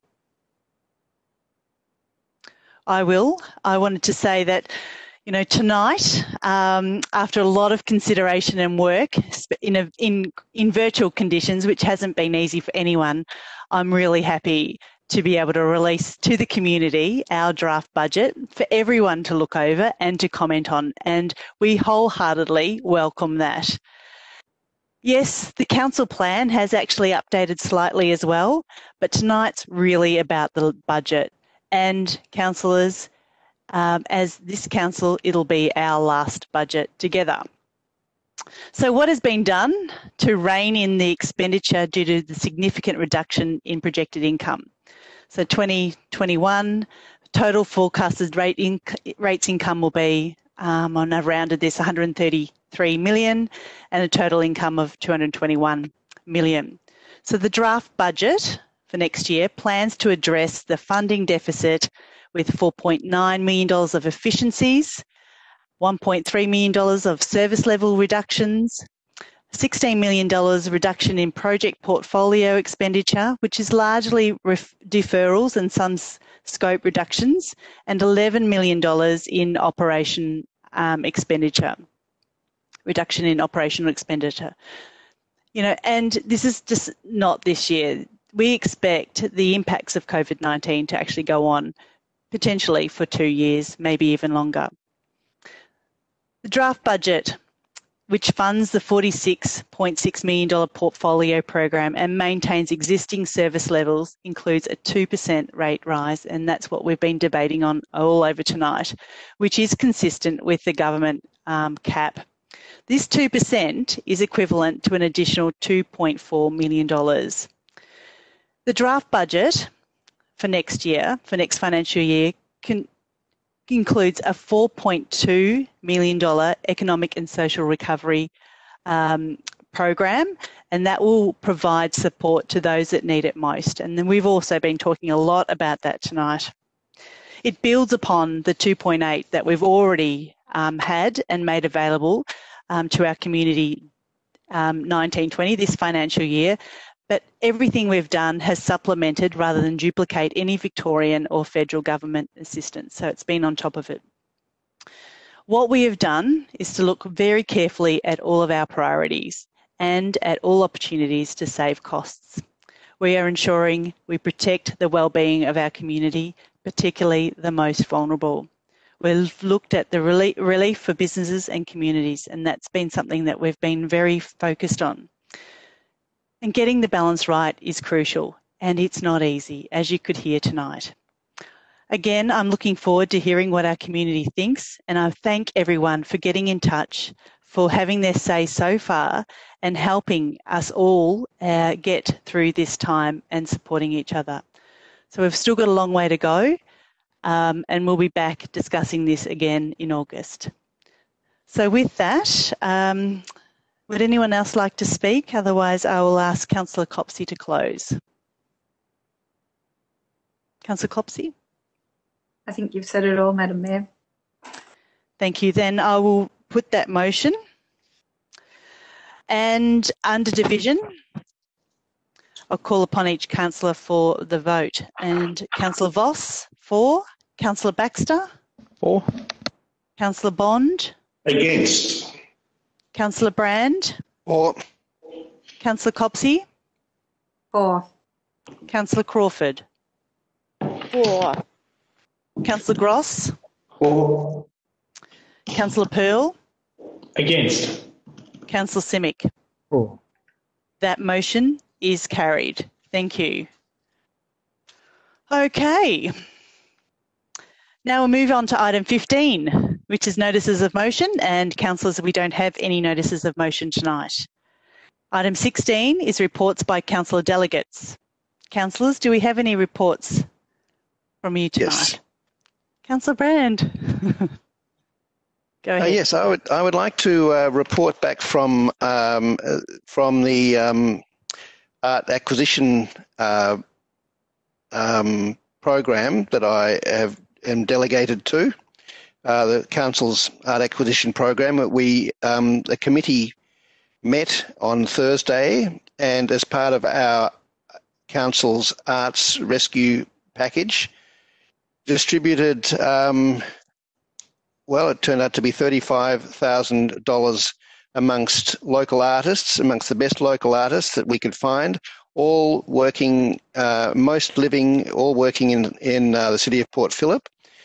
Uh, from all accounts, all struggling really badly and incredibly, deeply in need of this sort of um, uh, assistance. It was uh, the the works that we um, chose uh, were selected by a committee of community members, uh, people who are deeply uh, knowledgeable and um, uh, uh, expert in the in the um, in in the world of art. Um, four four outside uh, well four community members are, are on this committee. brilliant brilliant work. It was just it was fantastic what they what they did. Um, and how we considered all of the artists. Um, we distributed it quite evenly across 11 different artists, including one uh, from another program which um, prov- which uh, provides for the purchase of, of artwork from Indigenous uh, members of the community. And it is a fan- you it, you will love it when you see it. It is a very it's a very familiar painting. It's a painting of a very familiar place to us in an unfamiliar context. It's quite disturbing, quite beautiful. Uh, be something really important for us to have that particular work. Uh, but anyway, it is uh, it is something which has been, I think, a fantastic success. This small program that we do every year, but this year we've kept it on the we've kept it in the uh, budget because it is such an excellent uh, vehicle for Arts Rescue, focusing on local artists, focusing on what they need, which is money, which is their their uh, work purchased, which which just isn't happening at the moment, and council in the process of being such generous uh, philanthropic patrons has also bought for the community another uh, tranche of paintings which uh, and works of art which absolutely enhance the uh, city's uh, um, heritage assets. Uh, it's a really fantastic, it's a very important collection, and it reflects the city of Port Phillip over decades and decades now, and it is very special and very particular to it, and it's been a vehicle for doing this good work in the uh, in the COVID nineteen crisis. Thank you, Councillor Brand. Councillor Pearl. Yeah. Thank you, Mayor. Councillors, I serve at your pleasure, and it's an honour to do so on the South Melbourne Market Board. Um, I've been constantly reporting as much as I can in the public forum, obviously, but the South Melbourne Market Management Committee has been working tirelessly to ensure that the market is as best positioned as possibly can to face issues with COVID. Uh, as my, per my previous report, the market has uh, reopened the non-essential services components of the market over the past few weeks, well, a large number of them in any case, and that has been a, a reasonably good success. Attendance numbers have increased on Wednesdays and Fridays, uh, albeit they're, they're, obviously down across the board given um, you know, the changed world that we currently live in. Some of the increased um, trading activity in the market has been a good thing, particularly for congestion. Uh, over the weekend, for example, there were only a few times where there was really any substantive queue going to the deli aisle, which is currently restricted, restricted to 150 people uh, the staff and, and security contractors have done a good job ensuring that um, safety mechanisms are in place to protect, protect consumers. And I think we can all be proud that the South Melbourne market has um, served its purpose, hopefully at the worst of this pandemic, um, assuming we don't get a second wave, etc. Uh, to you know really stand up for what it what it's there for, servicing the community, um, feeding great produce to, to, to our community and ratepayers and residents. Uh, there's any information you need uh, is clearly detailed on the COVID updates on the South Melbourne Market website if you've got any questions, etc. Um, but there's a, a, long road ahead for financial sustainability to the market, and the Market Management Committee is very much focused on that at the moment. Uh, we have a, a day long, uh, really revising strategy session in June, uh, which is to change the um, you know, the framework moving forward for the market to ensure that we are environmentally sustainably um, acting in the best interest and financially also. Have you finished, Councillor Pearl? Yep. Okay, Councillor Baxter. Uh, yeah, I'll try and make it quick because it is getting late. But I did want to um, inform the rest of the council and the public that uh, um, the Association of Bayside Municipalities, which I am lucky enough to be the president of, um, has been uh, has basically moved just a, quite a lot of operations online. Um, so the uh, the sorts of um, information gathering uh, events um, you know, bringing people together, um, getting uh, the department to present, or, or you know, various different um, presenters, so that we can, you know, ga- gather up information about the things that are important to Port Phillip Bay, um, have all moved online in a really, it's actually a really kind of seamless and useful uh, way. Um, and I, I think what we're going to do is we're going to continue to do a lot of these events online because um, we're getting great attendance at them. People are finding them very useful. The feedback is really good. And we're sharing that information across all of the councils and the various different um, bodies that manage things all around Port Phillip Bay. So um, I just thought I'd, I'd, let people know that while there have been uh, teething problems with a lot of things that have been pushed uh, online, uh, including including councils not being able to get back into meetings and things like that, um, there are some good things that have actually come out that we might actually stick with, um, particularly in the ABM. So, um, but there there will be other things that we'll go back to when we can uh, in person. So just thought I'd give that uh, feedback. Thank you, Councillor Baxter. Councillor Bond. Uh, yes, Madam Mayor, I'd just like to report back to Council that the Esplanade Market down there on the Upper Esplanade in St Kilda reopened 10 days ago on the 7th of June. For the past two weeks, we've had about 40, just over 40 stalls trading down there on the Upper Esplanade. Uh, these small businesses, they're creative small businesses made up of craftspeople um, from across our municipality and, and across the state. It's pleasing to see that you know, last Sunday there were even more stalls. It, it, it's grown a little bit as people get uh, a bit more accustomed to, to returning to work. It is a credit to the market team and the hard work of, of the market management. The, the, crowds were good on both Sundays that the market has commenced trading.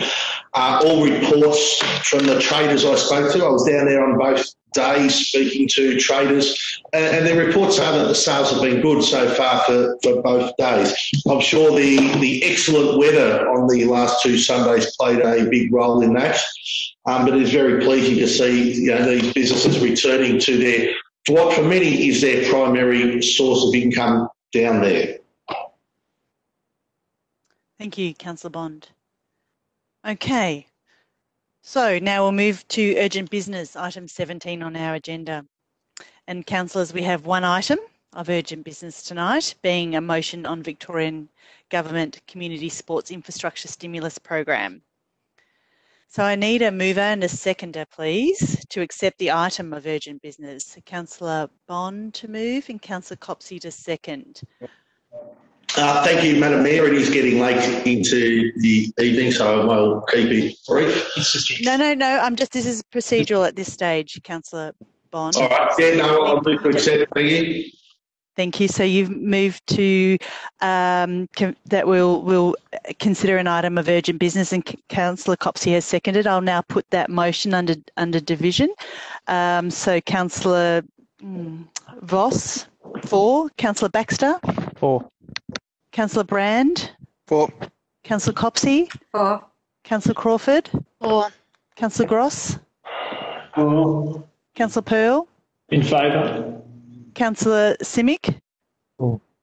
Seem to have lost Councillor Bond from the list. It must have been my printer. You seem to have skipped my opportunity to vote, but that's a Yes. four. Sorry, I just said that. Sorry, it must have been the printer um, when I printed it out. You've lost your name on that. So apologies, Councillor Not Bond. the first time. I beg your pardon? Not the first time they've lost my name. What's your vote, Councillor Bond? Four. Thank you. That motion is carried. So now we'll consider 17.1, which is uh, the Sports Infrastructure Stimulus Program. Councillors, do you have any questions of the officers in relation to this program? No questions of the officers. Then I um, have we have an officer's recommendation. Do I have a mover for that or something different? Councillor Crawford, you've got your hand up. Do I, I guess I just had a question. So we're not going to do this separately. We're just going to do it as one item. Yes, we are. So the motion's on the screen, unless somebody wants to take me down a different path with with an amendment. Um, that's what we're doing on the screen. So we've got. Now I've lost where I was. Who moved? I think Councillor Copsey to move, and I think Councillor Crawford to second. Hopefully, No. no, Councillor Gross. No, I didn't want to second this as Oh, it stands. Sorry, I wanted to move an alternate motion. All right. I, I think I'm in there as seconding, Madam Mayor. Can't- yeah, I can't actually tell now where I asked for that, but okay, I'll go Councillor Copsey to move and then Councillor Baxter to second. Um, Councillor Copsey, would you like to speak to the motion? I'll reserve, thanks. Thank you. Councillor Baxter, would you like to speak to the motion? Oh, look, just briefly, because um, like everyone, I'm, I'm tired. Um, but uh, yeah, look, they, there there are so many um, uh, projects uh, that we uh, can that we should be applying for um, that, that are so worthy uh, of, of, of funding. Uh, and narrowing it down to only the three that we're able to apply for uh, for this grant has been a really difficult process. And there's still disagreement uh, among the councillors as to what has the most merit. And I think that that's that's absolutely fine because I honestly think there's quite a lot of merit in that list. Um, and so we'll see that in uh, there's been a couple of amendments that are foreshadowed. So uh, we'll sort of see how that shakes out. But um, I just think that uh, it's it's really important that we put our best foot forward and try and get um, one, two, maybe even three uh, projects funded uh, so that we can actually uh, achieve some some goals and uh, and in some cases uh, meet some um, some goals that we've set quite a long time ago and haven't yet met. Thank you, Councillor Baxter. Um, now I'm going to go to Councillor Crawford. Do you have an amendment? Uh, yes, Madam Mayor, I would I would propose that um, we re- remove Point Ormond Regional Play Space and replace it with Phoenix uh, Theatre Basketball um, basketball facility. I don't know exact wording to call it um, as an alternative. Okay, we might take some advice from officers on what we should actually call actually it, call or does it, it matter? Um, Mr. Trail, I'm wondering if you're online or, or Mr. Johnson, is there? Does it matter what we call this? Uh, through you, Mayor. Um, uh, Kirsty has the uh, has the name and is putting it up there at the okay. moment. Thank okay, thank, great. So Phoenix Centre Elwood Sec- Secondary School. Okay. Councillor Crawford has um, made that amendment. Do I have a seconder to that? Councillor Gross to second. Councillor Crawford, would you like to speak to that motion? There are many great uh, organisations in our municipality that deserve funding, and there is a limited pool that we are applying for. Uh, look, the reality is it's a limited uh, amount of money, and we might be, we might get one, we might get two, we might get three. But for a long time, Elwood and Canal Ward has been um, desperate for new facilities, sporting and otherwise, and uh, there is a lot of desire in the community to create this great centre for basketball. It also has capacity to support the arts um, in this area, and it is something that the it's an excellent project and also the amount of work that the community and the school has put behind it. Imagining this vision for their school they see elwood college as, as a hub for the community. So the impact that this kind of a project if it could get funding would have for our community would be um, far beyond the reach of a um, of some other projects that could be also put forward. So, as a Canal Ward councillor and knowing the excellence and the amount of work going behind this project, I just think there was this. It's a wild card. It, it's a big amount. I know that, but why not give it a chance to get on its feet? Because they are they have been working on it for years, and it would be such an addition to the city of Port Phillip.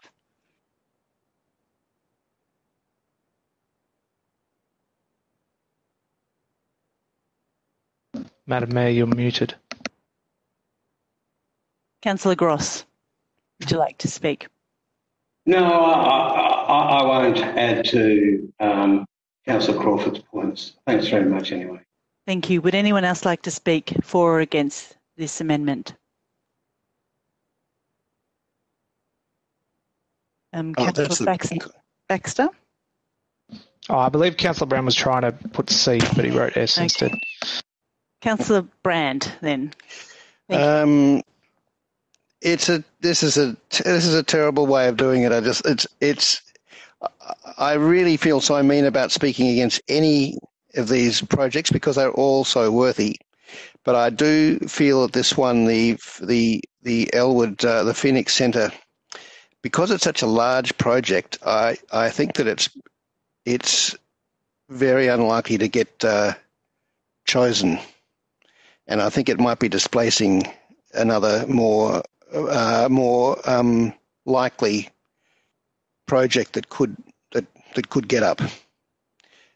So I think I won't be voting for this. I'm afraid, even though it would be wonderful to see it built and functioning. Thank you, Councillor Brand. Councillor Baxter. Uh, thanks, Madam Mayor. Uh, this one is the one that has me in a real uh, bind, uh, to be honest. So, on the one hand, we've got um, the Phoenix Centre, which is a, a, big project that we know would have a, a massive positive effect, um, but it's a, it's a $10 million project, um, which is the absolute maximum you can apply for. And we know that the bucket uh, is uh, $68 million total. And this would um, this would take up a huge chunk of that, uh, and I'm just I'm very worried about um, applying for that because I, I I worry that that we would get the full amount of money there, and it needs the full amount because we can't really do a mixture of funding uh, options for this project. So the difficulty for me is is in choosing between the Point Ormond Regional Play Space, which is something that I think um, you know it's a much smaller um, and, uh, and and very ready project that we can put forward, and I think it's far more likely to be funded. Of course, nothing's guaranteed. Um, I have to choose between that, which is a smaller but more of a sure thing, uh, and the Phoenix Centre, which is um, far bigger and would have a bigger and better impact, but is um, in, in, in my view, uh, far less likely to get funded than the Point Ormond regional play space. So that's why I moved the um, original motion um, to uh, to prioritise the Point Ormond regional play space. That's not to say that I don't want to continue trying to get funding for the Phoenix Centre uh, in Elwood, um, and uh, that that is definitely a priority for me. Um, but I think uh, for sort of the reasons that Councillor Brand said and and what I've just said, I think that uh, I'm going to be cautious and go for the um, the Point Ormond regional play space because I think that that's something that very fits the criteria for, for this funding really well. Um, and is a smaller amount that may allow us to have a couple of bites of the cherry, perhaps. I'm not sure. Um, and I, uh, yeah, I'm just not as sure about the Phoenix Centre, but I want to be really clear that the benefits of the Phoenix Centre are, are, are clearly much higher. Um, but that won't get us much if it doesn't get any funding at all. So that's where I'm at. Thank you, Councillor Baxter. Councillor Pearl. Thanks very much. Councillor Baxter has it, um, his mathematics 100% right in terms of the balance of probabilities of, of, this project. Not to say it's not a worthy project, it, it is, but it's also in the state education budget, which we obviously play in a number of grey areas in council about who's funding what in terms of is uh, it's the state government's remit or the federal government's remit or local government's remit to fund certain things. And the Powerhouse Rugby Club um, is in a Park Victoria space, albeit within the boundary of the city of Port Phillip, but very much in state government land. Um, so the same could be said for, for Powerhouse Rugby, but, but the Elwood Secondary School is very clearly a state government asset and a state government funding responsibility. So I don't support um, the amendment as it currently stands. And I, I uh, agree with what Councillor Baxter said. So um, let's uh, vote this down and go for the officer's recommendation. Thanks. Thank you, Councillor Pearl. Would anyone else like to speak to this amendment? Um, oh, Councillor Gross, you didn't um, speak earlier, so you can certainly speak now. Thanks very much, Madam Mayor. Look, I just wanted to address the issue of cost shifting. So, for those people who don't listen to these uh, uh, very long meetings all the time, I always rave on about cost shifting, which is when we have to pay some of the uh, some other government's bills, and usually um, it's to do with the state government institutions like this one. But this isn't a cost shift because this is an advocacy to get state government money to pay for a state government responsibility, which is the Phoenix Centre at Elwood Secondary School. So I understand why people might feel that this is a cost shift. But on that question, I think that's quite contestable because it's the state paying for the state. Thank you.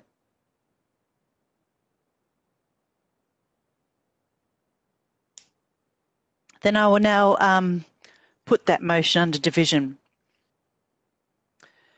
Um, first up, Councillor Baxter. Against. Councillor Bond. Against. Councillor Brand. Against. Councillor Copsey. Against. Councillor Crawford. For. Councillor Gross. For. Councillor Pearl. Against.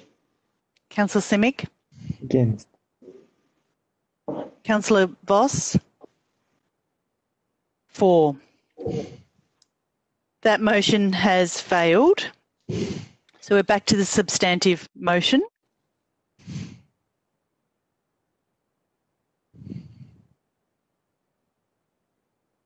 Now I see there is another amendment um, request from David Council Brand. That's right. Um, I would like to uh, move an amendment that um, uh, includes the Middle Park Bowling Club proposal, and I guess I have to choose uh, what it needs to replace. And this is a really terrible moment, um, but I will say um, to replace the powerhouse. No, sorry. I'm going to say first of all to replace the Point Ormond play space.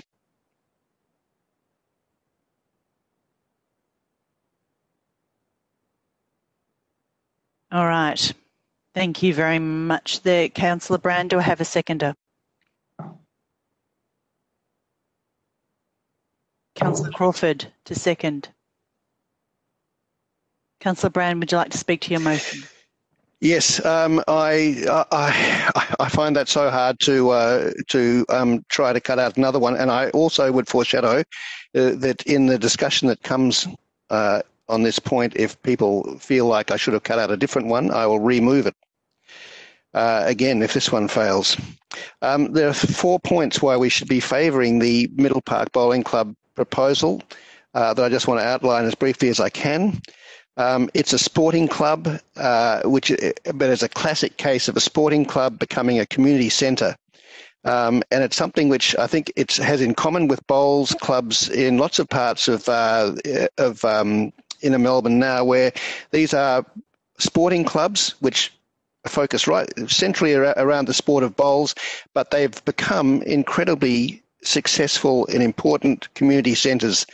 And this one would serve everyone from, uh, uh, it, it, already serves everyone from uh, St Kilda Hill through to Albert Park. It's probably its only rival is probably the St Kilda Sports Club, which is the uh, bowling club in St Kilda, which I think is an argument for why bowling clubs that they are the the uh, community centre of the uh, of the present and the future. so it, this one this one serves a huge community catchment, even though it's in the, the uh, in Albert Park and not directly our responsibility. It serves our community in a very, very big way.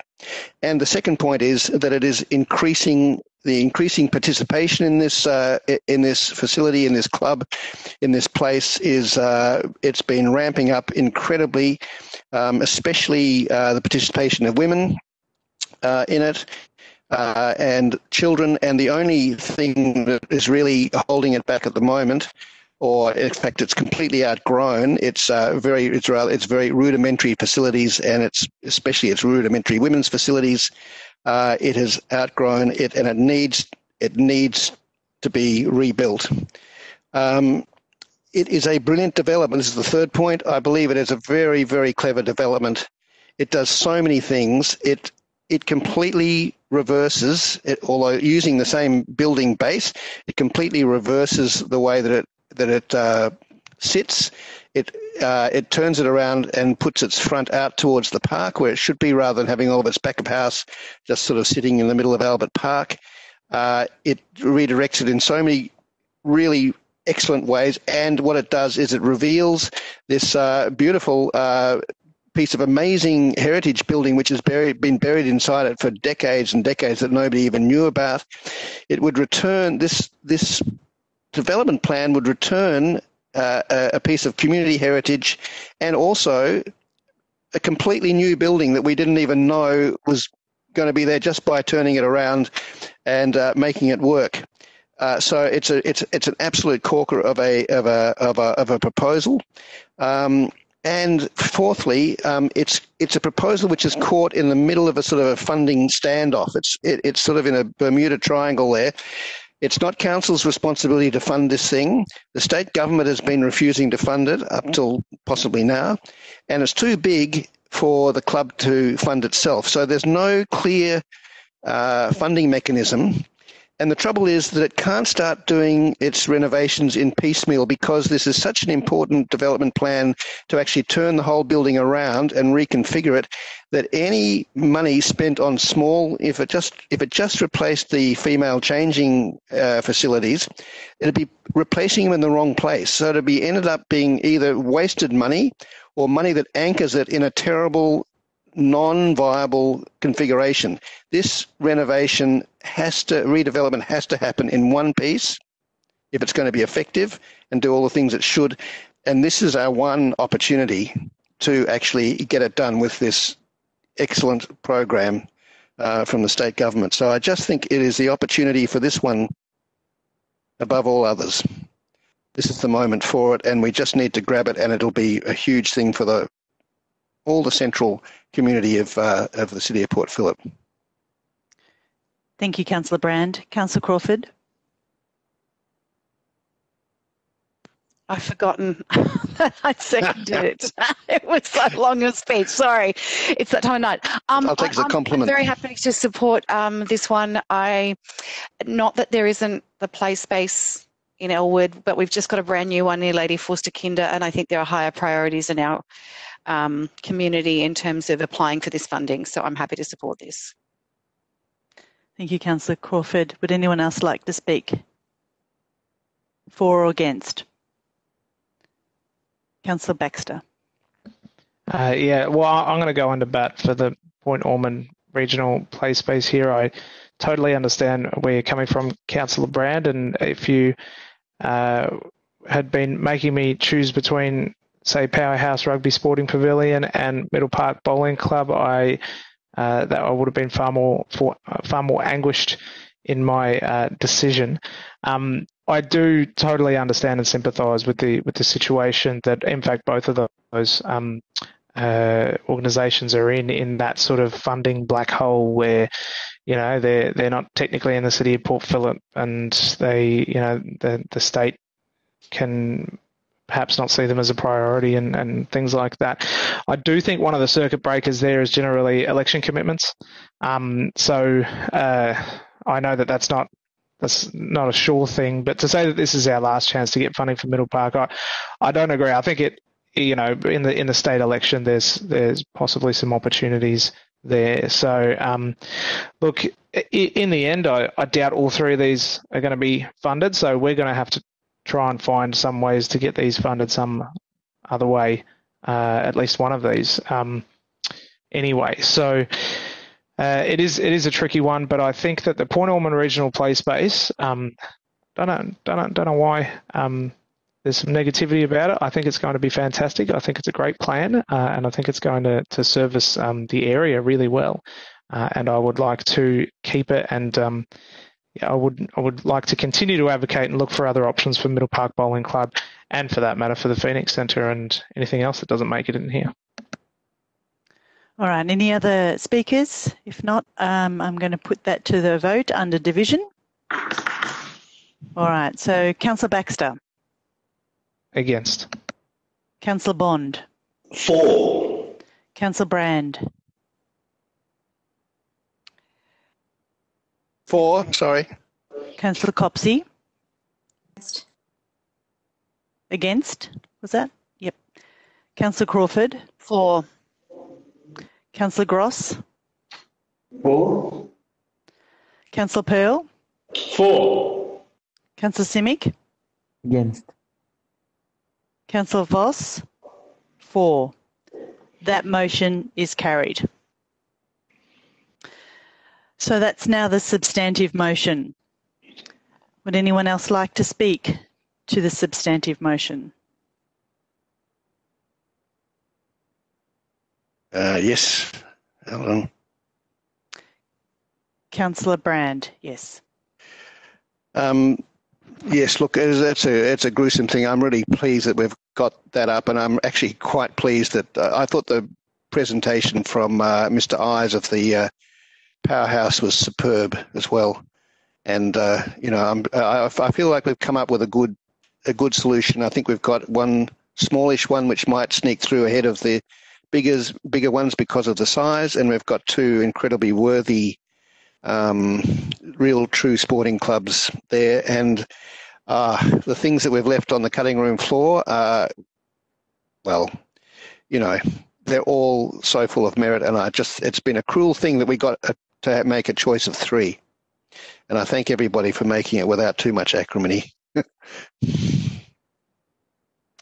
Thank you, Councillor Brand. Would anyone else like to speak? I will also just lend my voice to, um, you know, how hard this has been. Um, you know, to come up with some a list of three when there have been so many um, good ones. And I just wanted to call out one in particular, being Lord Somers and mm. House Pavilion upgrade. Um, you know, that's you know a ten million dollar one. It's sort of pretty much in the the same bucket as perhaps the Phoenix um, secondary school, um, but incredibly worthy. Like they do the most amazing um, thing for so many people in the community. Um, we heard their numbers, we heard their presentation tonight too, and it's just um, mind-boggling. You know how how much good that they do. Um, and I'm sorry that they're not in the three. Um, but you know th- there has to be some that sort of end up on the on the cutting room floor, as you've rightly pointed out, Councillor Brand. Um, you know, I, I, also I think the Phoenix would be fantastic. I think um, Middle Park will be interesting as well. But I'm very very happy to see uh, the Graham Street um, skate park there. Um, that is a project that I've been waiting for for a very long time, and I'm super excited. I know, well, I won't be using it, but certainly I know lots of kids, um, you know, will love uh, the extension um, that's going to be there: the tennis hit-up wall, the basketball courts, the the um, the street skate park extension. So that's if it gets up. so we've still got a long way to go. At this point, we're just prioritising three to for the for the government to um, go on their list to look at it, the stimulus program. So here's to hoping. But anyway, um, okay. Um, Councillor Pearl, did you also want to speak to this motion? Thanks very much, Mayor. Um, good to see that everyone's supporting Graham Street. It's a, it's a project that we need to get done. It's turning into a, uh, an unsafe area, in my view, and an area that's um, attracting a bit of antisocial behaviour. So it certainly needs some love. It's a project I'm very committed to and uh, have been uh, pushing behind the scenes for some time and will continue to do so. The Powerhouse Rugby Club is also very important. The, the rugby infrastructure for men and women in the city is, is pretty poor. Um, I, I, would like us to form a long term vision about how we can level the representation of rugby in our um, municipality up. I think there's some opportunities currently with the over-representation of the soccer fields in Murphy Reserve uh, to potentially look at if we can have some shared facilities or a dedicated facility for rugby at that end also. Um, looking at the participation statistics across the city, um, we're underrepresented in terms of playing fields. This is a playing field, obviously, um, but the amount of infrastructure supporting rugby compared to particularly football, cricket, um, and soccer, particularly in my ward of Gateway Ward, um, needs, needs a bit of love. Who knows if these are going to get up? The Middle Park Bowling Club, I think, is a, a really worthy recipient also, uh, albeit again outside the direct control of the City of Port Phillip. But I know um, a lot of people, particularly in Albert Park, uh, frequent that club for social engagements, um, and uh, I'm assuming quite a lot of people play there as well. So happy to support this um, very difficult lift that we've we've come up to. And please, councillors, if you've got any sway with you, our friends in the state government, uh, make sure you um, push hard for these projects and hopefully we get them up. Thank you, Councillor Pearl. Councillor Copsey, would you like to close? No, thank you, Madam Mayor. Well, then we'll put that to the vote um, uh, under division. Um, so we're going to go, I seem to be reading from the same list, so I'll do another list here. So we're Councillor Simic. Four. Councillor Voss, four. Councillor Baxter. Four. Councillor Bond. Four. Councillor Brand. Four. Councillor Copsey. Four. Councillor Crawford. Four. Councillor Gross. Four. Councillor Pearl. Four. Well, that is unanimously carried. Okay, item 18, which is confidential matters. And we have no confidential matters. Phew. Councillors, there being no further business, I declare the meeting closed. Well done. Boy.